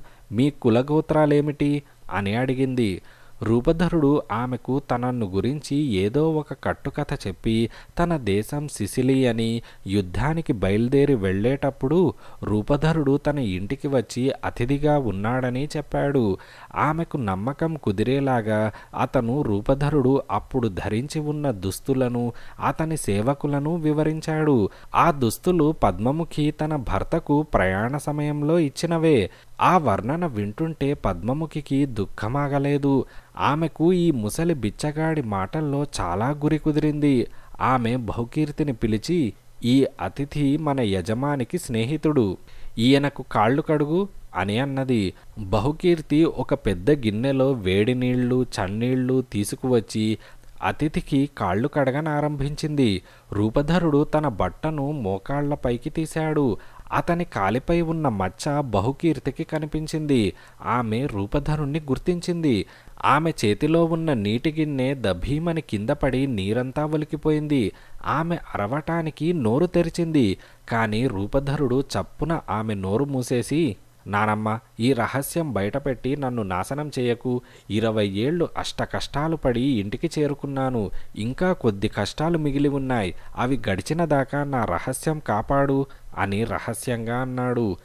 బహుకీర్తి ఇందుకు సమ్మతించి మళ్ళీ నీరు తీసుకురాబోయింది. ఆమె చూసి గుర్తించిన గాయం రూపధరుడికి చిన్నతనంలో ఈ విధంగా కలిగింది. అతను కుర్రవాడై ఉండగా కట్నకానుకలిస్తామని అతని మేనమామలు పిలిపించారు. ఒకరోజు రూపధరుడు తన తాతగారితోనూ మేనమామలతోనూ వేటకు వెళ్ళి అందరికన్నా ముందుగా ఒక అడవి పందిని చూసి దాన్ని వేటాడి చంపేశాడు. అయితే అతని ఈట దెబ్బ తగిలి చచ్చే లోపల ఆ పంది రూపధరుణ్ణి తన కొమ్ముతో కోరింది. ఆ గాయం మాని మచ్చపడింది. బహుకీర్తి తన యజమానిని గుర్తించటం పద్మముఖికి తెలియదు. రూపధరుడు కాళ్ళు కడగటం పూర్తయి తిరిగి రాగానే ఆమె అతనితో అయ్యా నాకొక గడ్డు సమస్య వచ్చి పడింది. ఇదివరకల్లా నా కొడుకు పసివాడు నా కొంగు పట్టుకొని వదలలేదు. అందుచేత నేను మళ్ళీ పెళ్ళాడి ఈ ఇంట్లో నుంచి వెళ్ళిపోవలసిన అవసరం లేకపోయింది. ఇప్పుడు వాడు పెద్దవాడయ్యాడు. వాడికిప్పుడు నాకన్నా కూడా వాడి ఆస్తి ముఖ్యం. నన్ను స్వయంవరం చేసుకోమని నిర్బంధించే ఈ రాజకుమారులు తన సొత్తంతా తినేస్తూ ఉండటం వాణ్ణి చాలా బాధిస్తున్నది. కనుక నేను పెళ్ళి చేసుకు తీరాలి. ఇందుకు ఒక ఉపాయం ఆలోచించాను. నా భర్త పన్నెండు గొడ్డలి తలలు బారుగా పెట్టి వాటన్నిటి నుంచి దూసుకుపోయేలాగా బాణం వేసేవాడు. నా భర్త బాణం ఎక్కుపెట్టి పన్నెండు గొడ్డలి తలలకుండా బాణం వేసిన వాణ్ణి పెళ్ళాడదామని నాలో నేను నిశ్చయించుకున్నాను అని పద్మముఖి అన్నది. తర్వాత ఆమె తన గదికి వెళ్ళిపోయి పడుకున్నది. రూపధరుడు హాలు ముందు భాగంలో ఎద్దు చర్మం మీద గొర్రెతోళ్ళు పరుచుకొని పడుకున్నాడు. అతనికి నిద్ర రాలేదు.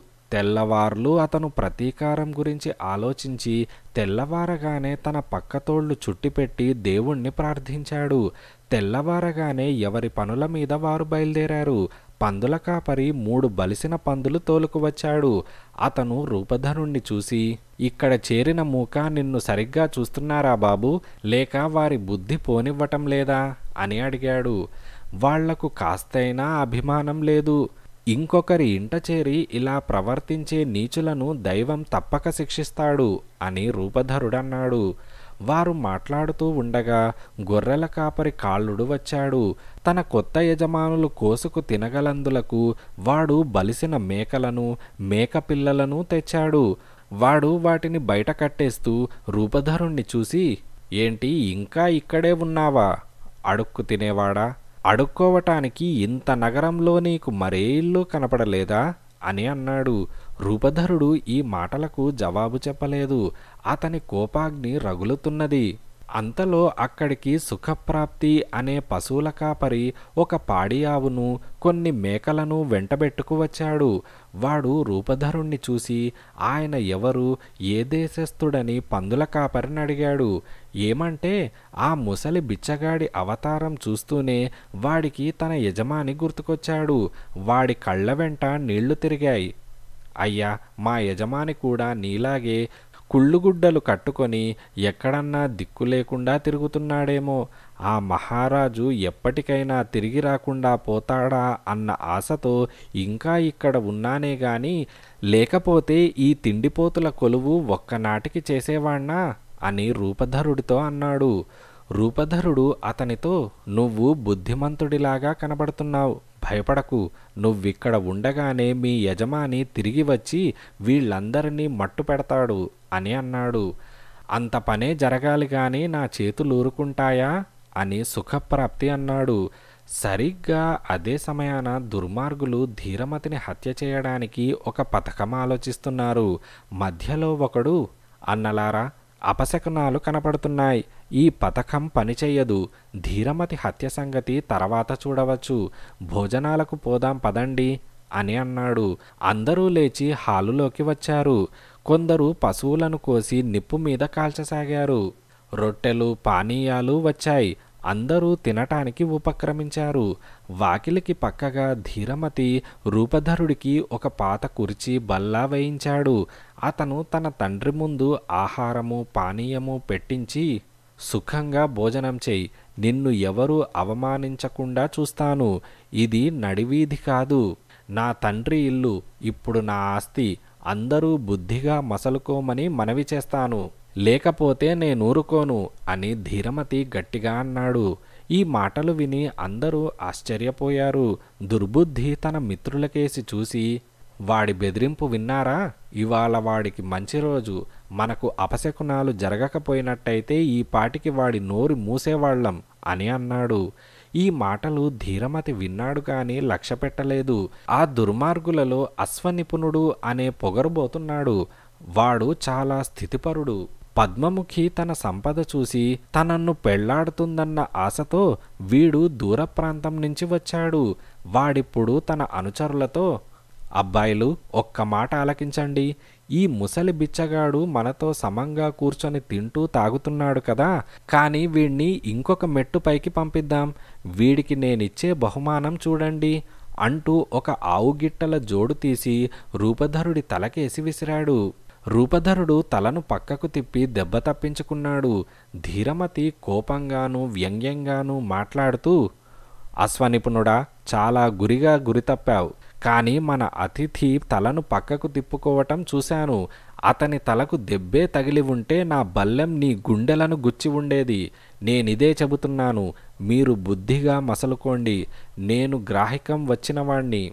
మీరిలా విచ్చలవిడిగా నా పశువులను కోసుకు తినటము చెడతాగి తందనాలు వేయటము నేను సహించను అని అన్నాడు. కొంతసేపు ఎవరూ మాట్లాడలేదు.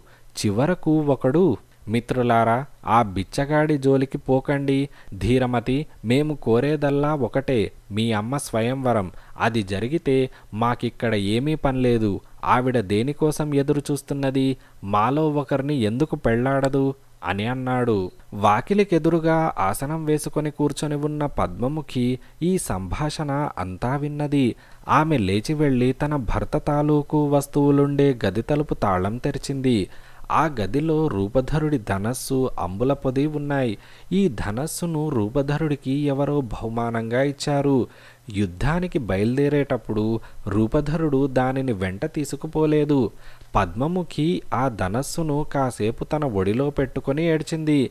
తర్వాత ఆమె కళ్ళు తుడుచుకొని ధనస్సును అంబుల పొదిని తీసుకొని కిందకి దిగి వచ్చింది.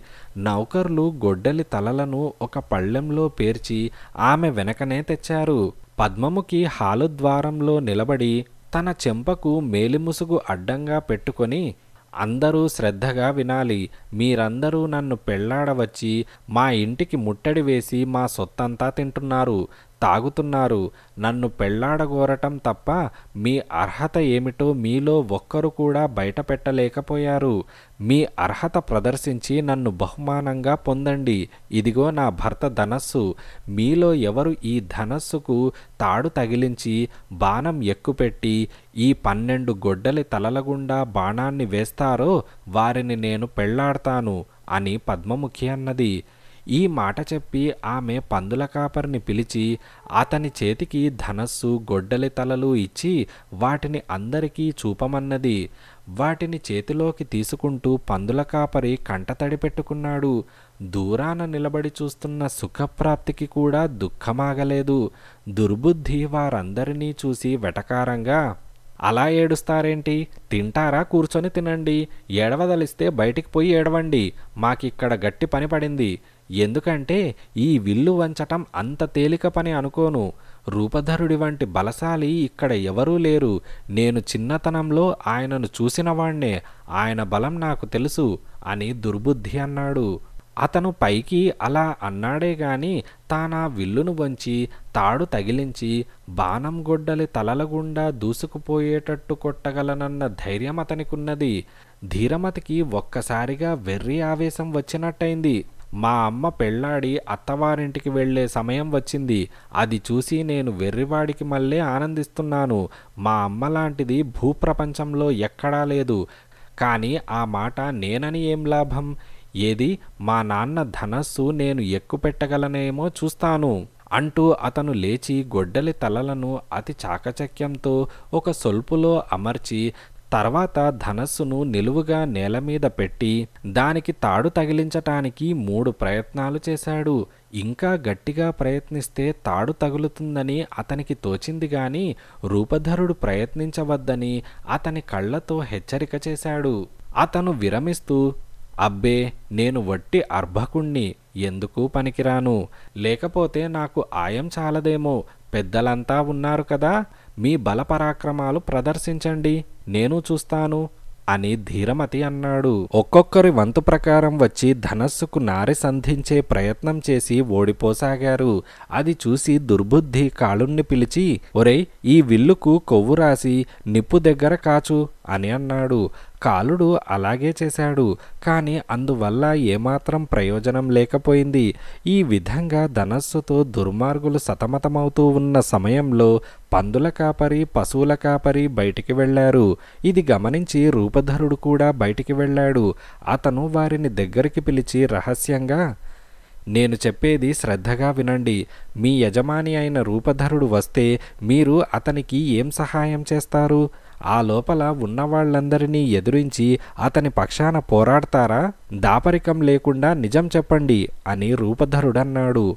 పోరాడతామని ఇద్దరు ప్రమాణాలు శపథాలు చేశాక రూపధరుడు వారితో నేనే రూపధరుణ్ణి. నేను తిరిగి వచ్చినందుకు సంతోషించేవారు మీరిద్దరే నాకు కనబడుతున్నారు. దేవుడి దయవల్ల నేను నా శత్రువులను నాశనం చేయగలిగితే మీకు గొప్ప బహుమానాలిస్తాను. పొలాలు కూడా ఇస్తాను. ఇళ్ళిస్తాను. నేను రూపధరుణ్ణి కాదని అనుమానం ఉంటే ఈ మచ్చ చూడండి అంటూ అతను తన కాలి మీద మచ్చ చూపించాడు. ఇద్దరు సేవకులు తమ యజమానిని చూసి ఆనంద బాష్పాలు రాల్చారు. ఇప్పుడు ఈ సంతోషానికి కన్నీరుకు వ్యవధి లేదు. నేను ముందు లోపలికి పోతాను. తర్వాత మీరిద్దరూ ఒక్కొక్కరుగా రండి. నేను విల్లు కోసం అడుగుతాను. వాళ్ళివ్వరు. అప్పుడు పందుల కాపరి ఆ విల్లు తెచ్చి నా చేతికివ్వాలి. తర్వాత ఆడవాళ్ళుండే చోటికి వెళ్ళి వాళ్ళు తమ గదులలోకి వెళ్ళి తలుపులు బిగించుకోవాలని గడబిడ జరిగినా బయటికి రాకూడదని హెచ్చరిక చేయాలి. సుఖ ప్రాప్తి నువ్వు బయటికి వెళ్ళి సింహద్వారం బంధించాలి. తెలిసిందా? అని రూపధరుడన్నాడు. తర్వాత ఆ ముగ్గురు ఒకరి తర్వాత ఒకరు లోపలికి వెళ్ళి తమ స్థానాలలో కూర్చున్నారు. ఆ సమయానికి విపుల యోధుడు ధనస్సు పైన తన బలం చూపుతున్నాడు. దానిని వంచటం అతని వల్ల కాలేదు. అతను నిరాశతో మూల్గి మనం ఎంత దౌర్భాగ్యులం? పెళ్ళి మాట అటుంచండి. పెళ్ళాడాలంటే ఈవిడ కాకపోతే ఇతకా నిండా ఆడవాళ్ళున్నారు కానీ రూపధరుడితో పోల్చితే మనం ఇంత బలహీనులమా అని నాకు విచారంగా ఉన్నది. మన తరం వాళ్ళను చూసి రాబోయే తరాల వాళ్ళు ఏమనుకుంటారు? అని విపుల యోధుడన్నాడు. దుర్బుద్ధి ఈ మాటలకు. చాదస్తంగా మాట్లాడకు. ఇవాళ పర్వదినం. మనం ధనస్సుల జోలికి పోకూడదు. దాన్ని పెట్టేయి మరొకనాడు దాని సంగతి చూడవచ్చులే అని దుర్బుద్ధి అన్నాడు. ఈ మాట అందరికీ నచ్చింది.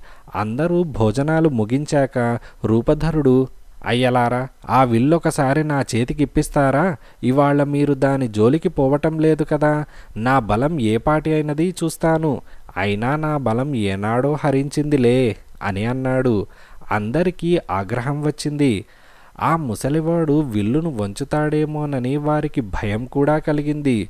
దుర్బుద్ధి కోపంగా నీచుడా నీకేమైనా మతిపోయిందా? సారా తలకెక్కినట్టుందే. నిజంగా నువ్వు ధనస్సు వంచితే నీ ప్రాణాలు దక్కుతాయనుకున్నావా? అని దుర్బుద్ధి అన్నాడు. దుర్బుద్ధి నా కొడుకు తెచ్చిన అతిథికి ధనస్సు ఎందుకు నిరాకరిస్తున్నావు? ఆయన విల్లు వంచేసి నన్ను పెళ్ళాడతానంటాడనా నీ భయం? అలాంటి ఉద్దేశం ఆయనకున్నదని ఎందుకనుకోవాలి? అని పద్మముఖి కోపంగా అన్నది. మాకలాంటి భయమేమీ లేదు కానీ మేము వంచలేకపోయిన వింటిని ఈ నామరూపాలు లేని ముసలివాడు వంచి గొడ్డలి తలలకుండా బాణం కొట్టాడనుకో మాకందరికీ ఎంత అవమానం? అని విపులయోధుడన్నాడు. అమ్మ నీకీ గొడవలన్నీ దేనికి? నేను విల్లును నా ఇష్టం వచ్చిన వాడికి దానమిచ్చినా నన్ను అడగగల మగవాడు ఈ దేశంలో లేడు. సరేనా? నువ్వు వెళ్ళి నీ పని చూసుకో అని ధీరమతి అన్నాడు. ఈ మాటలు పద్మముఖికి ఆశ్చర్యము ఆనందము కూడా కలిగించాయి. తన కొడుకు సమర్థుడయ్యాడని సంతోషిస్తూ ఆమె తన గదికి వెళ్ళిపోయింది. ఈ లోపల పందుల కాపరి ధనస్సును తీసుకొని రూపధరుడి వద్దకు బయలుదేరాడు. ఇది చూసి అందరూ గోలగారిచారు. వాళ్ళ అరుపులకు పందుల కాపరి బెదిరి విల్లు కింద పడేశాడు. కాని ధీరమతి అతన్ని ప్రోత్సాహించి వాళ్ళ వాగుడుతో నీకేమిటి? నువ్వు నీ పని ధైర్యంగా చెయ్యి. అని ధీరమతి అన్నాడు. పందుల కాపరి ధనస్సు రూపధరుడికిచ్చి స్త్రీలుండే చోటికి వెళ్ళి బహుకీర్తితో చిన్నబాబుగారు చెప్పమన్నారు. ఆడవాళ్ళంతా గదుల్లోకి పోయి తలుపులు వేసుకోవాలట. గడబిడ జరిగినా బయటికి రాకూడదట అని అన్నాడు. ఇదంతా ఏమిటో ఆమెకు బోధపడలేదు. అయినా ఆమె పందుల కాపరి చెప్పిన ప్రకారం ఏర్పాటు చేసింది. సుఖప్రాప్తి చల్లగా బయటికి జారుకొని తలవాకిలి బంధించి వచ్చాడు. ఈ లోపుగా రూపధరుడు విల్లును తన చేత పట్టుకొని అటూ ఇటూ తిప్పి పరీక్షించాడు. అందరి కళ్ళు అతనిపైనే ఉన్నాయి. బాణాల సంగతి తెలిసిన వాడల్లేనే కనబడుతున్నాడు. అటువంటి బాణం చెయ్యాలని చూస్తున్నాడులాగా ఉంది. దానికి తాడు తగిలించి బావుకునేదేమిటో బావుకోని అంటూ వాళ్ళు రకరకాలుగా వ్యాఖ్యానించారు. రూపధరుడు ధనస్సును పరీక్షించడం పూర్తి చేసి సునాయాసంగా దానికి తాడు తగిలించి ధనస్సును కుడిచేత పట్టుకొని ఎడమచేత తాడు మీటాడు. అది చక్కని నాదం చేసింది. అందరూ దిగ్భ్రమ చెందారు. రూపధరుడు ఒక మంచి బాణాన్ని అంబులపొది నుంచి తీసి దాన్ని ఎక్కుపెట్టి గురి చూసి అన్ని గొడ్డలి తలల గుండా దూసుకుపోయేటట్టు కొట్టాడు. తర్వాత అతను తన కొడుకుతో నాయనా ధీరమతి నేను నీకు అప్రతిష్ట తీసుకురాలేదు. అవలీలగా వింటికి తాడు తగిలించాను గురిగా బాణం కొట్టాను. ఈ పెద్ద మనుషులు ఏమంటే ఏంగాక? నా బలం ఎంత మాత్రం తగ్గలేదు. చీకటి పడబోతున్నది. ఈ పెద్దలకు రాత్రి భోజనం సిద్ధం చేయించు. తర్వాత క్రీడా వినోదాలు నృత్యగానాలు ఉండనే ఉన్నాయి కదా.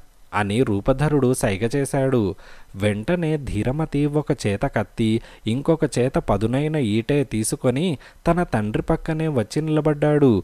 రూపధరుడు తన చింకిగుడ్డలు తీసేసి ఎడంగా పారేసి ఒక్క గెంతుతో వెళ్ళి గడప మీద నిలబడి మిగిలిన బాణాలను తన కాళ్ళ వద్ద నేల మీద పరిచి అసలు ఆట ఆరంభమైంది. నేనీసారి ఇంకొక్క గురి కొట్టబోతున్నాను. దాన్ని ఎవరూ లోగడ కొట్టి ఉండలేదు అంటూ బాణం ఎక్కుపెట్టి దుర్బుద్ధికేసి కొట్టాడు.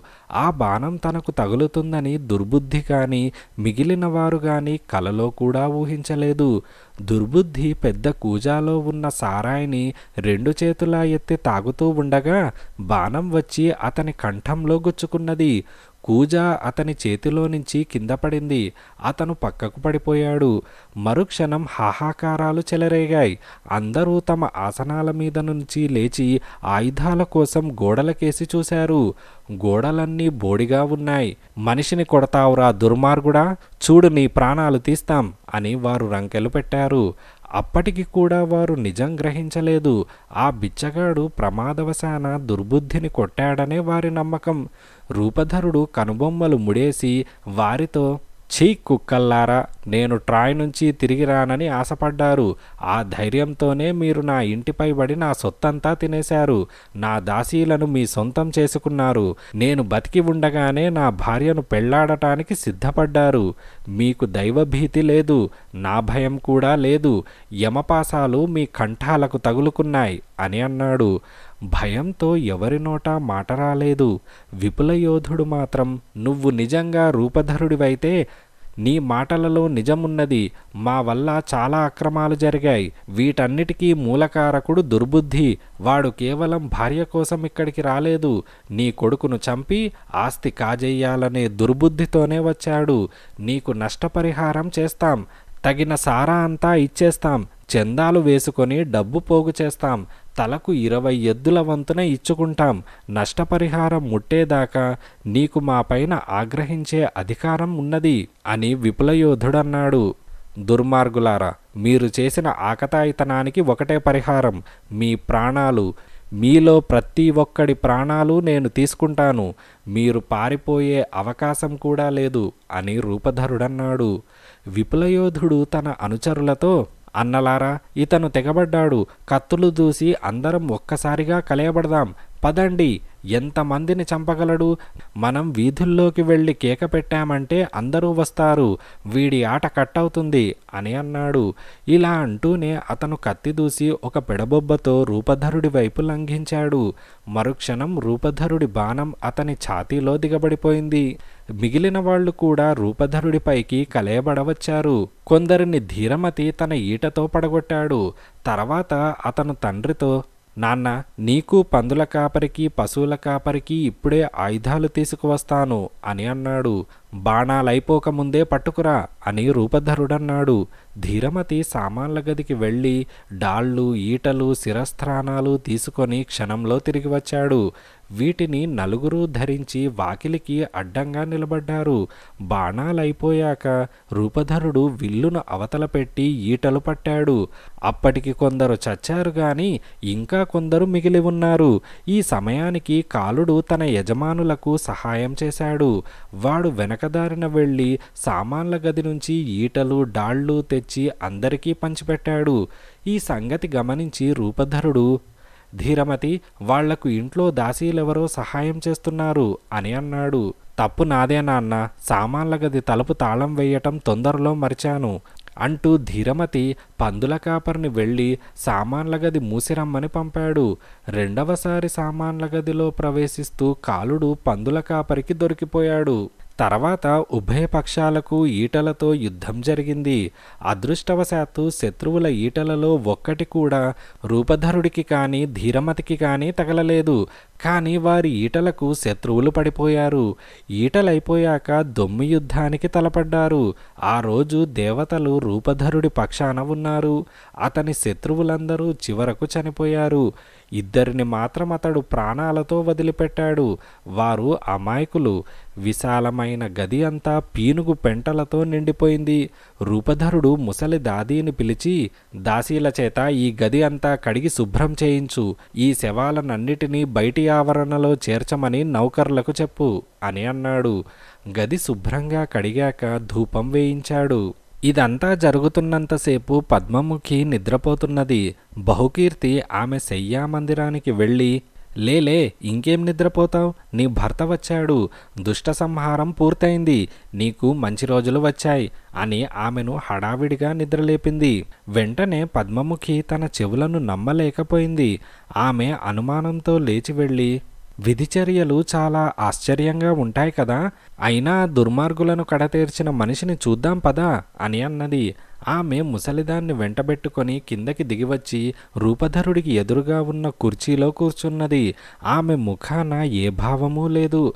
ఆమె తనన్ను పలకరిస్తుందనుకున్న రూపధరుడు ఆమె మౌనం చూసి ఆశ్చర్యపోయాడు. అమ్మ నువ్వు మనిషివా రాయివా? నాన్నను పలకరించక బెల్లం కొట్టిన రాయిలాగా ఉండిపోయావేమిటి అని ధీరమతి తల్లితో అన్నాడు. ఏం మాట్లాడమన్నావు నాయనా? నా గుండె మొద్దుబారిపోయి ఉన్నది ఆయన నిజంగా మీ నాన్నే అయితే నేనాయనను తెలుసుకోలేకపోయాను. ఈ ఇంట్లో మా ఇద్దరికి మాత్రమే తెలిసిన రహస్య విషయాలు చాలా ఉన్నాయి అని పద్మముఖి అన్నది. రూపధరుడు కొడుకుతో మీ అమ్మను వేధించకు. ఆవిడ నన్ను పరీక్ష చెయ్యనివ్వు. నేనెవరో ఆమె సులువుగానే తెలుసుకుంటుందిలే. ఈ కుళ్ళుగుడ్డలు చూసి నేను మరెవరో అనుకుంటున్నది? మనం కర్తవ్యం ఆలోచించాలి.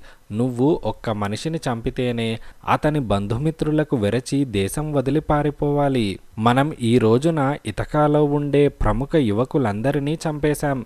ఆ మాట జ్ఞాపకముంచుకో అని రూపధరుడన్నాడు.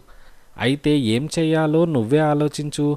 ఆలోచనకు నిన్ను మించిన వాడెవడున్నాడు అని ధీరమతి అన్నాడు. సరే నా ఆలోచన విను. మొదట అందరూ స్నానాలు చేసి మంచి బట్టలు వేసుకోవాలి. తర్వాత నృత్య గీతాలు వాయించాలి. అవి విని లోపల పెళ్ళి జరుగుతున్నదని బయటి వాళ్ళు అనుకోవాలి. వీళ్ళంతా చచ్చిన మాట పైకి ఏమాత్రం పొక్కరాదు. ఈ లోపల మనం ఊరి దాటి పల్లెల్లోకి అరణ్యాల్లోకి వెళ్ళిపోదాం. అని రూపధరుడన్నాడు. రూపధరుడు చెప్పిన ప్రకారమే అందరూ స్నానాలు చేసి మంచి బట్టలు నగలు ధరించి వాద్యాలతో సహా నృత్యాలు చేయసాగారు. బయట వీధిలో నడిచే జనం ఓహో ఇంతకాలానికి ఈ ఇంటావిడకు మనువు కుదిరినట్టుందే. వెళ్ళిపోయిన మొగుడి కోసం వేచి ఉండలేకపోయింది కాబోలు అని అనుకున్నారు. రూపధరుడు స్నానం చేసి శరీరమంతా తైలం మర్దించుకున్నాక మరొక మనిషిలాగా అయిపోయాడు. అతను భార్యతో ఏం మనిషివి? ఇరవై ఏళ్ళ తర్వాత ఇంటికి వచ్చిన భర్తను మరొకతైతే ఎంత ఆప్యాయంగా ఆదరించును? అని రూపధరుడు పద్మముఖితో అని తర్వాత ముసలి దాదితో నానమ్మ నేను వెళ్ళి పడుకుంటాను అని అన్నాడు. వెంటనే పద్మముఖి దాదితో నానమ్మ ఆయన మంచం ఇవతలకి తెచ్చి దానిపైన తోళ్ళు కంబళ్ళు పరుచు అని అన్నది. రూపధరుడికి ఈ మాట వినగానే కోపం రెచ్చిపోయింది. నా మంచాన్ని ఎవరు కదిలించారు? అది కదిలే మంచం కాదే అని అన్నాడు. ఈ మంచంలో ఒక కిటుకున్నది. రూపధరుడు ఆ ఇల్లు కట్టినప్పుడు అతని పడక గదిలో ఒక చెట్టుండేది. ఆ చెట్టును కొట్టినప్పుడు అతను దాని బోధను భూమిలోకి ఉంచి ఒక కోడులాగా తయారు చేసి మిగిలిన కోళ్ళు పట్టెలు దానికి అమర్చి మంచం తయారు చేశాడు. ఈ రహస్యం అతనికి తెలుసునో లేదోనని బయట పెట్టించటానికే పద్మముఖి ఆ మాట అన్నది. రూపధరుడన్న మాటతో ఆమె సందేహం నివారణైంది. ఆమె తన భర్తను కౌగిలించుకొని నా పైన ఆగ్రహించకండి. ఎవరు నన్ను మోసగిస్తున్నారో అని నేను భయపడి చస్తున్నాను అని అన్నది తన భార్య తీసుకున్న జాగ్రత్తకు రూపధరుడు చాలా సంతోషించాడు. ఆ రాత్రి పద్మముఖి తన భర్త నోట అతనికి కలిగిన అనుభవాలన్నీ విన్నది. తెల్లవారే సమయంలో రూపధరుడు తన వంటికి కవచం వేసుకొని ధీరమతిని నిద్రలేపి అతనితో సహా బయలుదేరాడు. ఎవరూ చూడకుండానే వారు నగరం దాటారు. వారిద్దరూ రూపధరుడి తండ్రి అయిన పిపీలకుడుండే చోటు చేరారు. ఒకప్పుడు రాజరికం నిర్వహించిన పిపీలకుడు అక్కడ ఇల్లు వేసుకొని చెట్లు చేమలు పెంచుతూ దారిద్ర్యంతో నివసిస్తున్నాడు. రూపధరుడు తన తండ్రి నౌకర్లతో విందు భోజనం తయారు చేయమని చెప్పి తోటలోకి వెళ్ళాడు. అక్కడ ముసలి పిపీలకుడు ఒక మొక్క చుట్టూ పాదు తవ్వి బాగు చేస్తూ కనిపించాడు. ఆయన ధరించి ఉన్న చొక్కా నిండా మాసికలే.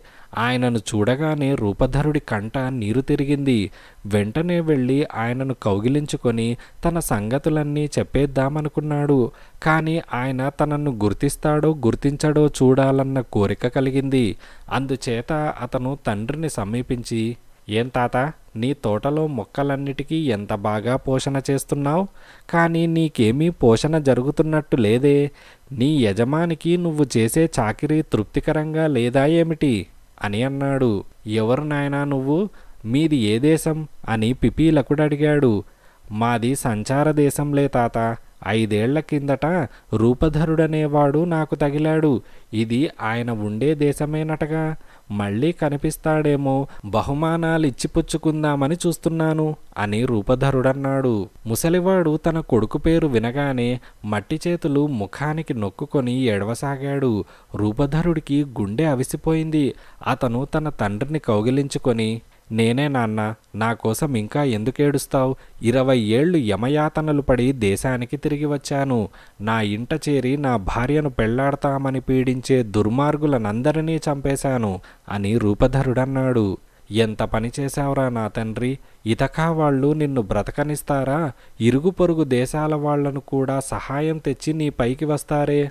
అని పిపీలకుడు భయంతో అన్నాడు. భయపడకు నాన్న వెళ్ళి భోజనం చేద్దాం పద వంట చేయమని చెప్పాను అని రూపధరుడు తండ్రిని ఇంటికి తీసుకువచ్చాడు. అక్కడ రూపధరుడి పందుల కాపరి పశువుల కాపరి వంట సిద్ధం చేసి ఉంచారు. పిపీలకుడు స్నానం చేసి వచ్చేసరికి ఎంతో దృఢంగానూ నిటారుగాను ఉండటం గమనించి రూపధరుడు ఆశ్చర్యపోయాడు. తర్వాత వారంతా కలిసి కూర్చొని భోజనాలు చేశారు. ఈ లోపల ఇతకా నగరంలో రూపధరుడు చేసిన హత్యల వార్త కార్చిచ్చులాగా వ్యాపించింది. అనేక మంది హాహాకారాలు చేస్తూ ఏడుస్తూ రూపధరుడి ఇంటి చుట్టూ మూగారు. ఎవరి శవాలను వారు గుర్తించి పట్టుకుపోయారు. చాలా దూర ప్రాంతాల నుంచి వచ్చిన వారు తమ బంధువుల శవాలను వాటి వాటి దేశాలకు పడవల మీద పంపేశారు. తర్వాత నగరంలో సభ జరిగింది. దుర్బుద్ధి తండ్రి అందరినీ రెచ్చగొట్టాడు. స్నేహితులారా ఈ మనిషి చేసిన హత్యాకాండ దారుణమైనది. ఇతను ఎన్నో పడవలను ఎంతోమంది పైకి రావాల్సిన యువకులను వెంటబెట్టుకొని యుద్ధానికి పోయి పడవలన్నిటినీ పోగొట్టుకున్నాడు. మనుషులనందరినీ కూడా పోగొట్టుకున్నాడు. ఇప్పుడు ఒంటరిగా తిరిగి వచ్చి దేశంలో ఉన్న మంచి యువకులందరినీ తన పొట్టన పెట్టుకున్నాడు. ఈ దుర్మార్గుడు ఏ పైలాస్కో ఎలీస్కో పారిపోకముందే మనం పగ తీర్చుకోవాలి. మన కుర్రవాళ్ళను చంపిన హంతకులను శిక్షించకపోతే మన వంశాలకు అది తీరని కళంకమవుతుంది. నా మటుకు నేను చావనైనా చస్తాను గాని అలాంటి అవమానం సహించను. ప్రతీకారానికి ఉపక్రమించండి కదలండి అని అన్నాడు. ఆయన మాటలు వింటూనే ఆయన కన్నీరు చూస్తుంటే ప్రేక్షకుల గుండెలు నీరయ్యాయి. అయితే సరిగ్గా ఆ సమయానికే అక్కడికి ఒక మనిషి వచ్చాడు. రూపధరుడు చంపకుండా విడిచిన ఇద్దరిలో అతను ఒకడు. అతను ఆ సభలో ఇతక పౌరులారా నా మాట ఒకటి వినండి. ఆ హత్యాకాండ జరిగినప్పుడు నేను అక్కడే ఉన్నాను. రూపధరుడి పక్కన బుద్ధిమతీదేవి నిలబడి ఉండటం నేను కళ్ళారా చూశాను. ఈ హత్యాకాండ దైవ నిర్ణయంతో జరిగింది. కాబట్టి మళ్ళీ మనం రక్తపాతానికి పూనుకోవడం సరికాదు అని అన్నాడు. ఈ మాటలకు అక్కడ చేరిన వారందరూ వెలవెలబోయారు. ఇంకొక వృద్ధుడు లేచి జరిగిపోయిందేదో జరిగిపోయింది. ఇంకా ఎందుకు రక్తపాతం చేస్తారు? ఇంతటితో పోనివ్వండి. అసలు తప్పు మీ కొడుకులది. వారిని నిగ్రహించమని నేను మీతో ఏనాడో చెప్పాను. మీరు లక్ష్య పెట్టలేదు. రూపధరుడు తిరిగి రాడన్న ధైర్యంతో మీ వాళ్ళు అతని ఇల్లు కొల్లగొట్టి అతని భార్యకు తీరని అవమానం కలిగించారు. అందుకు వాళ్ళు తగిన శిక్ష అనుభవించారు.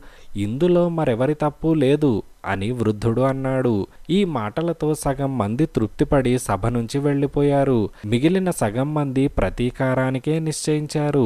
దుర్బుద్ధి తండ్రి నాయకత్వాన వారు ఆయుధాలు తీసుకొని బయలుదేరారు. వారు పిపీలకుడుండే చోటికి చేరుకోగానే రూపధరుడు అతని తండ్రి మిగిలిన వారు ఆయుధాలు తీసుకొని వారిని ఎదుర్కొనటానికి సిద్ధమయ్యారు. ధీరమతి తన తండ్రితో నాన్న ఇవాళ వీరందరికీ నా ప్రతాపం చూపిస్తాను చూడు అని అన్నాడు. పిపీలకుడు పరమానందంతో ఈశ్వర ఇది నా జీవితంలో ఎంత పర్వదినం నా కొడుకు నా మనవడు ప్రతాపంలో పోటీ పడుతున్నారు అని అన్నాడు. ఆయనకు ఎక్కడ లేని ఉత్సాహము వచ్చింది. ఆయన తన ఈటను ఎత్తి బలంగా దుర్బుద్ధి తండ్రిపైకి విసిరాడు. ఆయన ఆ దెబ్బకు పడిపోయాడు.